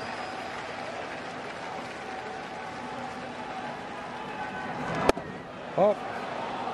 The last Red Sox reliever with four or more scoreless innings of relief in a playoff game was David Price in game three of the 2017 ALDS.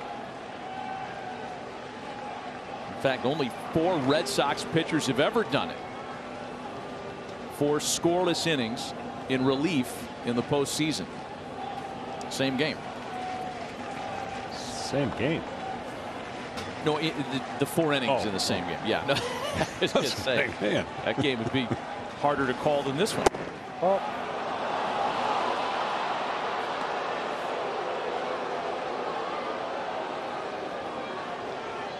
Just saw a moment ago he passed the five hour mark.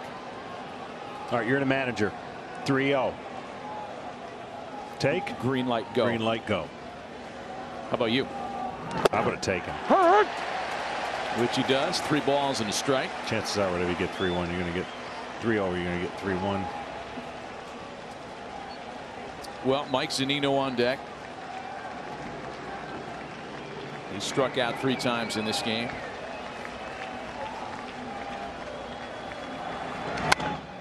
And a full count now. Well, with the outfield playing no doubles, at least the Rays are going to get the runner to go on the pitch, which would help a little bit. You remember how we were talking about the Rays doing a really good job when they get base runners? They are two for 21 in this game with runners on base. Diaz runs. Kiermaier sends a ball into right center field. That's trouble. And that one's off the base of the wall. Diaz coming around to score. Kiermaier to third. The Rays have taken the lead. They're saying that's going to be a double. That is a horrible break. And the runner Oh. was going. I was just saying that the runner going allows them to score on a double. I think that might. They're going to take the- a look. That hit the top of the wall and go over. They're not only going to look at that. Isn't it umpire's discretion as to where to place the base runner? I'm going to get another look at what, what that ball hit. But but starting the runner was the only chance you were going to score playing no doubles. This ball hits. Wow, that was a ton of spin. It hits before the wall, down, and hits the minute, right wait. fielder and goes over the wall. So It's an unbelievable break. It's being discussed now with Kevin Cash. The fact Uh-uh. that it hit Renfroe and bounced over the wall.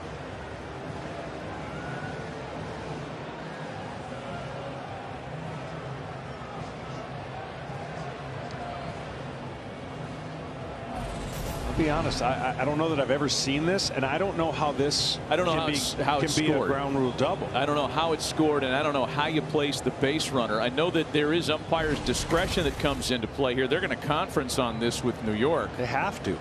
Because a ball that bounces without anybody touching it, or let's say a fan touches automatic ground rule double. It's like if you're hit if you if you turn a fly ball and hits your head and goes over the wall, it's a homer. But I don't know that that could apply with a ball that hits the wall, comes back, hits you, and then goes over the wall. I mean, D Diaz scores on that ball easily. Yeah. E even if there's a play made and the ball stays in play.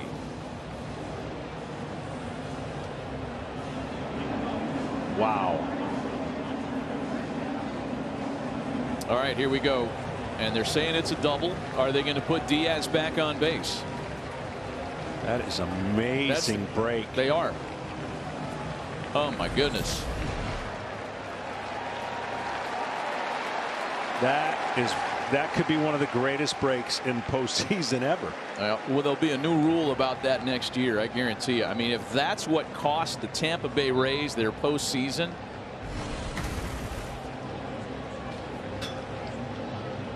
It is a ground rule double, and Diaz is being put back on base.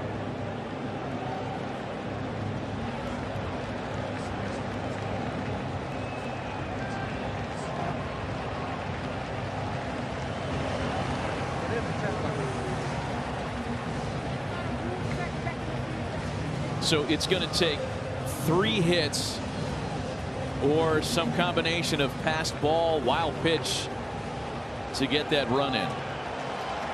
Wow.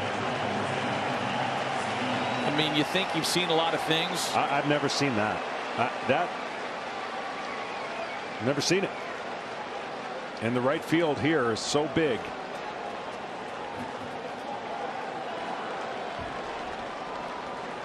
Well, here we go. It's going to be up to Mike Zunino now. Kevin Kiermaier hit a ball that should have delivered the Rays a one run lead. Instead it's still a 4-4 tie second and third with two gone.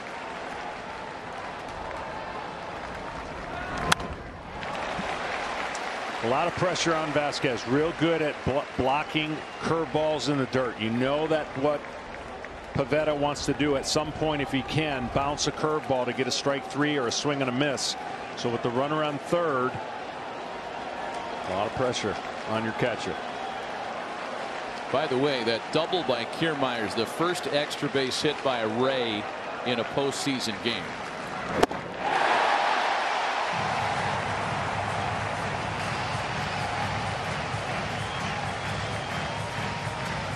in extra innings, that is.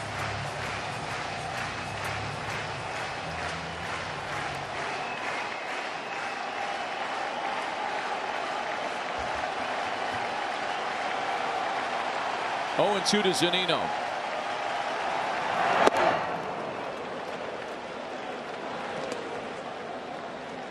I'm still wrapping my arms around that plate.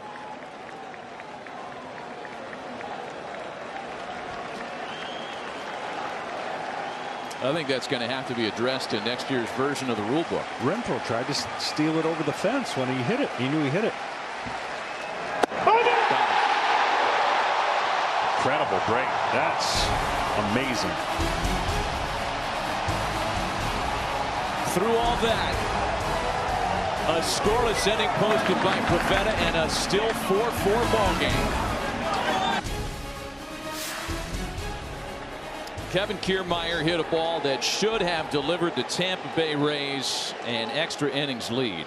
Instead, a fluky play in the outfield in which the ball bounded off the fence and then against a fielder and then over the fence resulted in a ground rule double call which brought a scoring run back to third where eventually Nick Pivetta got a strikeout to end the jam. And a short fence at that. Most fences that wouldn't even have gone off. JD Martinez sends the ball out near the same direction. This one's playable for Kiermaier, and there's one away in the bottom of the 13th. If you think about the normal uh, height of a fence, right? It may not even gone over a normal fence, so it, it had the perfect storm. I mean, this ball, the runner's already halfway between seconds, so you know he's going to score. The ball bounces and hits him and goes over the fence for what now is going to be a incredible play if the Red Sox can win it. Kenny, you saw it from the field level. Well, I got the explanation from Major League Baseball on the ruling, and it's this. A ball deflected by a player out of play is a ground rule double, so there it is. The ball retains its status as a batted ball until it is fielded cleanly by a defensive player. So that is the same as if the ball had naturally bounced over the fence. That's the explanation. Wow. All right. There it is right out of the rule book. Right from Major League Baseball to, to Kenny to you at home. It's a ball and a strike to Hunter Renfroe.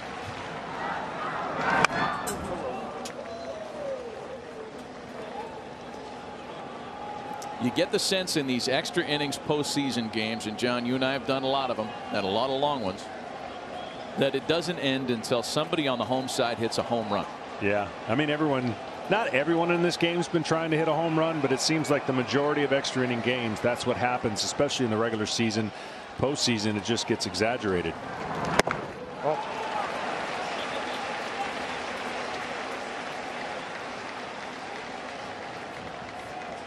I mean, remembering game three of the 2018 World Series between the Dodgers and the Red Sox, there was that crazy play involving Ian Kinsler that might have ended the game earlier, and it didn't end until the 18th inning when Max Muncy hit the walk-off dinger. Yeah.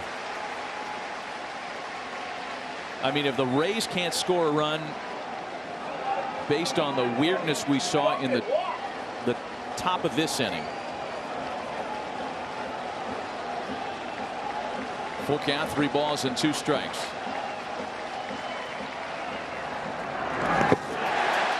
And there's ball four. Renfroe's aboard.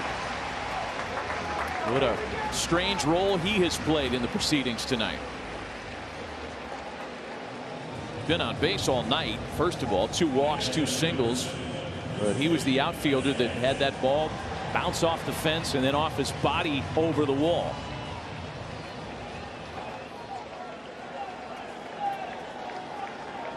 Well, here we go with catcher Christian Vazquez having a chance. There have been seven walk-off homers by a catcher in postseason history.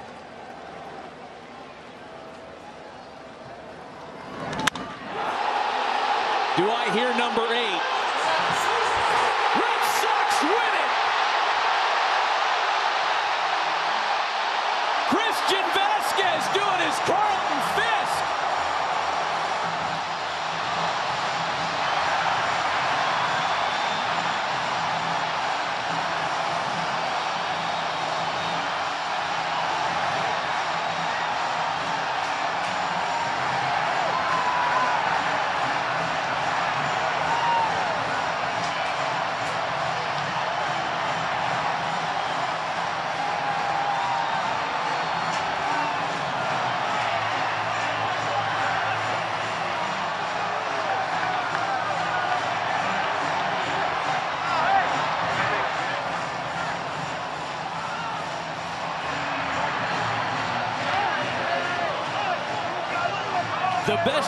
Fiction writers in the world wouldn't have been able to come up with this script.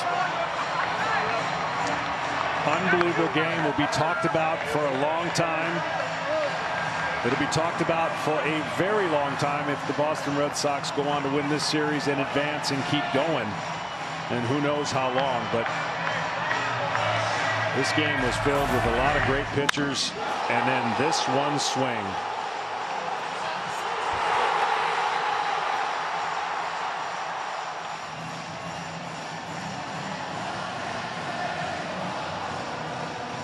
I mean, they're already starting the uh, team of destiny chance here in Boston to win a game under these circumstances.